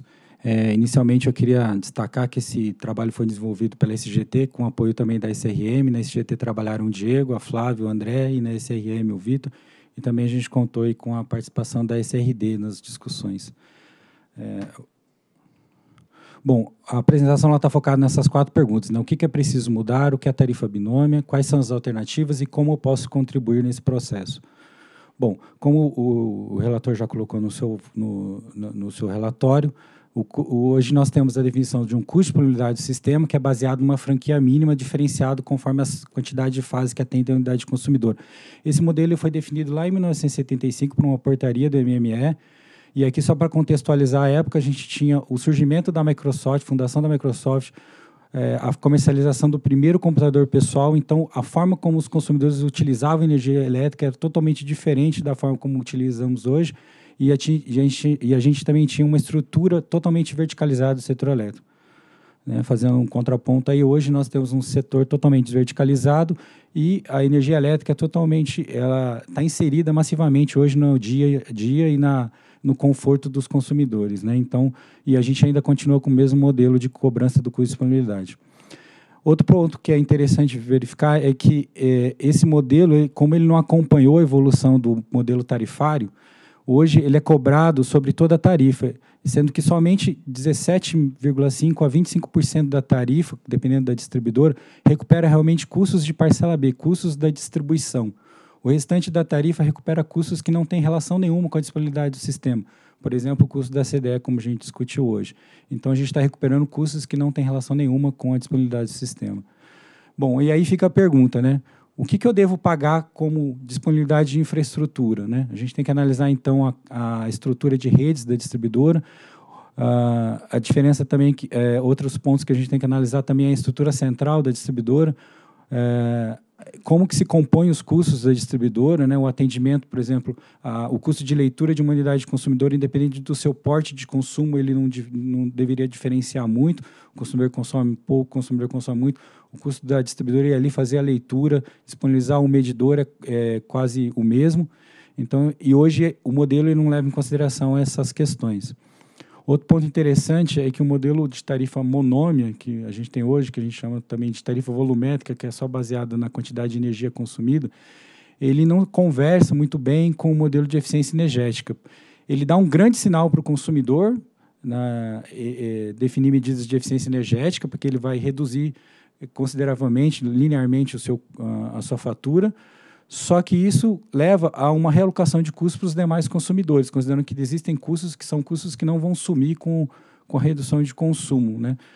É, e também as distribuidoras não têm qualquer incentivo hoje de propor medidas de eficiência energética para esse segmento de baixa tensão, porque isso é, é, leva a perdas reais econômicas diretas, porque o seu mercado, o, o seu faturamento depende totalmente do seu mercado. E a gente não pode esquecer também que a gente está enfrentando aí um, um cenário de inovações tecnológicas, novos desafios, uma nova forma do consumidor enxergar o setor elétrico e se relacionar com o setor elétrico. Né? Focando um pouco no processo tarifário, né, esse, esse gráfico aqui tenta refletir como que nós fazemos o cálculo tarifário. No cálculo tarifário, a gente tem um mercado de referência e a gente tenta equalizar com que as, para que as tarifas recuperem os custos é, definidos no processo tarifário. Né? E aí, então, a gente tem se aquele mercado acontecer, a receita distribuidora vai ser igual ao seu custo. No entanto, o que acontece é que esse mercado ele pode acontecer a mais ou abaixo daquilo que a gente considerou no processo tarifário. E aí a distribuidora ou vai ter sobra de receita ou déficits de receita. Existem receitas, existem custos que são neutralizados, né, como os custos da parcela A. Isso daí vai gerar uma realocação de custos para os demais consumidores. E existem custos que não são realocados e aí fica a risco da distribuidora esse, esse custo. E como o relator já pontuou, Uh, a gente tinha um impedimento que estava num decreto que, que não permitia que a gente aplicasse uma tarifa binômio para o grupo B, e esse decreto ele foi revogado em 2016, é um decreto que era de 1968. E esse, esse, esse tema também ele, ele vai, em, vai, vai ao encontro do, das discussões que constavam na CP 33 do Ministério, né, que discutia os aprimoramentos do marco legal. Lá também se discutia, e até existia a possibilidade de entrar em, em dispositivo legal, a obrigatoriedade de uma tarifa binômia, mas entendemos que isso é competência da ANEL de definir a melhor estrutura tarifária e é o que a gente está tentando discutir nesse momento. Bom, o que, seria então a tarifa binômia? Esse gráfico ele busca ilustrar o atual modelo, que seria o nosso, o nosso modelo monômio. A gente tem uma franquia de consumo, e aqui eu trouxe um exemplo de um, de um, de um consumidor trifásico, em que até 100 kWh, independente dele consumir ou não esses 100 kWh, ele vai pagar um valor único o, valor, o mesmo valor. Após a, a, fatura dele tem uma relação linear com o consumo. Esse é o modelo mais simples de faturamento, né? Como a gente pode ver na equação, é o modelo mais simples de faturamento. A tarefa binômia já traz um ponto de partida em que o consumidor, consumindo ou não, ele vai pagar esse valor fixo. E aqui a gente tem um exemplo, é, é um modelo que é aplicado hoje no grupo A, né? No, nos nossos consumidores do grupo A. Ele vai pagar essa parcela fixa e depois é, durante todo o seu perfil de consumo, ele vai pagar uma relação linear do consumo com a tarifa.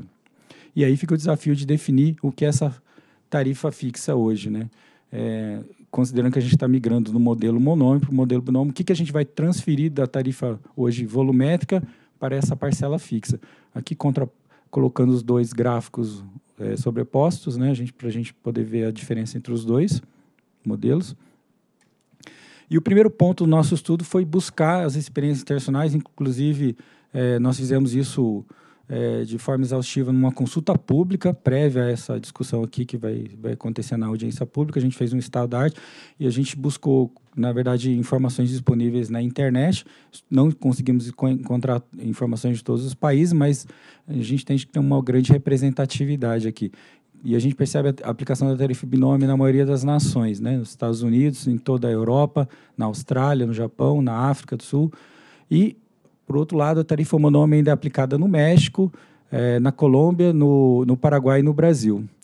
É, eu destaco ali também a Nigéria e o Brasil, que a Nigéria e o Brasil eles estão. É, a Nigéria ela tinha uma tarifa uh, binômio e estava migrando para uma tarifa monômia por razões lá específicas do país, questão de qualidade. E o Brasil está discutindo aqui a aplicação da tarifa binômia. Né? Bom, o primeiro passo do nosso estudo foi estudar o que, que eu devo transferir para a parcela fixa. É, no nosso entendimento, no, na, nas nossas conclusões, todas as componentes tarifárias deveriam permanecer volumétricas, exceto a parcela B, os custos de distribuição. Todo o restante permaneceria em reais por quilowatt-hora. E aí, analisando a parcela B, é, a sua estrutura de custos, a gente encontra do, é, duas grandes, dois grandes blocos de custos, os custos de ativos e os custos operacionais. Os custos de ativos, eles têm uma relação forte com a capacidade e disponibilidade do sistema, disponibilizada do sistema, então ele deveria trazer uma relação com a capacidade, então iria poderia deveria ir para a parcela fixa. Agora analisando os custos operacionais, né, considerando o modelo que a gente utiliza hoje de definição desses custos operacionais, a gente consegue explicar esses custos operacionais por três variáveis, né, a quantidade de energia, é, número de unidades consumidores e também os quilômetros de rede, que tem uma relação que seriam os ativos. Então, essa parte que é explicada pelos quilômetros de rede, a gente te, te, ele teria um comportamento parecido com os ativos, então também seria uma relação com a capacidade. A outra parcela que é explicada pelo número de unidades consumidoras, a gente faria uma conta baseada nessa, na quantidade de unidades consumidoras.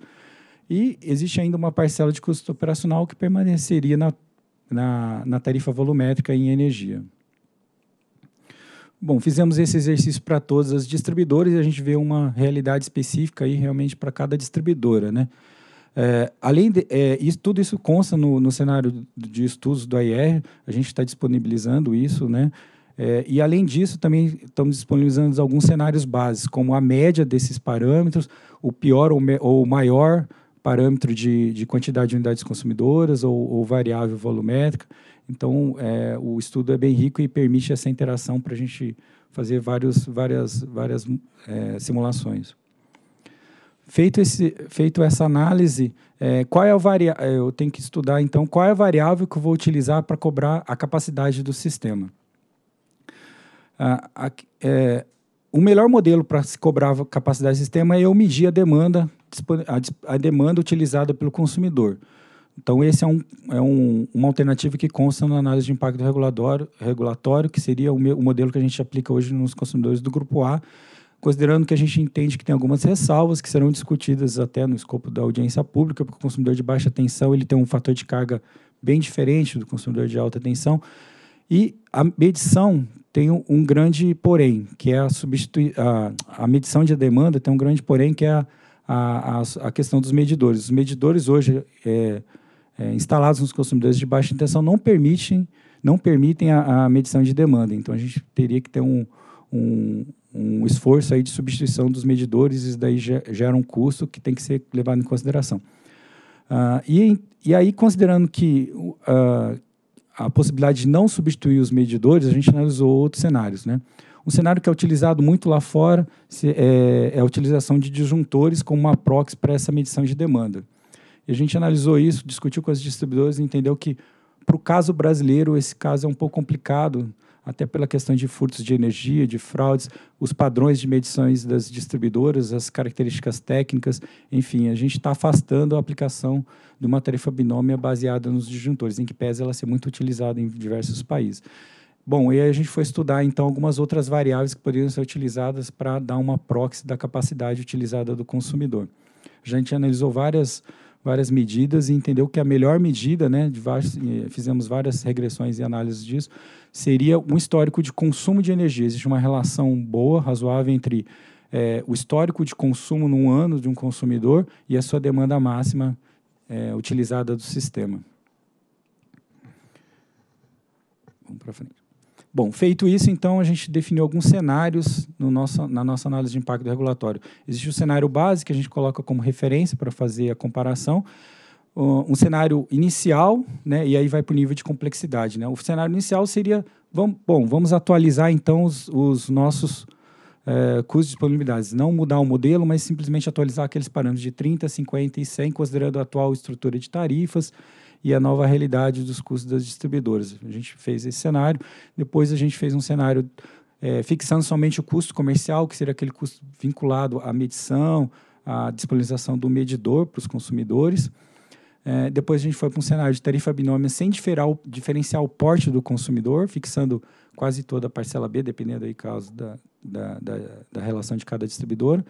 E aí a gente foi para um cenário de uma tarifa binômia já diferenciando os consumidores, e aí diferenciando os consumidores como a gente diferencia hoje por fases, monofase, bifase, trifase, e por fim, um cenário que seria o mais completo, que seria por faixas de consumo, né? E o último cenário seria o cenário da medição da demanda, como é o modelo hoje que a gente aplica no grupo A.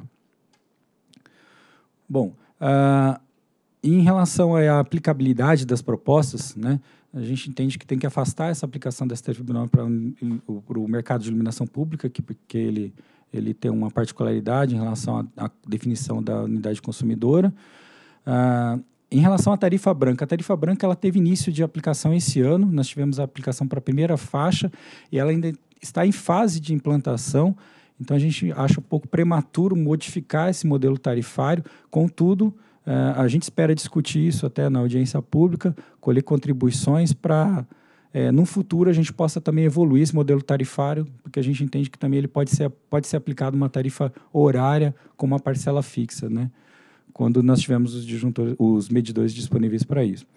E em relação aos consumidores de baixa renda, a gente tem uma dúvida em relação à aplicação, então a gente afastou das nossas análises, mas a gente quer discutir isso ainda durante a audiência pública, porque o, a, a, o dispositivo legal hoje ele define o, o, percentual de desconto baseado no consumo. Então, a gente, como a gente está tirando uma parcela de, da tarifa para ser fixa, como ficaria a aplicação do direito do consumidor sobre essa parcela da tarifa?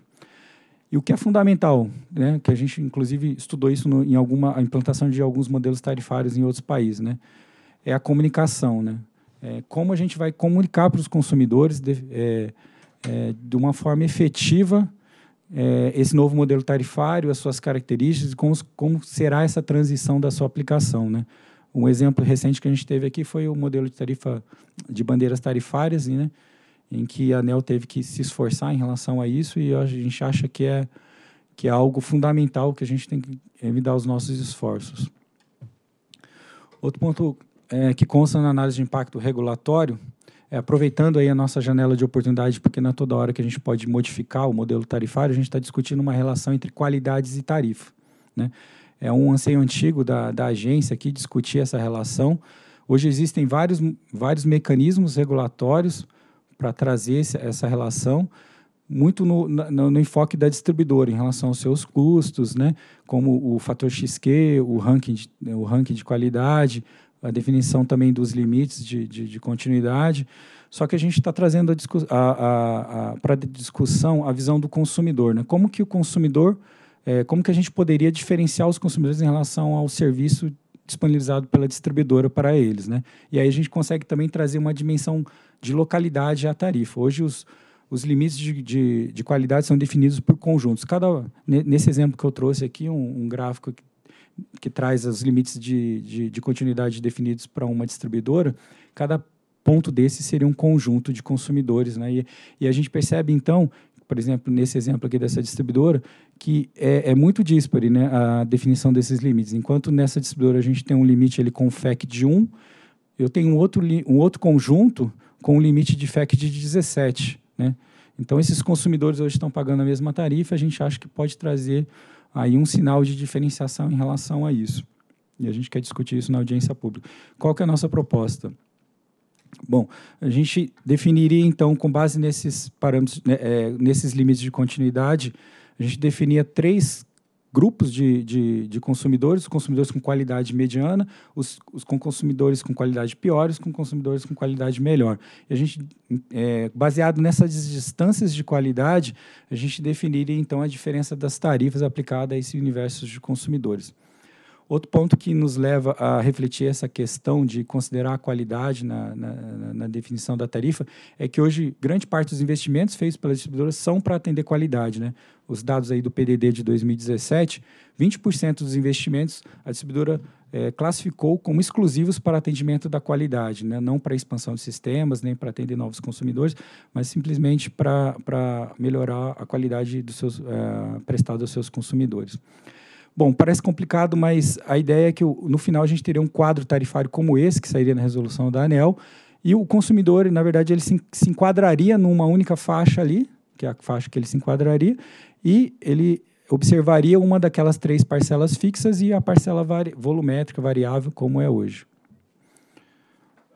Bom, e como que, os como que a gente entende que os consumidores, os consumidores, os agentes, enfim, podem contribuir nessa audiência pública? Né? Nós já tivemos, durante o, uh, o ano de 2018, como o relator colocou, várias discussões com grupos focais, né, e que embasaram as propostas. Tivemos também o workshop, estamos agora abrindo a análise de impacto, a audiência pública da análise de impacto regulatório. E é, já está previsto para acontecer no começo do ano que vem uma reunião focal já com os consumidores e com os, os conselhos de consumidores, para a gente discutir com mais profundidade com eles a proposta, para também é, embasá-los, auxiliá-los na, na, no entendimento para que eles possam contribuir de forma efetiva na audiência pública. Está previsto também uma segunda fase de audiência pública para discutir o texto normativo e outros aspectos no, no final do primeiro semestre do ano que vem, para que a gente possa ter a, a norma é, aprovada no final do, de 2019. E a gente espera receber contribuições né, da sociedade, basicamente nesses dois eixos. Né? É, o que, que eu tenho que entender como parcela fixa e cobrado não numa tarifa volumétrica e como cobrar essa parcela fixa. E aí como eu posso também diferenciar os consumidores em relação a essa parcela. Uh, esses são os documentos que a gente vai disponibilizar na, no âmbito da audiência pública, nota técnica, um relatório de análise de impacto regulatório e seus anexos, a planilha de simulação que vai permitir todos, todos que tenham interesse simular os seus casos específicos, a sua fatura específica, a distribuidora específica e também alguns casos hipotéticos. É, disponibilizamos também alguns relatórios em plataforma digital de Power BI para análise dos dados, que permitem filtros e tudo mais. E uh, um ponto aqui de destaque que eu queria colocar é que a gente está disponibilizando também no site da ANEL, com link também no, no âmbito da audiência pública, um relatório da evolução da tarifa residencial, porque a gente está discutindo aqui a realocação da parcela B. Então, a gente está... É, a gente definiu alguns relatórios que vão ser disponibilizados no site da ANEL até quinta-feira. É, aqui eu trouxe um exemplo em que a gente vai poder é, entender a evolução de cada parcela da tarifa ao longo do tempo. Né? São relatórios que venham, de certa forma, complementar o ranking que a gente já disponibiliza hoje no site e vem, e vem é, é no, no âmbito aí dessa discussão que a ANEL está tendo de dar mais ferramentas para o consumidor entender sua fatura, entender os custos do, da, da tarifa de energia. Né? Aqui são alguma a, a, tela do relatório, né, com as informações que é possível, inclusive, comparar empresas ao longo do tempo. Bom, é isso. Agradeço. Muito obrigado, Robson. Esse é um processo de grande importância para a agência e para o setor elétrico e para a população como um todo.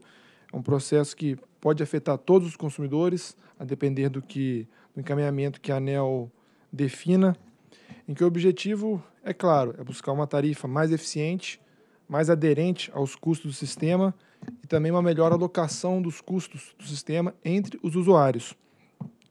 E para alcançar essa tarifa binômio ou uma tarifa multipartes, porque não necessariamente ela é binômio, ela pode ter mais de duas partes, a ANEL já tem trabalhado bastante. Já tivemos, como colocado pelo Robson, a consulta pública conduzida pela SGT e também com a participação da SRM.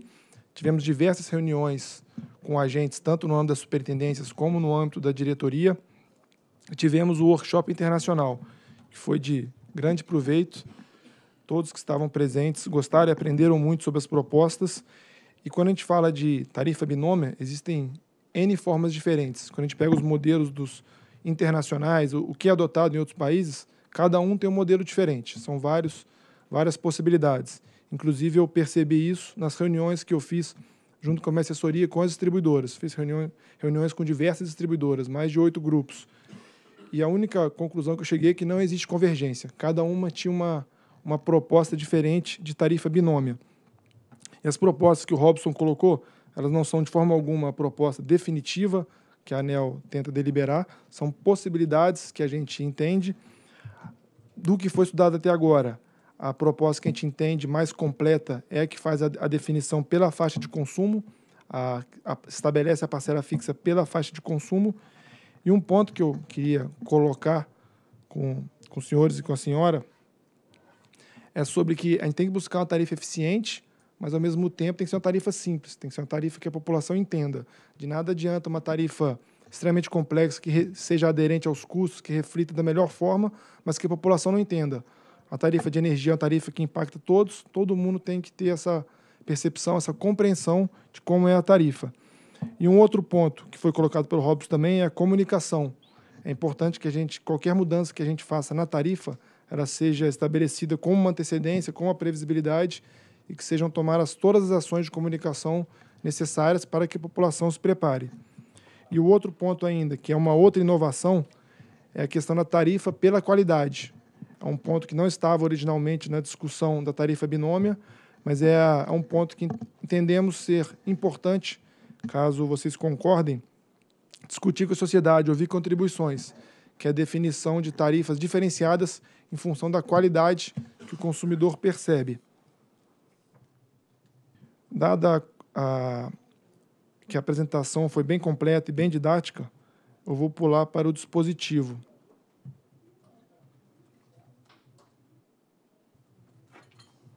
Até porque o voto é bem extenso, mas estará disponível na internet. Diante do exposto do que consta do processo 48.500.000.858-2018, voto por instaurar a primeira fase de audiência pública de 20 de dezembro de 2018 a 18 de março de 2019. Destaco que, pelas, pelo final de ano e pela complexidade do tema, estou dando um prazo maior do que o padrão para as contribuições e ainda prevendo uma sessão presencial a ser realizada aqui em Brasília, dia 20 de fevereiro de 2019, com vistas a colher subsídios e informações adicionais para análise de impacto regulatório sobre o aprimoramento da estrutura tarifária aplicada aos grupos, aos consumidores do grupo B, baixa tensão, tarifa binômia. Em discussão. É, só parabenizar, doutor Rodrigo. Esse é um tema que vem palpitando em todas as, as discussões, principalmente para poder é, pavimentar o caminho para uma possível abertura de mercado, aí tanto almejada por alguns segmentos, em que nós tivemos lá no Seminário de Comercialização Internacional, é, frente a hoje esse modelo de tarifa volumétrica que a gente tem. Naturalmente, há uma preocupação muito grande por parte das distribuidoras, isso é natural, porque a gente está falando da receita, de um modelo já perpetuado aí há alguns anos. Ah, é, gostei muito da, da, da colocação do primeiro do primeiro Microsoft ali com relação ao estabelecimento da, do modelo tarifário e mostra a agência é, no sentido de que a gente está buscando acompanhar a evolução do mercado e se preparar para o mercado, conforme a gente colocou lá no seminário. Ou a gente acompanha, ou o mercado nos atropela e sai na frente, depois a gente procura uma regulação no sentido de correr atrás do que já está acontecendo. Então, só parabenizar o voto, a condução está esplêndida. É, essa inovação de uma audiência presencial é importante, ela acalora mais um pouco os debates, sai da, da letra fria da contribuição e permite um diálogo aí com todo o mercado, e isso mostra a agência é, buscando aí um protagonismo é, ímpar no setor, no sentido de buscar aprimorar esse, essa modelagem que, conforme colocado, só a gente buscar também aprimorar o preço pela qualidade, já é algo espetacular. Então a gente vai estar tá dando um incentivo muito maior para as distribuidoras aí para estar tá recebendo pela parte do fio. Perfeito. E só para complementar, o Robson também já colocou, mas é importante reforçar que fora da audiência pública faremos também, provavelmente em fevereiro, uma reunião com os conselhos de consumidores específica sobre esse tema. Tivemos o um seminário aberto a todos os agentes e faremos uma, um evento específico com os conselhos de consumidores. Acho importantíssimo. A gente vem defendendo essa questão da participação dos conselhos, até porque eles são as vozes e são legitimados para representar os consumidores junto a essas concessionárias. E eu vou tirar aqui um exemplo da tarifa branca. Né? Quando a gente fala em uma divulgação da tarifa branca. Na época da tarifa branca, eu estava como diretor de distribuidora. Nem os próprios diretores da distribuidora estavam cientes a população saiu no desespero quando foram perceber o que verdadeiramente significava né, para aquilo que trocar um hábito, uma cultura por aquilo que financeiramente estariam ganhando, daqui a pouco houve uma total desistência do que se poderia prever que seria uma corrida atrás da tarifa branca. Então, acho que a comunicação, começando pelos conselhos, doutor Rodrigo, é fantástico. A gente tem que.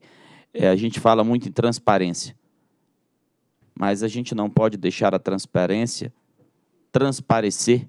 Né? Vou dar um momento, um momento aqui único que o meu diretor geral gosta de colocar, simplesmente por a gente colocar no nosso site, por simplesmente nós estarmos divulgando a, a, as audiências através dos nossos sites, através das publicações oficiais, transmitindo publicamente. A gente tem um dado que de 82 milhões de consumidores nas redes sociais, que é o que mais captura hoje a questão da, da nossa marca e tudo, a gente tem 10 mil seguidores. Então, assim, eu acho que a gente tem que atuar muito mais nessa questão da publicidade, até porque é o que foi muito bem colocado. Isso aqui altera estruturalmente a questão da, da, da modelagem de tarifa no Brasil, e aí vai aí, antes de implantar, a gente tem que fazer um modelo de, de publicidade muito forte nisso aqui, para a gente não ter amanhã nenhum tipo de surpresa de ser indagados por não ter contribuído com a sociedade no sentido de melhor explicar. Bom, gostaria de parabenizar também a área, ao diretor relator. Acho que esse é realmente mais um passo que a ANEL vem dando em busca de atingir o tão desejado avanço tecnológico e a abertura dessa audiência pública vem ao encontro desse objetivo. Perfeito. Em votação? Acompanhe o relator. Acompanho o relator também. Eu tô, me perdoe que eu estou acostumado a ser o primeiro. Perdeu o posto. Declaro que a diretoria aprovou por unanimidade instaurar a primeira fase de audiência pública de 20 de dezembro de 2018 a 18 de março de 2019, com sessão presencial a ser realizada a princípio no dia 20 de fevereiro de 2019 em Brasília, com vistas a colher subsídios e informações adicionais para análise de impacto regulatório sobre o aprimoramento da estrutura tarifária aplicada aos consumidores do Grupo B, baixa tensão, tarifa binômia. Próximo item. Item, é, forma que haverá alteração na ordem de deliberação, de forma que chama o item 16, processo 48.500.00.1091, 2018-23. Proposta de abertura de audiência pública com vistas a colher subsídios e informações adicionais para análise de impacto regulatório IR referente à regulamentação da geoespacialização das instalações de transmissão. Diretor-relator, Rodrigo Limpe Nascimento. Por meio do memorando número 15 2018, SRT ANEL, a SRT comunicou algumas unidades organizacionais sobre a abertura de processo para regulamentação da geoespacialização das instalações de transmissão, convidando-as a contribuir por meio da designação de servidores para a participação no processo. Por meio dos memorandos 69 da SFE, 104 da SFF, 88 SGI, 58 SGT e 45 SRM, as áreas técnicas atenderam à solicitação. Em 10 de agosto, o processo foi distribuído por sorteio a esta relatoria. Por meio da nota número 90, de 27 de novembro, as áreas recomendaram a abertura de audiência pública e apresentaram o relatório de análise de impacto regulatório número 01-2018, SRT, SFE, SGI. O relatório teve por objetivo avaliar os impactos das alternativas de ação para mapeamento das informações geográficas e não geográficas que devem ser incluídas em uma base de dados. É o relatório. Procuradoria. Sem manifestação jurídica. Assim como nas demais aberturas de audiência pública, gostaria de solicitar a apresentação técnica, especialista em regulação Tito. Bem, boa noite, diretores e demais componentes da mesa. Vou apresentar aqui um trabalho que foi coordenado pela SRT, mas que contou também com a participação da SFE e da SGI, que é o relatório de análise de, eh, análise de impacto regulatório eh, da geoespacialização das instalações de transmissão. Bem, a geoespacialização é a tecnologia que permite relacionar é, dados geográficos de um determinado objeto a outros atributos que esse objeto tem. No caso aqui, o, o objeto específico são as instalações de transmissão do setor elétrico brasileiro. É, essa demanda nasceu inicialmente é, por uma necessidade da SFE, da fiscalização, de aprimoramento dos processos de limpeza de faixa, né, acompanhamento, monitoramento da limpeza de faixa das instalações de transmissão, das linhas de transmissão. E aí se identificou que esse processo poderia ser mais amplo. Né? Aí, com isso, não está passando aqui. Não está passando aqui, aqui, agora, obrigado. É, o primeiro passo desse, do AIR foi, foi fazer a identificação do problema. E a identificação do problema está baseada em que a ANEL e outras instituições, como, por exemplo, a Aeronáutica, necessitam conhecer a localização geográfica das instalações de transmissão. Essas informações, não, não é verdade que elas não existam, elas existem, porém elas são tratadas dentro da ANEL por processo e por superintendência, elas estão dispersas em vários processos, em vários sistemas. Isso causa alguns problemas, como a falta de uniformidade, duplicidade de solicitações, que acarreta custos e prazos adicionais, algo que é muito indesejável, que são dados diferentes para a mesma informação, e talvez mais indesejável ainda é não se conseguir as informações. No limite, a ANEL não ter a informação que necessita é, para tratar de algum processo, alguma informação relacionada às instalações de transmissão.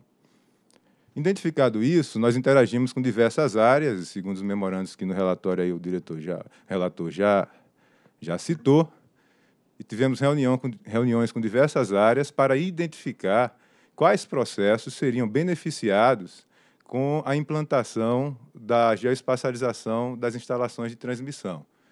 Aí citada SFE, SCT, SFF, SGT, SRM, SRT e SGI. Os diversos processos estão aí listados na, no slide. Você vê que são vários processos que poderiam ser ou que podem ser é, beneficiados com a implantação desse sistema. Nós podemos citar aqui como um exemplo, exemplo de sucesso, uma experiência anterior que a ANEL é, experimentou, que é a criação da BDGD, que é a Base de Dados Geográficos da Distribuição.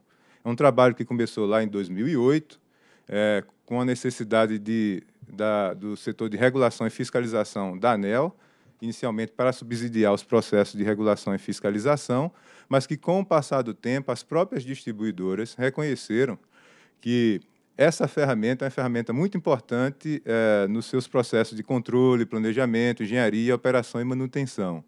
É um, um sistema que está operando é, muito bem e tem tido muito sucesso aqui dentro da ANEL. Em suma, é, o, o, objetivo da norma, da eventual norma, aquilo que nós estamos analisando através dessa AIR, é regular o envio à ANEL das informações de localização geográfica das instalações de transmissão e das principais informações utilizadas na fiscalização e regulação dos serviços públicos de transmissão de energia. É, dada a, a, rede de transmissão que nós temos, a ideia é que nós possamos regular a forma como iremos localizar geograficamente essas, essa rede e também relacionando a os ativos dessa rede, seus atributos técnicos, os registros contábeis e os dados da rede. Todas essas informações estariam sob poder da, ANEL num só, é, é, numa só base de dados. Essa é, esse é o objetivo geral da norma. Bem, objetivamente, o que queremos é a criação de uma BDGT, que seria uma base de dados geográficos da transmissão. Essa base de dados seria composta por três entidades, basicamente, que seriam as subestações, as linhas de transmissão e, a, e as torres as subestações representadas por polígonos, linha de transmissão por segmento de reta e, e as torres por pontos. A cada uma dessas identidades seria atribuído diversos dados, dados geográficos, a identificação do ativo, as, inform as informações técnicas desse ativo, os dados contáveis, contábeis e os pontos de conectividade. que seriam esses pontos de conectividade? É a forma como eletricamente uma instalação se conecta à outra. É, esses dados não, não é que eles não existam dentro do nosso arcabouço regulatório ou nos nossos sistemas, nos nossos bancos de dados e sistemas. É, esses ativos, é, ativos, são regulados lá pelo submódulo 2.2 procedimentos de rede. Nós temos os bancos de preço, nós temos o sistema CIGET, que já funciona há muito tempo na ANEL, também o manual de controle patrimonial e outros sistemas também, não só na ANEL, como em outras entidades do setor elétrico. A ideia é condensar tudo isso numa só base de dados, e essa base de dados irá subsidiar os processos de diversas áreas da ANEL. Inicialmente, com essa primeira análise, nós identificamos todas essas áreas que seriam beneficiadas por essa base de dados única. E aqui reside as alternativas dessa IR. Quais são as alternativas? Ou manter esses, é, essas informações dispersas nesses diversos sistemas, ou a segunda alternativa é criar uma base de dados única que possa subsidiar os procedimentos da ANEL. e esse, essa base de dados seria, teria que ser capaz de conversar com o CIGET. Bem, nós estamos propondo também etapas para a implantação é, dessa BDGT. É, a primeira etapa iria, é, seria diz respeito à, à, adequação do SAGIT, que é um sistema de análise e gerenciamento das instalações de transmissão, de transmissão que existe no ONS. O ONS teria seis meses para é, adequar o seu sistema para receber as informações que as transmissoras iriam é, fornecer seis meses após a, a publicação da resolução, da, da norma. Após esses seis meses, as transmissoras teriam três meses para carregar o SAGIT com as informações técnicas, né? É, geográficas, identificação de ativo, informações técnicas e ponto de conectividade. Paralelamente a isso, o NS também teria os três, três meses para a criação de um web service que, que tornasse possível o carregamento dessas informações na nossa BDGT. A segunda etapa seria o carregamento dos, dos dados contábeis por parte da transmissora na, B, na BDGT, que também teriam seis meses, segundo a nossa proposta. Somando todos os prazos aí que nós estamos propondo, eh, teríamos 15 meses para a implantação total eh, da, da nossa BDGT após a publicação da norma. Essa é a proposta do, eh, do AIR. Com relação à atualização e incentivo econômico, nós identificamos duas formas de atualização dos dados. Uma é por carregamento pontual e outra carregamento periódico. O que seria o carregamento pontual? As transmissoras teriam que informar ao nosso sistema, né, através do SAGIT, é, quando houvesse é, algum, alguma alteração na rede pontual, tipo seccionamento de linha, ampliação ou reforço. O incentivo econômico que nós estamos prevendo para esse tipo de carregamento é que caso a transmissora não, não efetue essa informação, é, isso seria considerado como uma pendência não impeditiva e aí, consequentemente, teria desconto de 10% na sua receita. Com relação ao carregamento periódico, é, a transmissora teria a obrigação de informar todas as alterações que tiveram no seu sistema, nas suas instalações, durante no decorrer de um ano, até o primeiro dia do mês, é, no primeiro dia de fevereiro, né, primeiro de fevereiro do ano seguinte apresentando as informações técnicas para o SAGIT e as contábeis diretamente ao BDGT. É, para esse tipo de carregamento, nós não vislumbramos a priori nenhum tipo de incentivo econômico. Bem, de forma é, resumida, as nossas expectativas futuras para a criação da BDGT é que ela auxilie a ANEL na execução dos seus processos de regulação e fiscalização no serviço de transmissão, assim como já acontece com a BDGD com relação à distribuição, que as transmissoras possuam suas próprias bases de dados geográficos dos ativos de transmissão, que, assim como ocorreu com as distribuidoras, as transmissoras incorporem a utilização dessa base em suas atividades, que o SAGIT, sistema do ONS, e a BDGT sejam utilizados a partir de web services disponibilizados diretamente das bases de dados geográficos dos ativos das transmissoras. E que o setor elétrico brasileiro possua uma rede robusta e integrada, integrada de informações geoespacializadas dos ativos de transmissão. Em suma, é, essa, as, são essas as nossas expectativas. Informando também que iremos disponibilizar é, na audiência pública é, é a nota técnica, obviamente, e o relatório da IR, mas também planilhas com todos os, to, com todos os equipamentos que fazem parte das instalações de transmissão, para que a, os agentes e a sociedade como um todo possa colaborar que tipo de. É, dizendo ou argumentando com que tipo de instalação deve ser é, considerada no nosso BDGT, a, o formato em que ela deve ser é, disponibilizada e também com relação à forma como será armazenada. Então, de forma geral, nós iremos disponibilizar planilhas para que os agentes e a sociedade como um todo possam contribuir é, na formação da nossa BDGT. É isso que tínhamos a apresentar. Muito obrigado. Obrigado, Tito. Muito clara a apresentação. Tendo o detalhamento da apresentação, eu vou só fazer um breve comentário antes de passar ao dispositivo, que esse é um processo, o diretor Sandoval conhece bem, tanto pela regulação da transmissão quanto pela, pela passagem pela fiscalização que é o uso da tecnologia para melhorar os processos da agência. Como colocado, é um processo que beneficia diretamente sete superintendências.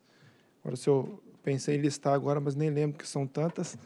Mas, além disso, melhora o processo como um todo, permite uma rede mais robusta, integrada das informações geoespacializadas. Essa é apenas a primeira etapa de análise de impacto regulatório. Ainda teremos a audiência pública com a minuta de norma, em que vai ser regulamentado com mais detalhes o fluxo de informações entre os agentes e, e a agência, que eu tenho certeza que será um grande avanço, especialmente para o setor de transmissão e para as superintendências envolvidas. Passando, em, passando então ao dispositivo. Posso, tem um comentário? Não, perdão, você está no voto ainda, não está no debate. Não, no voto. Passando ao dispositivo, fundado nesse exame no que consta do processo 48.500.00.1091, voto por instaurar audiência pública por intercâmbio documental de 20 de dezembro a 17 de fevereiro. Também coloquei um prazo maior do que o padrão de 60 dias, tendo em vista o final de ano e janeiro, que é um mês um pouco mais devagar na maioria das empresas, com vistas a colher subsídios e informações adicionais para análise de impacto regulatório referente à regulamentação da geoespacialização das instalações de transmissão. É o voto. Em discussão. Eu queria fazer um comentário, tá aí, parabéns, viu, Limp, que você trouxe uma proposta muito, muito interessante, juntamente com a área, o doutor Leonardo, superintendente, o Tito, uma apresentação muito elucidativa, muito clara. E, assim, apenas dizer que por que não foi feito antes, né? Então, a gente imaginar uma rede de transmissão de mais de 140 mil quilômetros de, de extensão, uma capilaridade enorme em praticamente todo o país e você não tinha a informação de, do trajeto, eh, eu digo, não tínhamos na agência. Obviamente, a, as empresas tinham isso, isso consta dos projetos executivos. E quando nos deparamos com a, a, a, o desenvolvimento do aplicativo GGT na SFE, que é foi o primeiro aplicativo desenvolvido pela ANEL, não é o mais famoso, o mais famoso é o ANEL Consumidor, mas o primeiro aplicativo foi feito, foi o GGT. E no momento que nós fizemos o aplicativo junto com o INPE, que, que decidimos, por natural, expandir a sua, a sua, a sua aplicação, que quando analisamos a base de dados disponível no, no ONS, ela não estava georreferenciada. Então, naquele momento, foi que nós sinalizamos para a área de regulação, eu estava na área de fiscalização na época, e naquele momento identificou-se que seria realmente necessário, identificou-se também que várias áreas da ANEL, com destaque para a área de regulação de mercado, quando foi desenvolver as metodologias de revisão tarifária, demandavam as mesmas informações. A área de gestão da informação da ANEL também demandava as mesmas informações. Então, identificamos que era necessário fazer uma regra para isso, um regulamento, que é o que está sendo proposto aqui. Então, é, isso, doutor André, demais diretores, tem um, um caráter disruptivo enorme para os próximos anos na gestão do segmento de transmissão. As próprias empresas terão que fazer uso de, dessa ferramenta no que se refere à linha de transmissão o caráter transformador é muito grande, porque ainda é um processo nas empresas que ainda tem um nível de não tem um nível de informatização, de inovação muito grande, e nesse caso a ANEL será indutora desse processo de modernização nas, nas empresas. É, aplicação enorme, gera, vai gerar redução de custos na área de fiscalização, na área de regulação. Não precisaremos fazer deslocamentos como fazemos hoje para verificar questões pontuais em determinados municípios, nas regiões mais distantes do país. Então, parabéns pela iniciativa e esperamos que tão logo a regra esteja concluída e comecemos a, a, a oferir as, as sinergias e as, e as, a, as eficiências para o serviço público. Bom, também parabenizo o, relator e toda a equipe da ANEL envolvida, a SRT, a SFE, a SGI.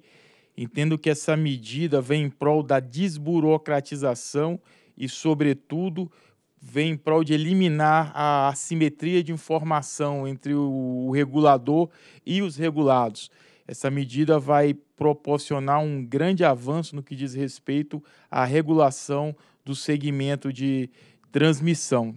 Tá? De parabéns ao pessoal envolvido. Vamos para um, um processo de audiência pública de análise de impacto regulatório e em breve, ao longo do ano de 2019, vamos ter até o final do ano a norma aprovada e vamos dar um salto na qualidade da regulação do segmento de transmissão, envolvendo, sobretudo, o é, TI. E eu acho que a gente tem que se agarrar à TI, tendo em vista essa nova política da administração pública. Hoje nós temos um déficit de quadro da ANEL. Se a gente observar a quantidade que a lei nos faculta de servidores e a quantidade de servidores efetivo que temos, nós temos um déficit de servidores. Se você, fazendo um paralelo aqui com 2013, a ANEL em 2013 tinha 741 servidores, em 2018 tem 690. Nós temos 6% a menos do que estava em vigor em 2013, sem falar o fazendo um paralelo com o que a lei que cria a, agência prevê de especialista, de analista e de, e de técnicos. Então, diante desse cenário, a gente só pode se apegar à tecnologia. E com a tec tecnologia, a gente faz uma verdadeira transformação com toda a benesse, as informações, ou melhor, a quantidade de dados que vão ser oferecidas, que a gente vai ter a capacidade de transformar esses dados em informação. Em votação. Voto com o relator. Acompanhe o relator. Também voto com o relator.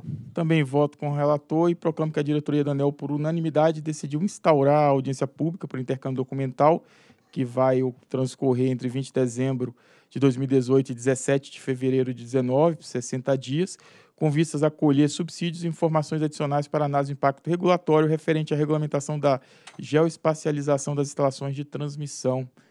Próximo item. É, item 19, processo 48.500.000.610, 2018, 36. Desempenho das distribuidoras designadas no terceiro trimestre de 2019. É, diretor relator do voto vista, Rodrigo Limpe Nascimento.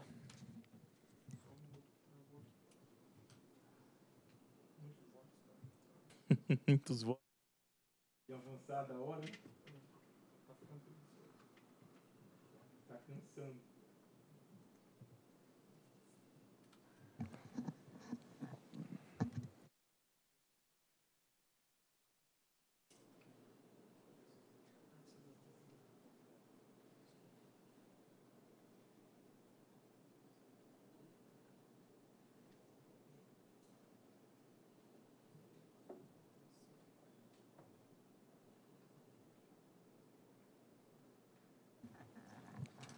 Em 27 de março de 2018, na nona reunião pública ordinária desta diretoria colegiada, foi pautado o presente processo, que trata da avaliação dos relatórios de acompanhamento trimestrais das distribuidoras designadas relativos ao cumprimento dos planos de prestação temporária do serviço de distribuição no terceiro trimestre de 2018. Em virtude da ausência de três votos convergentes para a decisão, a deliberação ficou suspensa. Em 31 de julho de 2018, na 27ª reunião pública ordinária, pedi vista do processo para melhor compreensão da matéria. É o relatório. A Procuradoria já se manifestou no, na, na votação original. Na nona reunião pública ordinária, o então relator da matéria, diretor Tiago de Barros, tendo em vista o desempenho no terceiro trimestre de 2017 das distribuidoras designadas pela MME, sugeriu suspender os empréstimos da RGR para as distribuidoras CEA, Seron e Boa Vista Energia, conforme o dispositivo do voto abaixo transcrito. Que eu não vou ler todo o dispositivo, apenas a, a, parte destacada em negrito. Voto por suspender a concessão de novos empréstimos da RGR à CEA, até que a empresa esteja adimplente intrasetorialmente e apresente indicador de perdas com trajetória consistente de melhora ou até que seja publicado o edital de licitação pelo poder concedente. No caso da Eletrobras Rondônia, suspender a concessão de novos empréstimos também até que a empresa apresentasse trajetória sustentada de redução do nível de inadimplência e realizasse a indenização relativa à incorporação de redes particulares nos montantes estabelecidos no plano de prestação temporária de serviço de distribuição.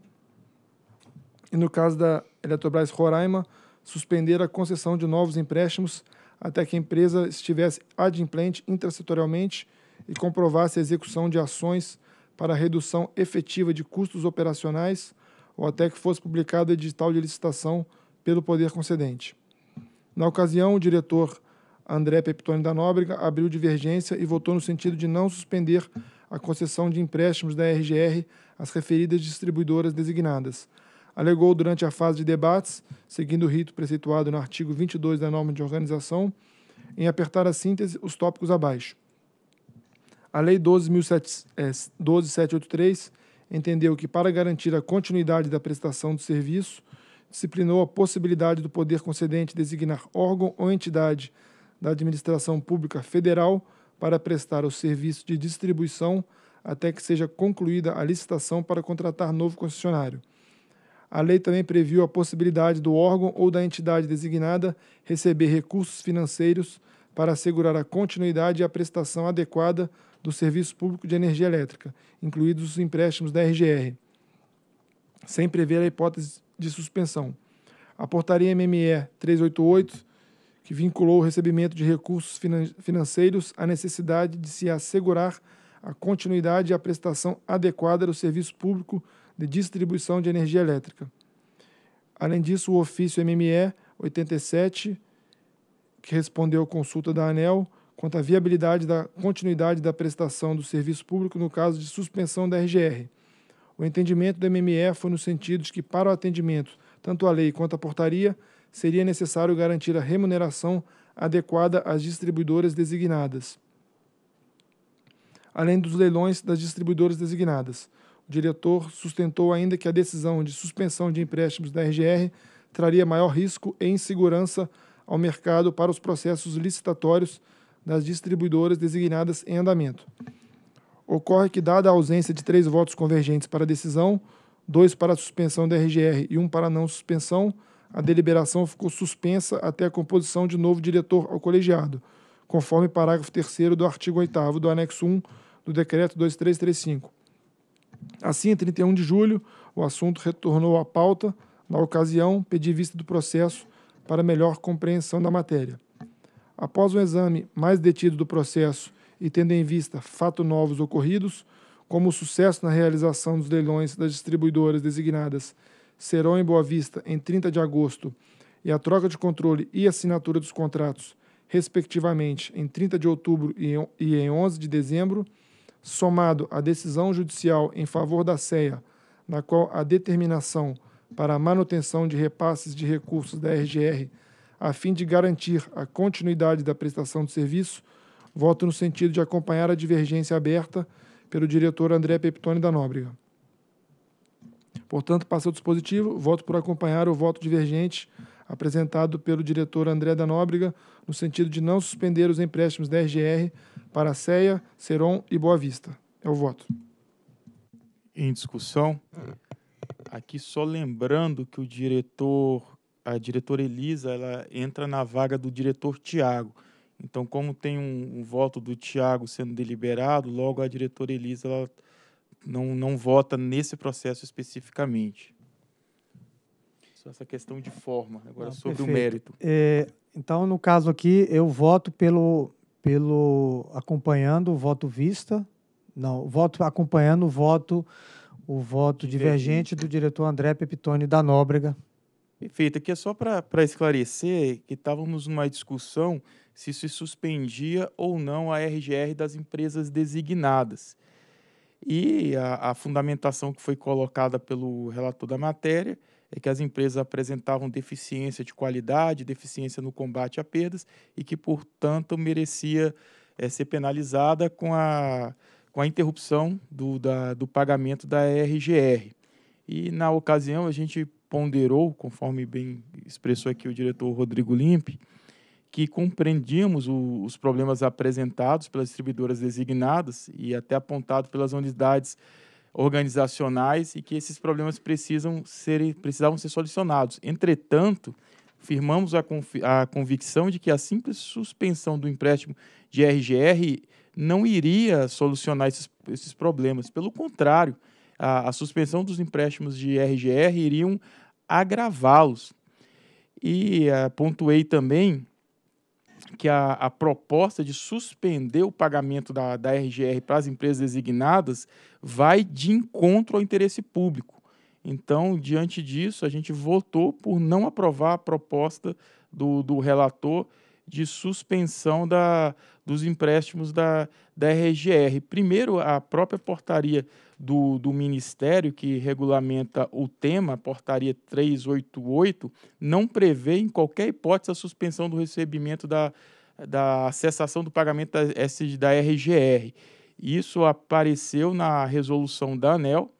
É, a gente não, é, na resolução normativa 748, no parágrafo 10 do artigo 7 e a gente pontua que não desconhece esse comando da resolução da ANEL, mas, entretanto, pontua-se que ele deve ser interpretado, deve ter sua leitura, interpretação e, a, e aplicação compatibilizada com as premissas de assegurar a condição mínima de sustentabilidade econômico-financeira. Se essas empresas não recebessem RGR, a gente não teria alcançado o sucesso do leilão que foi recentemente da Cepisa, da Ceron, da Eletroacre e da Amazonas, porque desde lá daquela época essas empresas então iriam total quadro de insolvência. Então a gente hoje, apreciando de, de novo o tema, revela-se que a medida de não permitir a cassação da, da RGR dessas distribuidoras, ela se revelou por demais acertada. É, então... Só fazer só um comentário, eu, eu acho que a gente está tão cansado aqui, porque a reunião está muito longa, e eu acabei, eh, na realidade, me manifestando já com o meu voto. Então, só peço uma, uma é, desculpa pela pequena confusão, mas de fato eu corroboro com todo o encaminhamento, todos as, os comentários feitos pelo diretor André, que de fato a, a operação dessas empresas estava numa situação realmente muito, muito complicada.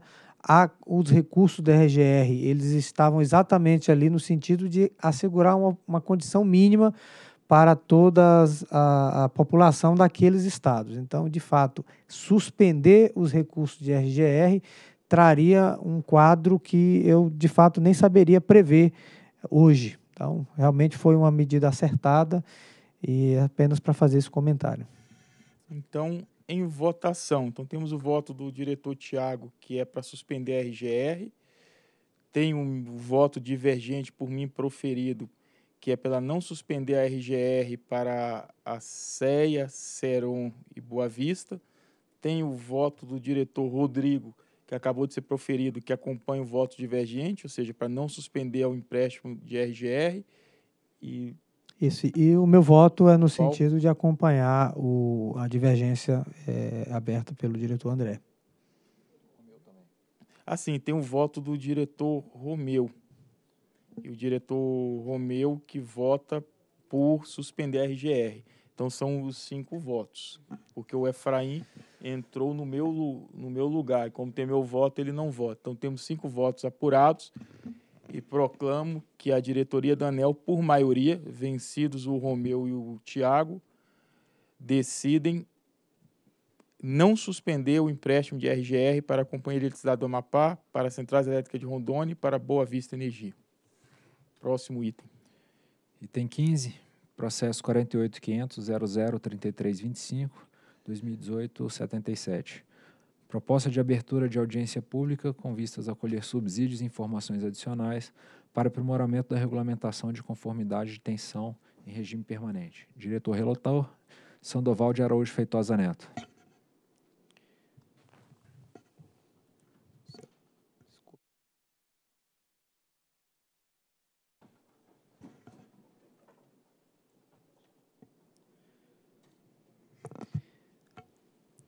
Em 31 de dezembro de 2008, foi publicada a primeira versão do módulo 8 dos procedimentos de distribuição de energia elétrica do Sistema Interligado Nacional, incorporando os aspectos de conformidade de tensão trazidos pela Resolução 505 de 2001. Em 9 de setembro de 2015, a ANEL tomou ciência do relatório de auditoria operacional do Tribunal de Contas da União, que trata da fiscalização, qualidade na prestação de serviço de energia elétrica, que resultou na publicação do Acórdão 651 de 2016, TCU plenário, publicado na seção 1 do Diário Oficial da União em 31 de março de 2016. Em 2017, a ANEL aprovou, por meio da portaria 4821 de 2017, a agenda regulatória para o biênio 2018-2019, contendo a atividade 55, que previu a abertura de audiência pública para discutir com a sociedade a proposta de aprimoramento na regulamentação de conformidade de detenção em regime permanente. Em 8 de outubro de 2018, o processo foi a mim distribuído. Em 12 de dezembro de 2018, a Superintendência de Regulação dos Serviços de Distribuição, SRD, por meio da nota técnica 110 de 2018, efetuou a análise da proposta e recomendou a instauração de audiência pública, é o que se tem a relatar. Procuradoria. Bem, doutor André, é, em relação aos itens 15, que está é sendo é, deliberado agora, e o 20, a Procuradoria não tem manifestação. É, senhores diretores, esse tema é um tema é, um tema bastante importante na minha, na minha forma de ver, como todos os temas que envolvem a distribuição, haja vista que há um reflexo direto lá na prestação de serviço dos consumidores. Em função disso, e para ser um, o mais didático possível, solicitei que a SRD fizesse uma apresentação técnica. Assim, eu solicito que o Renato, Renato especialista da SRD, que responsável pela condução do processo faça a apresentação. Bom, boa noite a todos os diretores. É, vou tentar ser breve aqui nas, nas explicações e da, linhas gerais do processo. Foi dita o item 55, que está na agenda regulatória 1819, aprimoramento da regulação de conformidade e detenção em regime permanente. É, são quatro tópicos básicos que a gente vai passar, qual foi a motivação que já foi até colocada pelo diretor, o escopo dessa alteração, as opções que foram consideradas, porque a gente está tentando usar um IR também para analisar diversas opções para a solução do problema que foi colocado, e alguns detalhes finais da IR. A motivação já foi colocada, uma fiscalização feita em 2014 pelo TCU, uma auditoria operacional né, nos procedimentos de fiscalização da agência, especialmente focado na fiscalização da qualidade do serviço, né? E na sequência, a, essa auditoria ela recomendou o aperfeiçoamento do nosso processo de, de acompanhamento dos níveis de tensão, é, no sentido de impor mais, é, melhorar a validação desse processo e a certificação, ou seja, ter mais convicção sobre os resultados que tiramos desse processo. Resultado disso, ele foi incluído como item 55 dessa agenda, com a previsão de, de abertura de audiência pública ainda em 2018. Esse é um item também que ele está indo é, tanto a, a, IR quanto as minutas de texto, né, as minutas de mudança nos normativos que da opção que foi a preferida no IR. Né. Rapidamente, para entender esse processo especificamente, é, a gente tem o processo de medição amostral de nível de tensão, um processo que a agência é, implementou para que ela tenha visão de como se, como se encontra o nível de tensão nas distribuidoras. Esse processo tem diversas etapas, eu vou resumir algumas aqui para focar onde a gente entende que tem melhoria ou necessidade de aperfeiçoamento. A primeira parte do processo, basicamente, é as distribuidoras ela fornecendo a base de seus consumidores para que a ANEL faça um sorteio aleatório das unidades que devem ser medidas em termos de nível de tensão. Esse processo a gente entende que não tem, é, é, muito, não tem problema nele, ele tem, um, foi mencionado anteriormente, uma experiência que pode ser é, replicada, que é um cruzamento dessas informações com a BDGD que está instaurada no módulo 10 do Prodista. A gente entende que isso dá muita garantia para o processo. A gente sabe exatamente quem são as unidades, qual o faseamento dessas unidades, onde elas estão localizadas. É, a segunda etapa do processo também é um sorteio, é um programa é, que foi desenvolvido pela ANEL, que tem criptografia, que faz esse sorteio aleatoriamente e garante que a distribuidora não tem acesso a essas unidades escolhidas antes da hora que ela tem que ter. Né? O terceiro processo é o momento onde ela recebe essas unidades para serem medidas. Ela tem, com antecedência estabelecida no regulamento, a oportunidade de retirar essas unidades, 60 dias antes de começar o trimestre. São medições trimestrais. Também nessa etapa a gente entende que ela está bem, é um programa que é da ANEL, só os servidores da casa têm acesso a esse sistema, então a gente entende que essa etapa também está bem é, é, mapeada. Né? E aí vem as duas etapas onde a gente entende que tem aperfeiçoamentos que podem ser melhorados. É onde o momento a distribuidora coloca o medidor para medir as unidades consumidoras. Então a gente tem dúvidas, são dúvidas potenciais, não são é, questões que a gente já identifica com é, de forma generalizada, mas são dúvidas potenciais. Se a distribuidora colocou o medidor efetivamente na unidade que foi sorteada, ou se o medidor está medindo exatamente as fases daquele consumidor. Então, são dúvidas potenciais que surgem nesse processo, porque é a distribuidora que faz sem o acompanhamento da agência.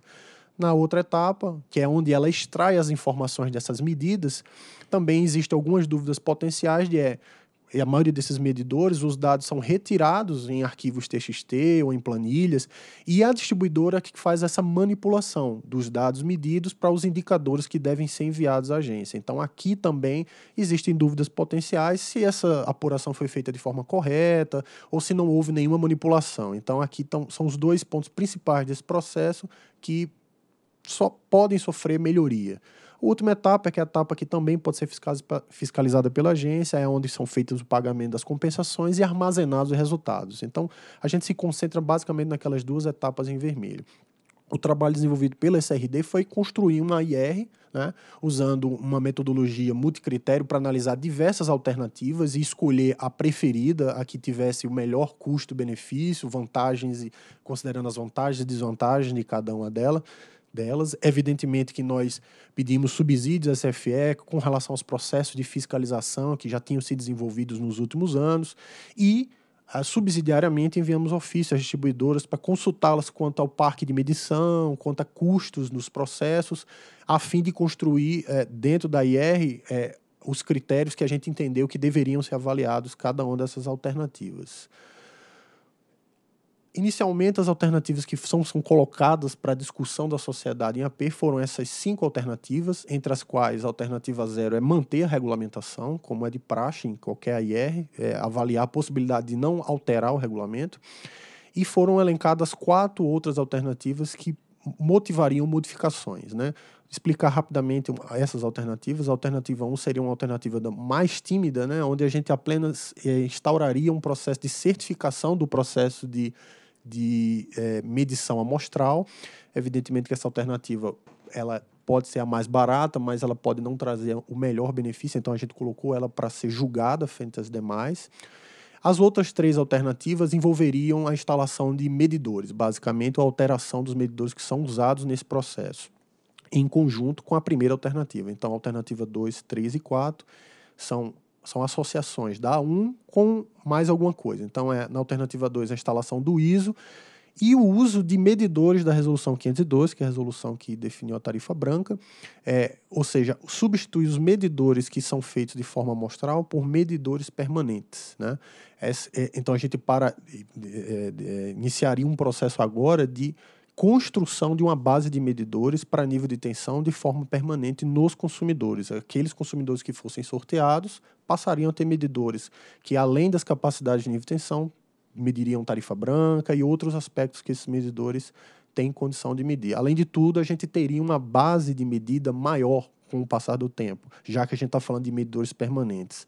Na alternativa 3, a gente avaliou o mesmo medidor com outras características, outros recursos adicionais, como a proteção de dados e a inclusão de GPS para é, georreferenciar a posição desses medidores, mas nessa alternativa a gente avaliou a possibilidade de só manter esses medidores temporariamente, em vez de criar uma base permanente. Na alternativa 4, a diferença é que a gente usaria, em vez dos medidores tradicionais de tensão, que são medidores mais simples, medidores mais qualificados, nós chamamos de qualímetros, né, onde eles medem, é, além dos níveis de tensão, outros parâmetros de qualidade, com aquelas características de proteção de dados e GPS. São essas as cinco alternativas que foram analisadas na IR e serão colocadas para discussão da sociedade.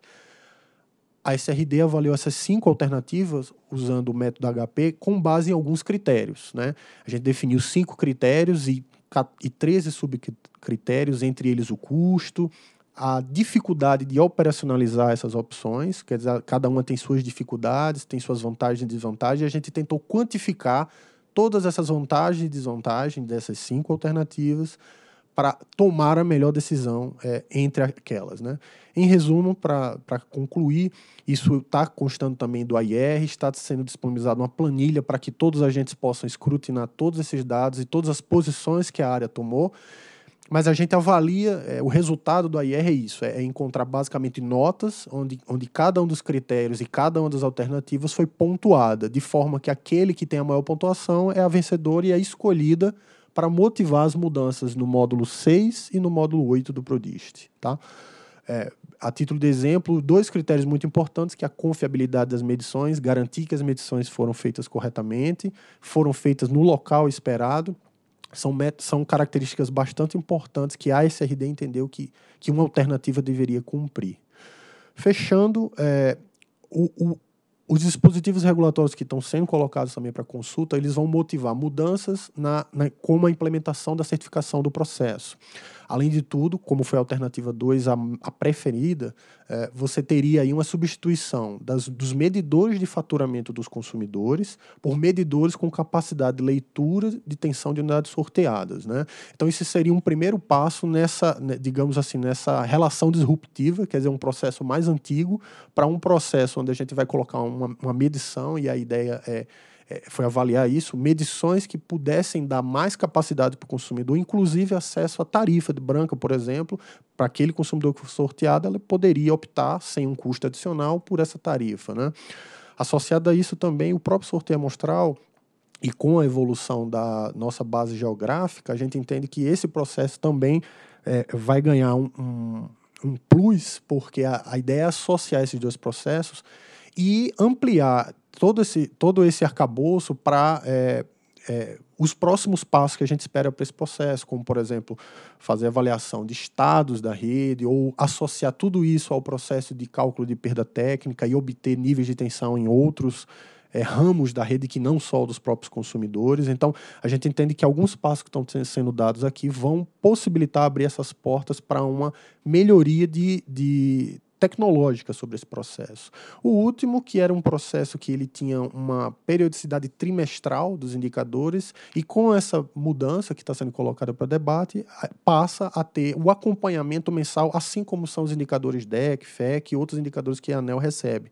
Ou seja, o nível de tensão ele vai ganhar um, um plus né, nesse acompanhamento e vai permitir que a agência tenha uma melhor, um melhor acompanhamento e, e possibilitar abrir novas portas para esse tema também na agência. Era isso, obrigado.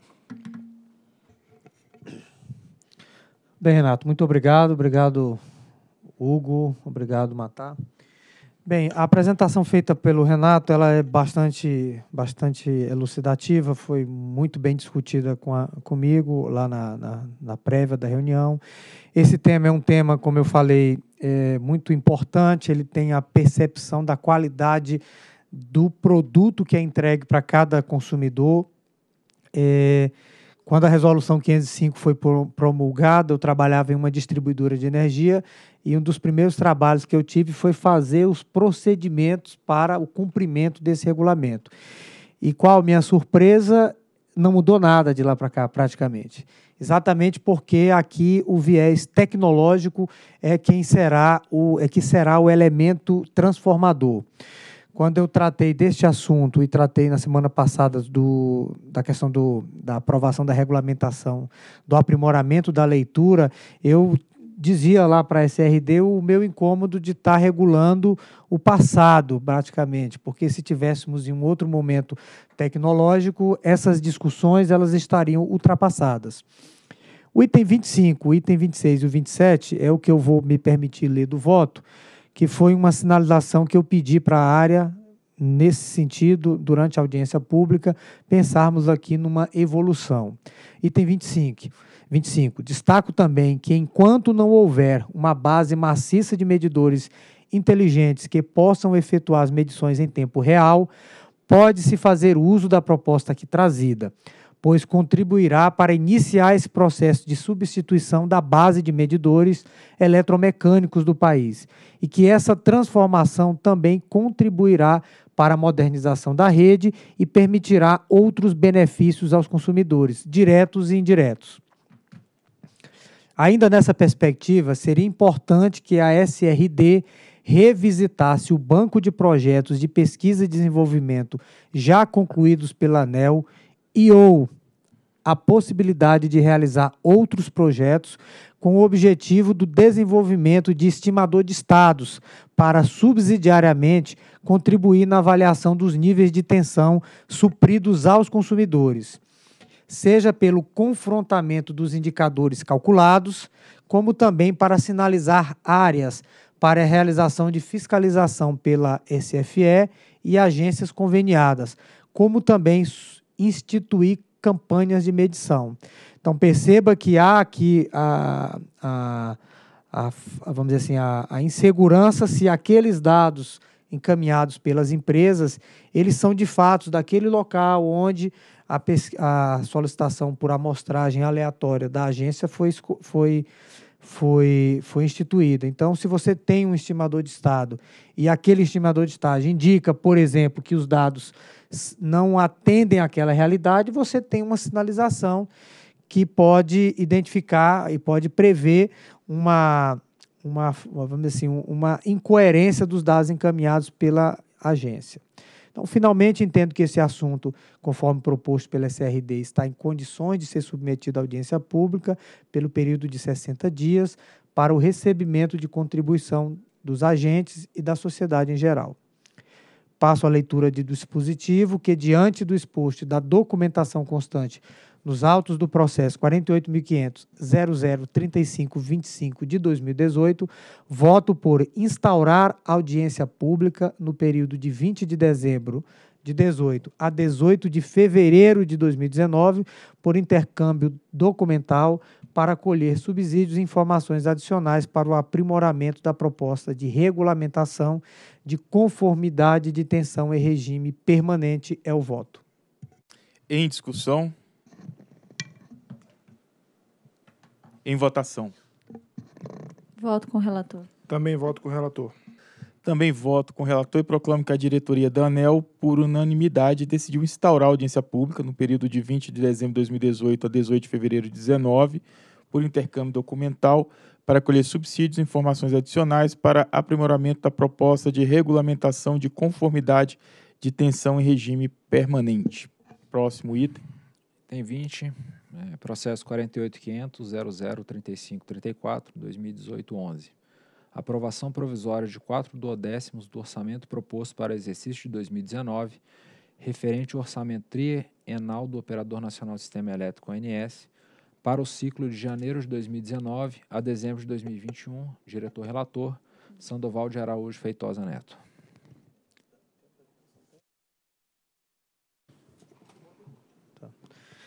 O Operador Nacional do Sistema Elétrico é pessoa jurídica de direito privado, sob a forma de associação civil sem fins lucrativos, instituído pela Lei 9.648, de 98, regulamentada pelo Decreto 5.081, de 2004, cujo artigo 1 atribuiu a essa agência sua regulação e fiscalização. Da mesma forma, é competência dessa agência a aprovação do orçamento anual do ONS, conforme dispõe a Resolução Normativa 780 de 2017, assim como seu estatuto aprovado pela Resolução Autorizativa 328 de 2004. Resolução 780 de 2017 introduziu mudanças substanciais na forma de aprovação do orçamento do operador, prevendo, nos termos do artigo 2 que a partir do exercício de 2019, o orçamento passará a ser fixado pela ANEL para um período de três anos, com reajustes orçamentários anuais correspondente à atualização monetária do IPCA, após a análise da, prova, da projeção de custos e investimentos eficientes e prudentes. Em 30 de julho de 2018, em obediência, obediência ao disposto no artigo 4 da Resolução 780 de 2017, o ONS encaminhou tempestivamente a sua proposta orçamentária trienal, correspondente ao ciclo de janeiro de 19 a dezembro de 21, por meio da Carta ONS 22, de 2018.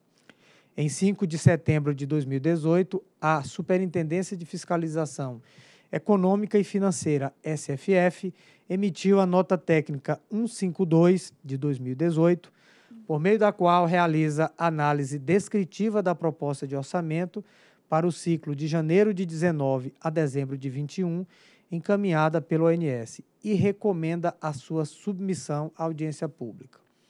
Em 17 de setembro de 18, o processo foi a mim distribuído. Em 9 de outubro de 2018, desculpe, não é 19, a de diretoria colegiada da ANEL, é, por ocasião da 37ª reunião pública ordinária, deliberou, item 1, abertura da audiência pública 47 de 2018, com período para envio de contribuição de 11 de outubro a 9 de novembro de 2018, por intercâmbio documental. Item 2. Pelo condicionamento do pagamento da performance organizacional ao ONS referente ao ano de 2018, a apresentação e validação do estudo sobre a política e pesquisa de remuneração e pesquisa salarial, além do dimensionamento quali quantitativo do quadro técnico do ONS. Em 12 de dezembro de 2018, a SFF emitiu a nota técnica 227, por meio da qual concluiu pela não aprovação definitiva do orçamento do ONS até que sejam concluídos os estudos sobre política de remuneração e pesquisa salarial, bem como recomendou a aprovação provisória de quatro duodécimos do orçamento total previsto para o ano de 2019, é o relatório. Procuradoria. Sem comentário jurídico. Trata-se da aprovação provisória de quatro duodécimos do orçamento proposto pelo ONS para o ano de 2019, que faz parte do orçamento trienal para o ciclo de janeiro de 19 a dezembro de 2021. O ONS, o ONS propôs um montante global de 2 bilhões 35 milhões e 93 mil reais para o período citado, sendo em valores nominais 739 milhões 249 mil para 2019, 664 mil 230, 664 milhões 234 mil para 2020 e 631 milhões 610 mil reais para 2021, conforme descrito na tabela 1 a seguir.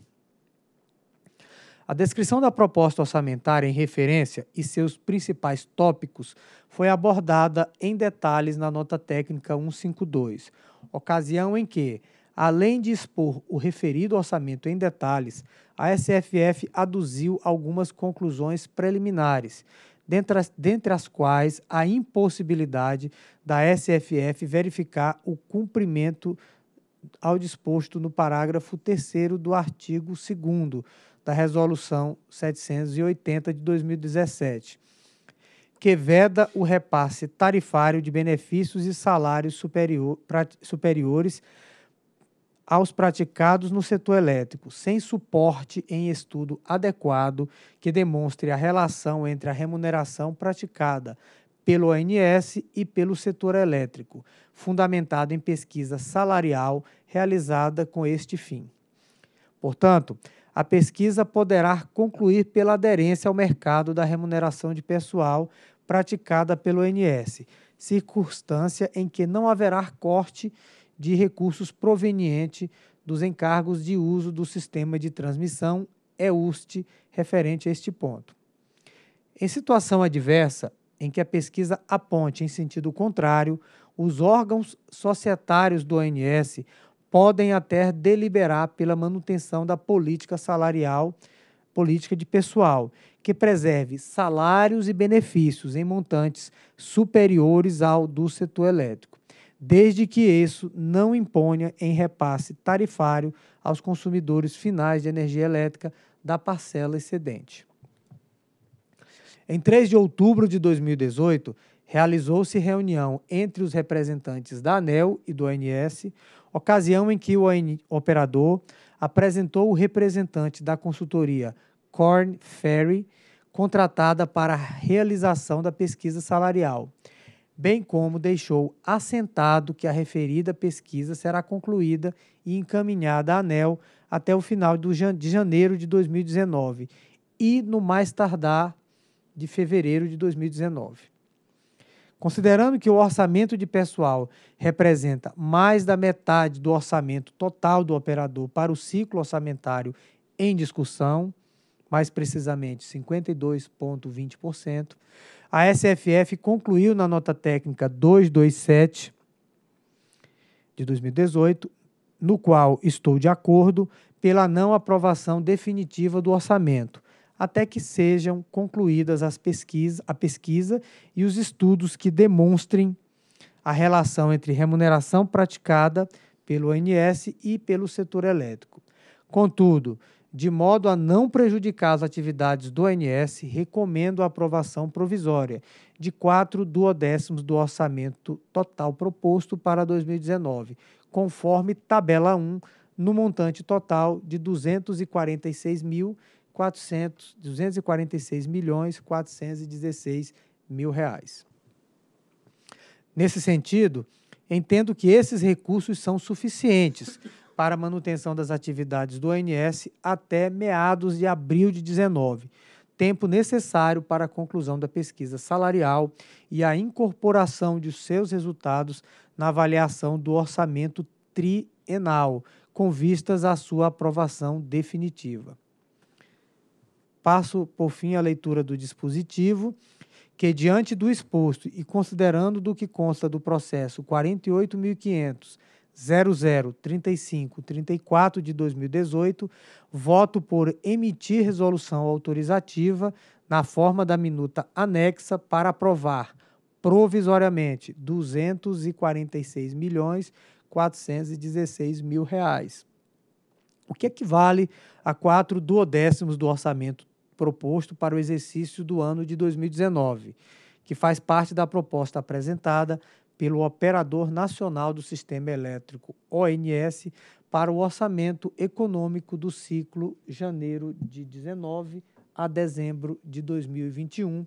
É o voto. Em discussão, em votação. Voto com o relator. Também voto com o relator. Também voto com o relator e proclamo que a diretoria da ANEL, por unanimidade, decidiu emitir, emitir resolução autorizativa para aprovar provisoriamente quatro duodécimos do orçamento proposto para o exercício de, de 2019 do ONS. Próximo item. Item 21, processo 48500 1044 2017 Recomposição do prazo de exploração do contrato de concessão número 10 de 2012 celebrado com a Lusiane Niquelândia Transmissora S.A. Diretor-relator, Rodrigo Limpe Nascimento. Em 24 de novembro de 2018, o consórcio Lusiane Niquelândia arrematou o lote H do leilão 06-2011, com deságio de 5,20%. O consórcio constituiu a Lusiane Niquelândia Transmissora, LNT, que firmou o contrato 010-2012 em 10 de maio, com prazo para entrada em operação comercial das instalações até 10 de janeiro de 2014, 20 meses. Em 9 de junho, as instalações entraram em operação comercial, portanto, com atraso de quase seis meses. Após ação fiscalizatória, por meio do auto de infração 123 de 2015, lavrado em 16 de novembro, a SFE aplicou à transmissora multa no valor total de R$ 10.965,15, em razão de duas não conformidades. A não conformidade 1, em face do descumprimento do cronograma de implantação da SE Lusiânia e a não conformidade N2, diante do descumprimento do cronograma de implantação da SE Niquelândia. E resignada, a transmissora interpôs recurso administrativo. Após apreciar as razões recursais, no termos do despacho 839-2016, a diretoria decidiu por descaracterizar a não conformidade N1, referente ao atraso, e afastar a penalidade de multa associada por entender que o atraso no cronograma não poderia ser imputado à transmissora. No entanto, manteve a não conformidade N2 e sua respectiva penalidade. Deste modo, o valor total da multa foi reduzido para R$ 5.595,42, cujo pagamento foi realizado em 9 de maio do mesmo ano. Devido ao atraso na entrada em operação da SE Lusiânia em 25 de abril de 2016, por meio da carta sem número, a LNT apresentou requerimento administrativo para recontabilização da receita anual permitida associada ao contrato em face da aplicação pelo ONS de descontos sobre o faturamento por meio da aplicação de PVA no montante de R$ 677.567,02. Em 1 de novembro, apoiado no parecer 487 da Procuradoria, a diretoria, nos termos do despacho 2877, decidiu dar provimento ao pedido interposto pela LNT e determinou ao ONS que procedesse à recontabilização de modo a cancelar a aplicação do desconto. Em 6 de fevereiro de 2017, a transmissora requereu, requereu a prorrogação do contrato número 10 de 2012. Em 7 de junho de 2017, a SCT solicitou, por meio do memorando 131 de 2017, complementado pelo memorando 011 de 2018, parecer da Procuradoria Federal junto ao ANEL. Em 2 de fevereiro de 2018, a Procuradoria opinou pela possibilidade da recomposição do prazo de concessão, proporcional ao impedimento da execução por fato da administração relacionada ao atraso na entrada em operação comercial da SA Lusiânia, devendo ser observado para apuração dos dias a serem acrescidos na vigência contratual, a percentagem de 76,2% do empreendimento referente à subestação Lusiânia, nos moldes definidos no contrato de concessão. Em 7 de fevereiro, por meio da nota técnica 070, a SCT concluiu pela procedência do pedido de recomposição do prazo contratual. Em 27 de agosto, o processo foi distribuído por sorteio a esta relatoria. Procuradoria. Bem, e como já eh, consta do relatório, a Procuradoria se manifestou, no caso concreto, favoravelmente à, à recomposição do prazo. Trata-se de solicitação da LNT para recomposição do prazo de exploração do contrato 010-2012, firmado em 10 de maio de 2012. A interessada requereu a recomposição do prazo de exploração da concessão com base nas decisões da diretoria colegiada da agência, despacho 839 e 2877 de 2016, em que teria sido reconhecida a exclusão de sua responsabilidade sobre o atraso da entrada em operação comercial da subestação Lusiânia. Segundo alega, o atraso no início de operação decorreu de culpa do IBAMA, o qual não permitiu a inclusão no licenciamento concedido em 25 de fevereiro de 2013 de um reforço autorizado pela ANEL em 21 de maio de 2013. Então, aqui no caso, tínhamos o um licenciamento concedido pelo IBAMA em fevereiro, Aí teve um reforço autorizado pela ANEL em maio do mesmo ano, e aí o IBAMA não permitiu a inclusão naquele licenciamento.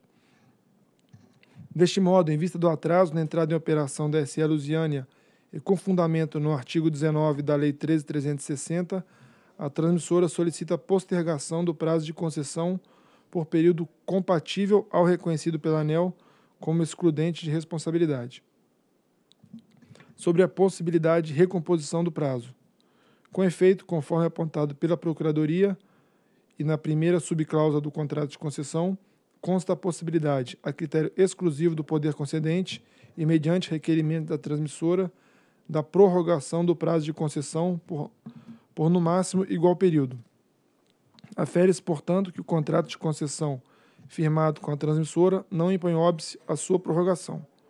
Por outro lado, o artigo 19 da citada Lei 13360 tornou possível a extensão da concessão em face do atraso no início de operação comercial, na hipótese da ANEL, de ANEL, diante do caso concreto, reconhecer a existência de excludentes de responsabilidades do agente e desde que reste demonstrado o nexo de causalidade entre a ocorrência e o atraso na entrada em operação.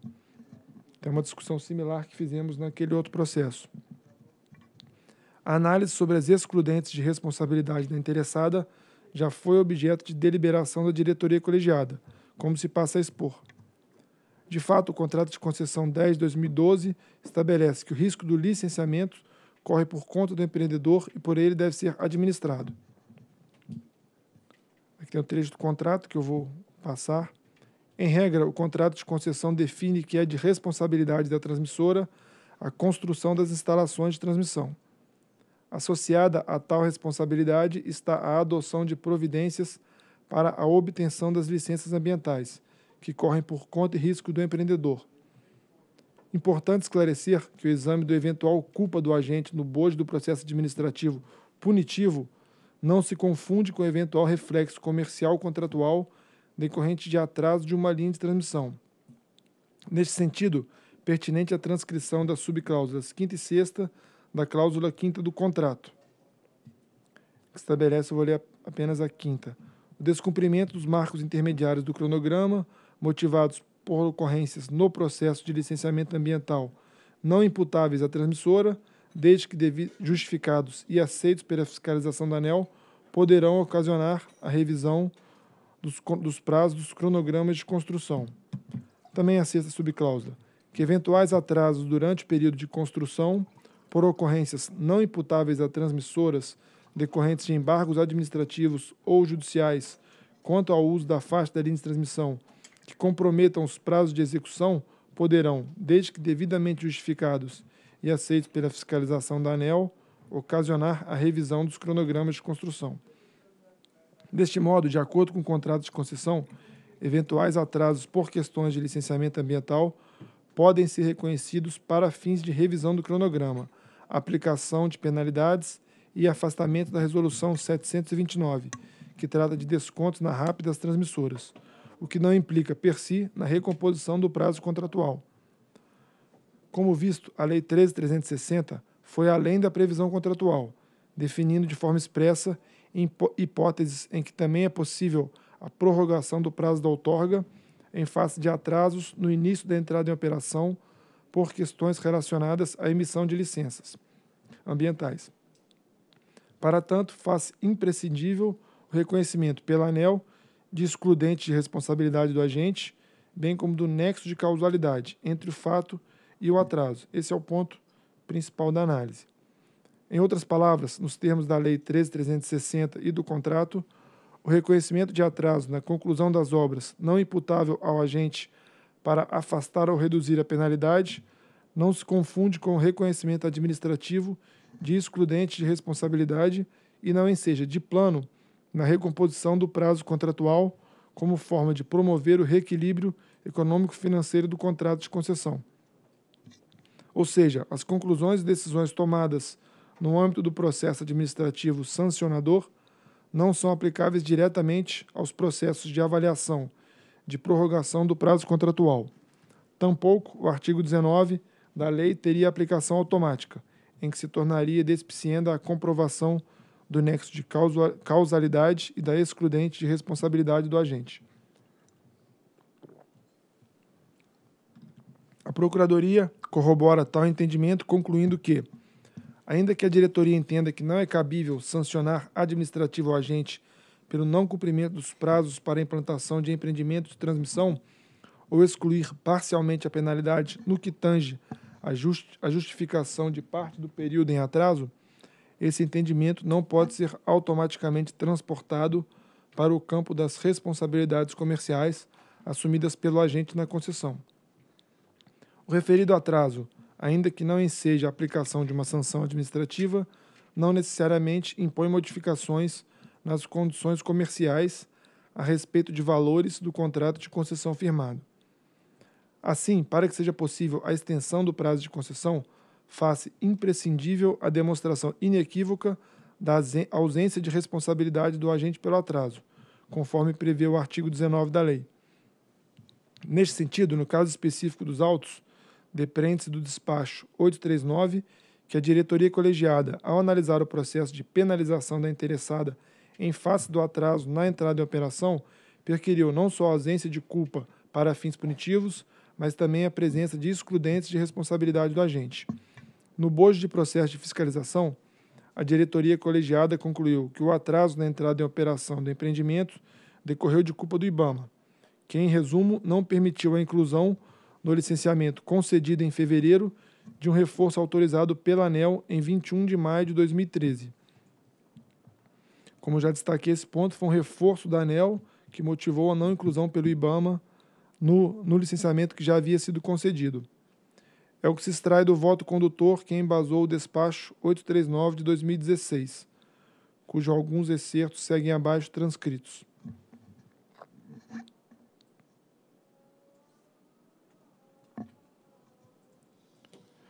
A N1 foi registrada como ofensa ao cronograma de implantação das obras na SE Lusiânia, que previa a entrada em operação em janeiro de 2014 para que pudessem atender a áreas de Goiás e DF envolvidas nos eventos da Copa do Mundo de 2014.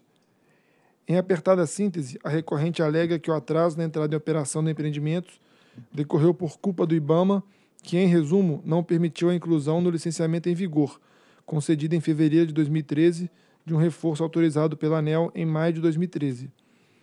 Observa-se da tabela que, por conta do reforço demandado, o prazo para o licenciamento, que tomaria sete meses, tomou 19 meses.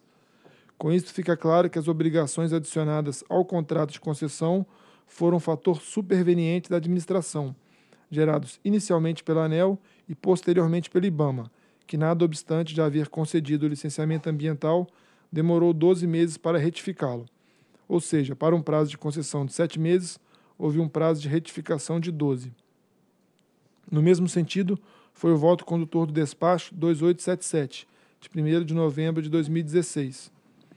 O processo administrativo punitivo concluiu pela excludente de responsabilidade da LTN em relação ao, atraso na entrada em operação da SE Lusiânia, pois o prazo de análise do IBAMA, que tomaria sete meses, tomou 19 meses, restando claro que as obrigações adicionadas ao contrato foram fatos supervenientes da administração, gerados inicialmente pela ANEL e posteriormente pelo IBAMA, que, não obstante haver concedido o licenciamento ambiental, demorou 12 meses para retificá-lo, não podendo ser a transmissora ser apenada por atraso a que não deu causa. O estado de reforço foi autorizado pela Resolução de 4289 de 2013. Como visto, a diretoria em análises pretéritas já reconheceu que o atraso na emissão das licenças se deu por fato da administração e que o agente não concorreu para o atraso, pois o prazo de análise pelo IBAMA, que tomaria sete meses, que tomou sete meses, levou 19 meses, deixando em evidência que as obrigações adicionadas ao contrato foram fatos supervenientes da administração. A Procuradoria, ao sopesar sobre o pedido da interessada de recomposição do prazo, convergiu quanto à necessidade de recomposição do prazo de exploração da concessão, de forma proporcional ao atraso da SA Lusiânia, motivado pela demora da emissão de licença ambiental pelo IBAMA. Neste sentido, transcreve-se trecho do parecer de 2 de fevereiro de 2018. Caminho no mesmo sentido já apresentado, portanto, eu vou pular o trecho do parecer. Com tais considerações, a SCT, conforme exposto na nota técnica 70, concluiu, no que concordo, que já restou reconhecida pela diretoria colegiada a excludente de responsabilidade da interessada, e o nexo de causalidade entre o fato da administração e o atraso, qual também concordo, o que atrai a aplicação do artigo 19 e seu parágrafo único da Lei 13.360, de modo a permitir a recomposição do prazo contratual da interessada pelos dias equivalentes ao atraso da SA Lusiânia, decorrente da demora da emissão de licença pelo IBAMA. Agora, sobre o cálculo para a recomposição do prazo. Constou no voto do relator, que fundamentou o despacho 839, que o fato da administração em relação à subestação Lusiânia impactou em 76,2% o empreendimento, uma vez que a RAP, a que é interessada, terá direito pela prestação do serviço de transmissão da subestação Lusiânia é de R$ 7 milhões R$ 165.905,91, sobre o montante total do contrato de R$ 9.404.075,97. A proporção do impacto do fato da administração também pode ser aferida no contrato de concessão, em que são estabelecidos esses percentuais. Deste modo, conforme apurou a nota técnica e em observância às orientações da Procuradoria, a recomposição do prazo deve se dar de forma proporcional ao efeito reconhecido como excludente de responsabilidade sobre a receita do contrato como um todo. Neste sentido, esclareceu a SCT que, para tal cálculo, utilizou a multiplicação do período reconhecido de excludente responsabilidade pela percentual da RAP relativa à parcela do contrato que sofreu os efeitos da alteração da posição da SA Lusiana. O período em questão compreende a data inicialmente prevista para entrada em operação, 10 de janeiro de 14, e a data que efetivamente a SA Lusiana entrou em operação, 9 de junho de 2014, o que totaliza 150 dias. Assim, considerando os valores em dias, tem 150 vezes o percentual de 76,2, temos 114,3 dias. Ou seja, deverá ser considerado um adicional na concessão de 115 dias. Destaca que esse adicional é bem inferior ao atraso no processo de licenciamento ambiental pela inclusão do reforço. Passando, portanto, ao dispositivo, diante do exposto e com base nos documentos constantes do processo, voto por conhecer e, no mérito, dar provimento ao pedido de recomposição do prazo de exploração do contrato de concessão 010-2012, formulado pela Lusiânia Niquelândia Transmissora, acrescendo 115 dias à vigência original do contrato. É o voto. Em discussão? Em votação? Voto com o relator. Também acompanho o relator. Também acompanho o relator e proclamo que a diretoria da ANEL decidiu por unanimidade conhecer e, no mérito, dar provimento ao pedido de reconsideração do prazo de exploração do contrato de concessão número 10-2012, formulado pela Lusiânia Niquelândia Transmissora S.A., acrescendo 115 dias à vigência original do contrato. Próximo item. Item 22, processo 48.500.00.3784, 2017-70. Cumprimento das cláusulas dos contratos de concessão e distribuição prorrogados nos termos do decreto número 8.461 de 2015 e da lei 12.783 de 2013, no tocante à qualidade do serviço prestado e à eficiência da gestão econômico-financeira. Diretor-relator Rodrigo Limpe Nascimento.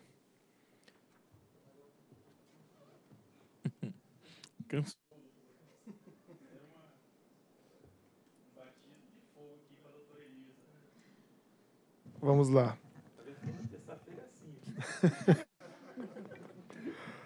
A Lei 12783 dispõe sobre a prorrogação das concessões de energia elétrica, sendo a regulamentação da prorrogação das concessões de distribuição de energia elétrica estabelecida pelo Decreto 8461 de 2015.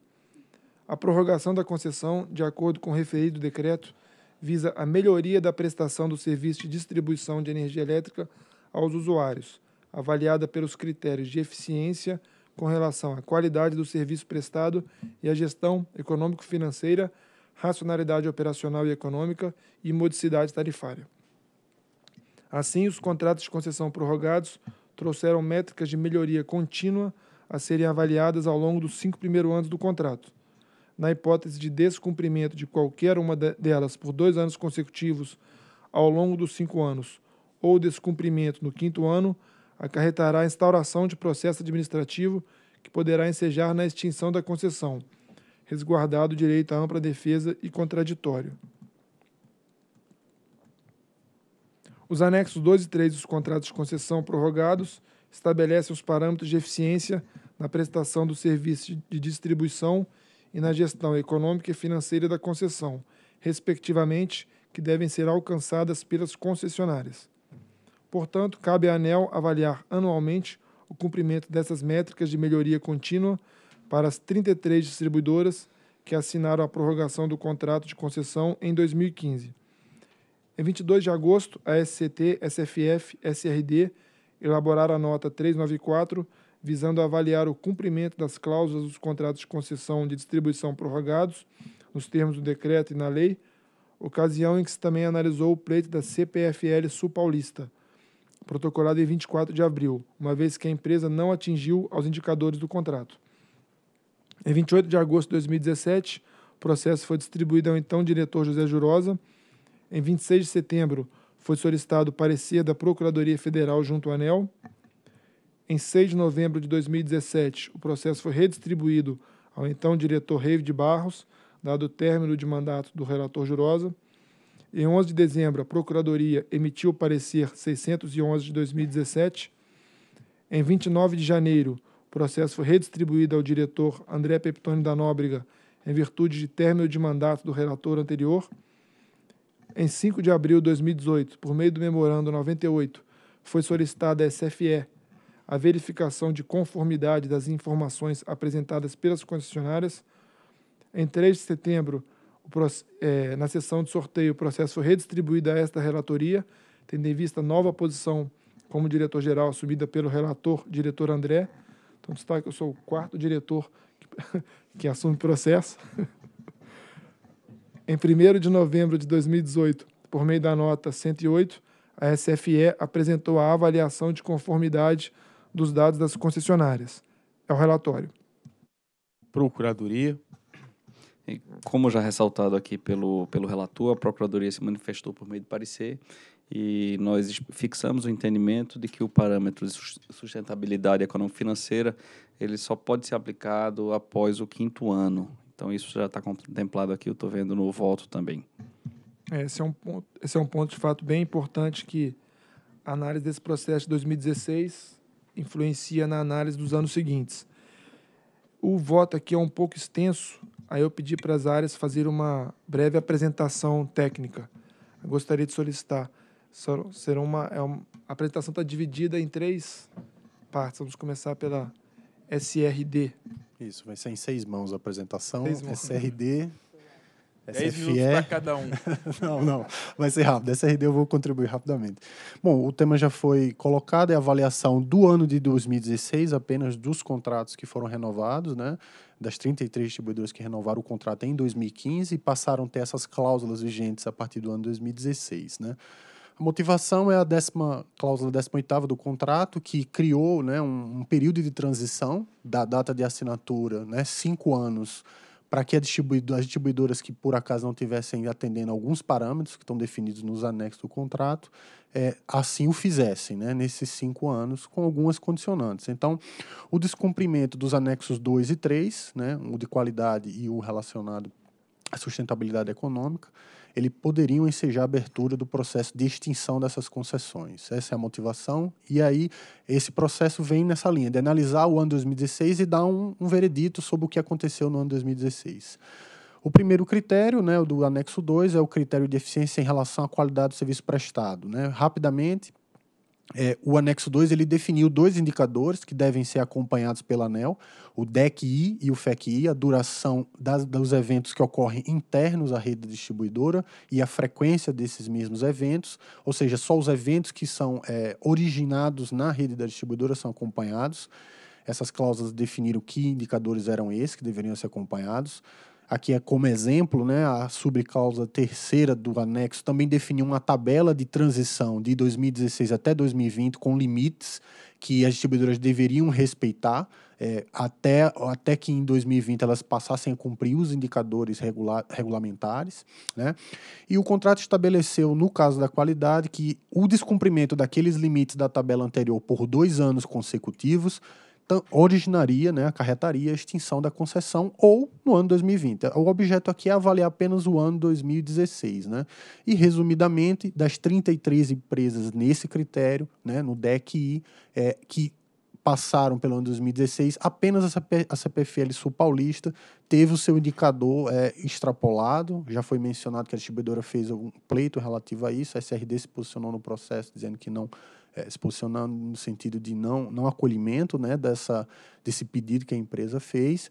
Ela também extrapolou do indicador FEC-I, né, das, a única das 33, e um único fato relevante nesse critério é que a CPFL ela fez a fusão dessas cinco empresas que estavam com o contrato prorrogado, era a CPFL Jaguari, Santa Cruz, Sul Paulista, Leste Paulista e Mococa, a partir do ano 2018. Isso foi um objeto de de um, assim, tem relação porque em 2018 a ANEL autorizou a fusão dessas distribuidoras, condicionado ao cumprimento do indicador pela Sul Paulista em 2017, o que, a, com base nos indicadores que a ANEL recebeu, foi, foi atendido. Então, elas efetuaram essa, essa fusão por meio da assinatura do sexto termo aditivo ao contrato de concessão número 15, de 1999.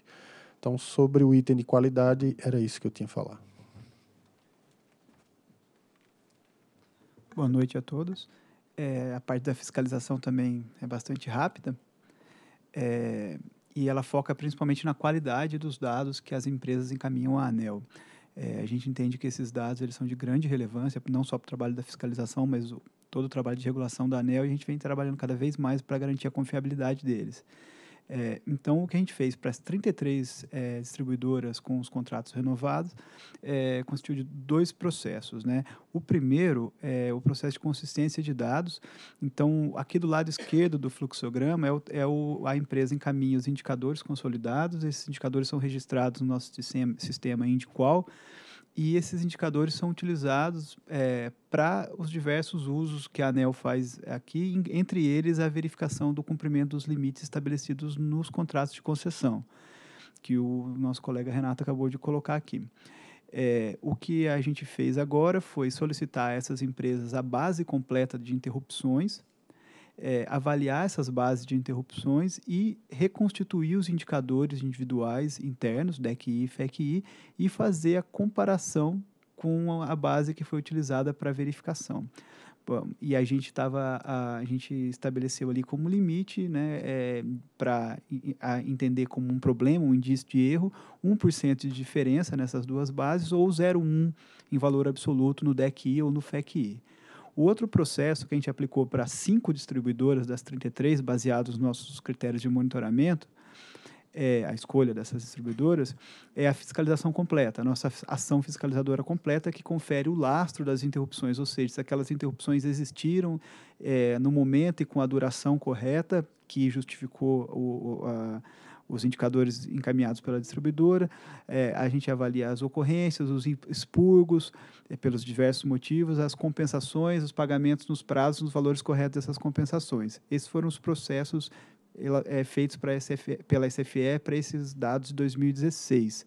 Indo diretamente para os resultados, a gente teve 23 distribuidoras em que não foi constatado nenhuma espécie de problema, das 33, oito distribuidoras que a gente entende como aprovadas, mas com os processos de verificação da consistência dos dados ainda em andamento. Essas, essa, esses processos em andamento, eles não têm o condão de identificar claramente uma não conformidade nos dados, mas sim a necessidade de um processo de fiscalização aprofundado daquela segunda é, daquele segundo processo que eu coloquei no slide anterior. Essas oito distribuidoras são Cooper Aliança, Demed, Mux Energia, Copel, Celesc, SEB, UEMPAL e DEMEI.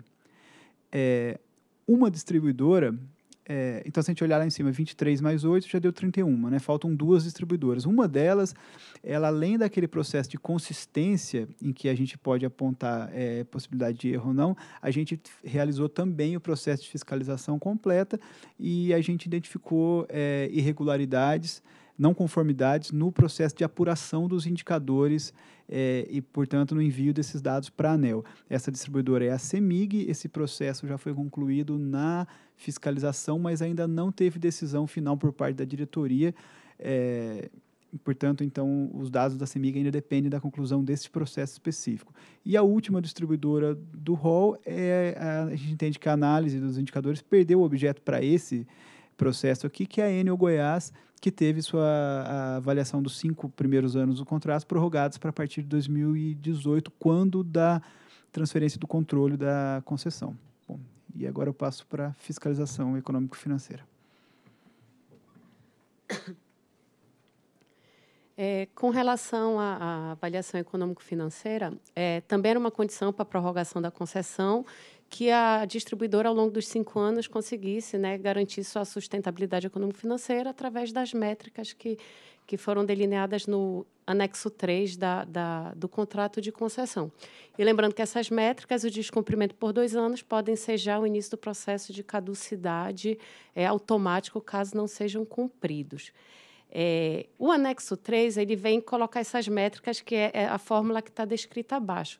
Na verdade, a gente pode ver que o primeiro ano, ele é o exercício que a gente faz a avaliação é o de 17. Então, para esse processo de 16, não teve avaliação com relação à métrica primeiro ano por parte da SFF, porque não, não, não é objeto. Mas por que, que a gente está fazendo essa avaliação?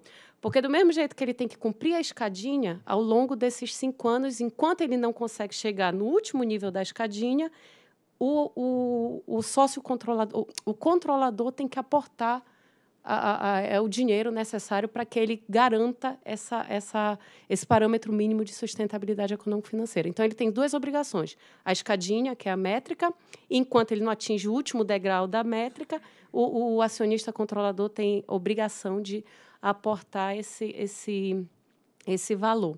O que, é que a gente avaliou? Que 16 empresas não, não fizeram esse aporte. Mas, como tinha dúvida se esse descumprimento do parâmetro mínimo de sustentabilidade ensejaria ou não a caducidade da concessão, caso não fosse feito o aporte por dois anos consecutivos, então a gente né, acabou que suscitou a, a, a dúvida jurídica para a Procuradoria Federal. É, aqui o que a gente pode ver é isso, né, que o descumprimento desse parâmetro mínimo ele, ele, ele é, garante, né, ele, na verdade, ele imputa ao sócio controlador a, a, exigência de fazer um aporte de capital. Tanto que o sócio controlador assinou junto esse contrato de concessão com a própria distribuidora. Tá? E aqui é a cláusula que, garante, né, que, que imputa ao sócio controlador essa obrigação de fazer a, a o aporte enquanto a, a, distribuidora não conseguir atingir o parâmetro mínimo de sustentabilidade econômico-financeira. Então, em resumo, é isso. A métrica ele cumpriu, porque no primeiro ano não tem né? O primeiro ano de 16 a gente não avaliou ainda, a gente só avaliou agora a partir de 17, mas o sócio controlador de 16 empresas não fez o aporte para atingir o parâmetro mínimo de sustentabilidade econômico-financeira. E esses processos a gente está tratando em apartado. E com o parecer jurídico, a decisão da diretoria, aí a gente vai tratar de um descumprimento de contrato, mas não necessariamente de um descumprimento que seja ao início do processo de caducidade por dois anos de descumprimento, ou seja, por dois anos de não aporte. É isso. Aí aqui a gente até colocou a conclusão do parecer jurídico que, que, que, nos, que nos respalda com relação a esse entendimento que caducidade automática por dois anos de cumprimento só para quem não cumprir a métrica, mas não para quem não cumprir aporte. Fim. Obrigado e parabéns pelo trabalho a várias mãos.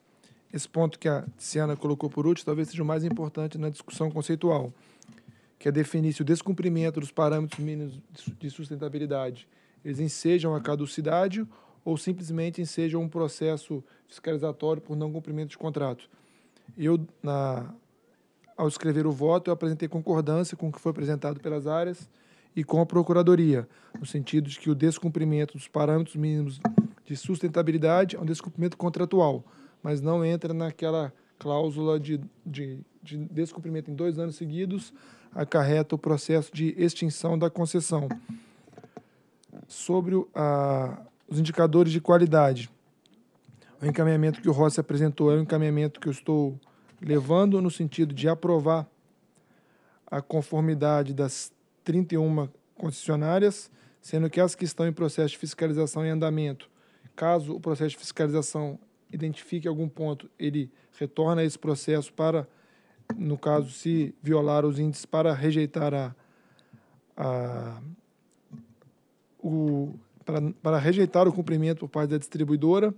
No caso da CEMIG, que tem um processo que está em âmbito de análise pela diretoria, é condicionar o cumprimento por parte da distribuidora CEMIG dos limites de DECFEC referente a 2016 ao, à conclusão do processo. E com relação à distribuidora CPFL Sul Paulista reconheceram não cumprimento dos limites no ano de 2016. Aqui temos um voto longo, como tivemos a apresentação, eu vou direto ao dispositivo.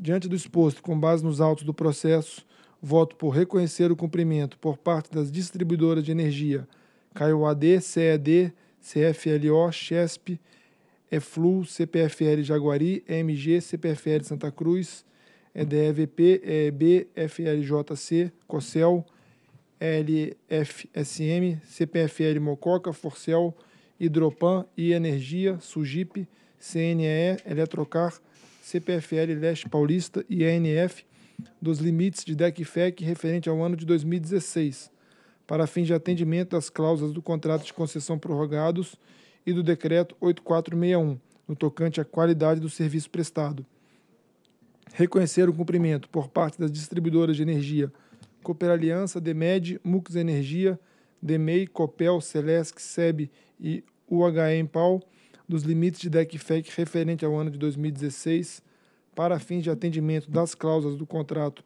de distribuição prorrogados e do, nos termos da lei e do decreto, no tocante à qualidade do serviço prestado e, caso a ressalva para essas distribuidoras, a conclusão dos processos administrativos de fiscalização da ANEL tenha repercussão na apuração do DEC-FEC referente a este período, dever-se-á verificar a manutenção ou não do atendimento dos limites dos indicadores regulatórios. Condicionar o cumprimento por parte da CEMIG-D dos limites de DEC-FEC referente ao ano de 2016 para fins de atendimento das cláusulas dos contratos de concessão de distribuição prorrogados nos termos da Lei 12783 e do Decreto 8461, no tocante à qualidade do serviço prestado, a deliberação do processo administrativo de fiscalização da ANEL, que se encontra em avaliação no âmbito da diretoria. Reconhecer o não cumprimento por parte da distribuidora CPFL Sul Paulista dos limites de DEC e FEC referente ao ano de 2016, para fim de atendimento das cláusulas do contrato de concessão prorrogados nos termos da lei e do decreto, no tocante à qualidade do serviço prestado, e, por fim, fixar o entendimento de que o parâmetro mínimo de sustentabilidade econômica e financeira nos primeiros cinco anos civis após a assinatura do contrato de concessão não faz parte do rol de condições de prorrogação dos contratos, não estando sujeito ao que está previsto na subcláusula primeira da cláusula 18ª dos contratos de concessão de distribuição prorrogados nos termos da Lei 12783 e do Decreto 8461 de 2015. É o voto. Em discussão? É, eu, é, doutor Limpe, acho que o voto, eu acompanhei um pouco essa discussão e eu estou realmente com um pouco de dúvida nessa questão dessa interpretação com relação aos dois anos seguidos, se isso, se isso seria uma, um descumprimento de contrato ou uma, vamos dizer, ou uma, ou uma condição para o início de um processo de caducidade, é, no que se refere aos aportes, como foi mencionado.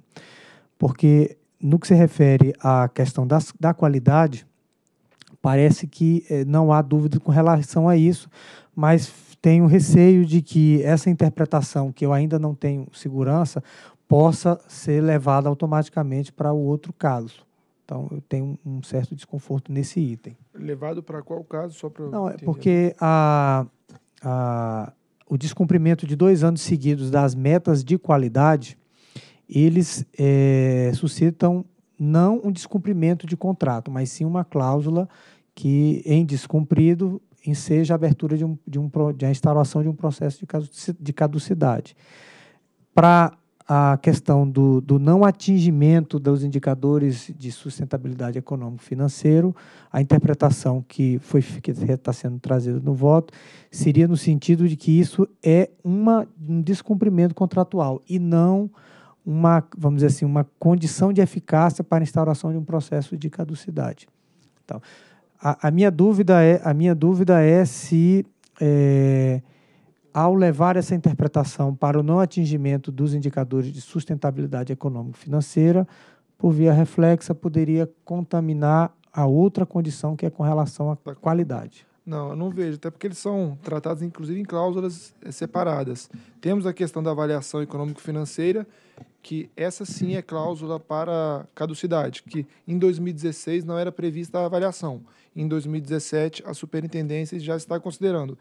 Esse é uma outra condição, que é o parâmetro mínimo de sustentabilidade, que é aquele que imputa ao controlador o aporte de capital no caso de não alcançado o parâmetro mínimo de sustentabilidade eu, a princípio, não vejo, não tenho essa preocupação de. Porque são, são temas bem distintos. Se a Tiziana quiser complementar. É, é, diretor, assim, é porque é, esses, essas duas coisas são tratadas em lugares diferentes no contrato de concessão. Mas o parâmetro mínimo de sustentabilidade, ele ficou lá no anexo 3. E quando a gente vai para a cláusula 18ª, que é a que diz, ó, tem que cumprir o anexo 2, qualidade, e o anexo 3, que são as condições de econômico financeiro, o parâmetro mínimo ficou escrito lá.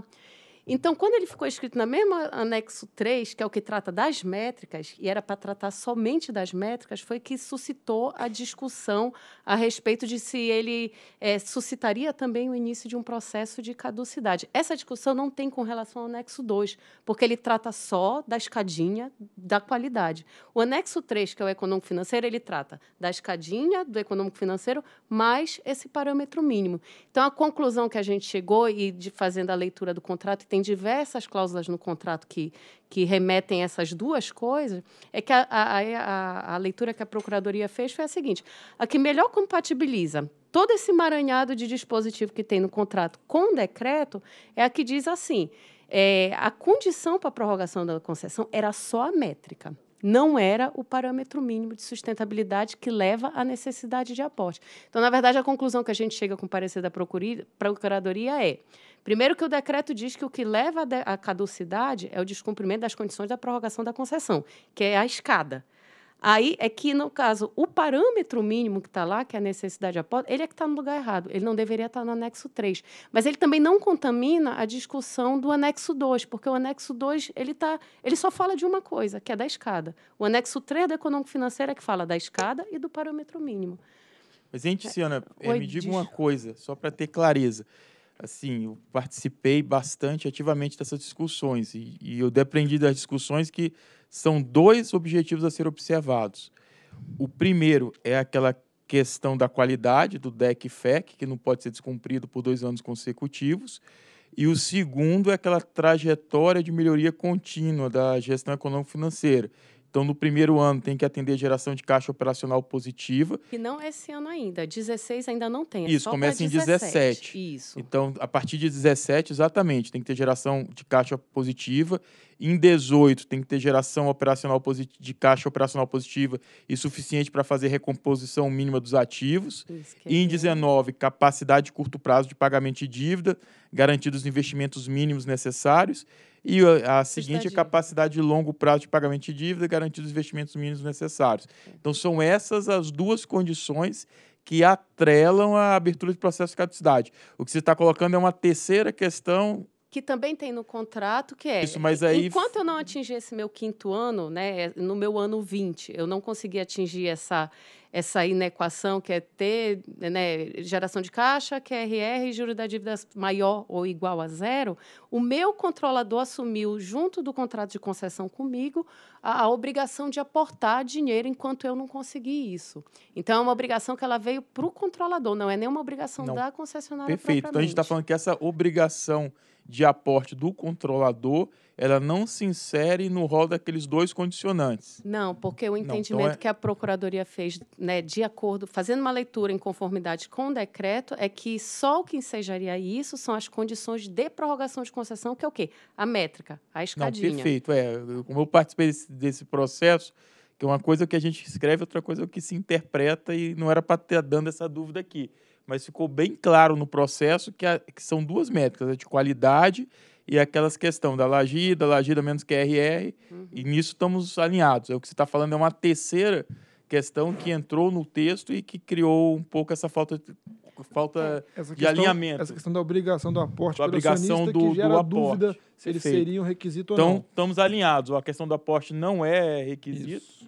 E, entretanto, as duas métricas, a de qualidade econômica financeira, é requisito. Isso. É isso que está sendo que estamos a gente tá avançando A gente está votando especial, é, especificamente sobre o, o primeiro ponto que você que colocou, que não é o requisito a questão do tá. aporte pelo acionista. Aí fica remanescente os, os outros dois. itens, naturalmente, que, vão ser tratados. Tiziana bem Nesse colocou, inicia em 17. Nesse processo de 2016, a questão da sustentabilidade econômico-financeira ela não está sendo analisada porque é a partir de 2017. 17, a dúvida é porque esse parâmetro mínimo ele ficou lá no anexo 3 que É, e criou essa métrica. confusão. Aí criou a Doutor confusão. Sandoval, mas eu acho que é o, o encaminhamento é esse mesmo. Então a gente tem dois é. critérios é. muito claros que são as duas métricas e que foi, em todo o tempo que se discutiu esse tema, era o que se, se colocava.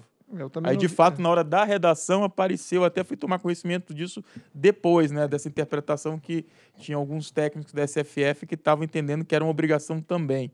A é. preocupação do diretor Sandoval é pertinente no sentido de enfraquecer o outro dispositivo que trata da qualidade. Mas eu entendo que eles estão bem separados, não, não vejo esse risco. É, o, as cláusulas do contrato que, que, tratam de um, tratam de outro, estão em lugares separados. As obrigações para acionistas estão em lugares separados. Está tá tudo separado. Agora, quando colocou na mesma, no mesmo anexo 3 da métrica, foi que Aí criou-se essa dúvida. Né? Exatamente. É, eu acho que estamos todos alinhados. Era, pelo menos a intenção que, que se pretendia era essa. E a gente não está alterando nada eu, nesse sentido. Eu não sei se é pelo adiantado da hora, eu ainda estou um pouco confuso com relação ao processo. Peço desculpas aí, porque realmente é. Não, você okay. falou que esse processo já passou por quatro diretores, né? Como nosso colegiado são cinco, né? Eu acho que há algum não, presságio nisso aí. Como hoje se completa o colegiado e também se completa os cinco diretores nesse, nessa relatoria. Mas ok, então em votação. Acompanhe o relator. Peço vista do processo. Próximo item. Item 31 e último e derradeiro item da pauta. Recurso administra é, processo 48.500.002795, 2018-13. Recurso administrativo interposto pela Companhia Estadual de Distribuição de Energia Elétrica, CED, em face de decisão emitida pela Agência Estadual de Regulação de Serviços Públicos Delegados do Rio Grande do Sul, AGERGS, referente à cobrança por irregularidade na medição de unidade consumidora, diretora relatora Elisa Bastos Silva. Bom, senhores, esse processo aqui ele constava do bloco e ele foi retirado do bloco não por uma questão de mérito, mas por uma questão de erro material e por isso eu vou ler apenas a correção do erro material, se vocês não se importarem, indo direto para o dispositivo, no item 23, subitem I, uh, onde se lia inciso terceiro do artigo 130 da Resolução Normativa ANEL 414, se lê agora inciso 5 do artigo 130 da Resolução Normativa ANEL 414. Havia um erro de referência em relação à resolução normativa. Então, feita essa correção, essa é a única observação em relação ao processo. Vou ler aqui como é que ficou o final. Diante do exposto e do que consta do processo 48.500.002795 de 2018-13, voto por conhecer do recurso administrativo interposto pela Companhia Estadual de Distribuição de Energia Elétrica, CED, contra a decisão proferida pela Agência Estadual de Regulação dos Serviços Públicos Delegados do Rio Grande do Sul, a GRGS, para, no mérito, dar-lhe provimento para reformar a decisão exarada pela AGR, AGRGS e autorizar que a CED efetue a cobrança da diferença de consumo ativo de 10.160 kWh, correspondente ao período de 12 de setembro de 2012 a 1 de setembro de 2015, já deduzidos os consumos faturados com base no inciso 5 do artigo 130 da Resolução Normativa ANEL 414 de 2010, utilizando a tarifa em vigor na data da emissão da fatura, considerando-se a ocorrência de de cada bandeira durante o período irregular e o desconto tarifário que o consumidor tiver direito, mantendo-se a possibilidade de a concessionária cobrar o custo administrativo adicional nos termos do artigo 131 da referida resolução e determinar que esta decisão deve ser cumprida no prazo de até 15 dias após sua publicação. Eu voto. Então, em discussão, em votação. Voto com a relatora. Também acompanha a relatora. Também voto com a relatora e proclamo que a diretoria da ANEL, por unanimidade, decidiu dar provimento para reformar a decisão exarada pela GEGS e autorizar que a CED efetue a cobrança da diferença de consumo ativo de 10.160 kWh e demais pontos, de acordo com o dispositivo de voto da relatora. Bom, esse era o último processo inscrito na pauta. E essa também é a última reunião pública ordinária da diretoria da ANEL de 2018. Então, declaro encerrada a 47ª reunião pública ordinária da diretoria da ANEL de 2018. Desejo a todos boa noite e também um feliz Natal e um próspero ano novo.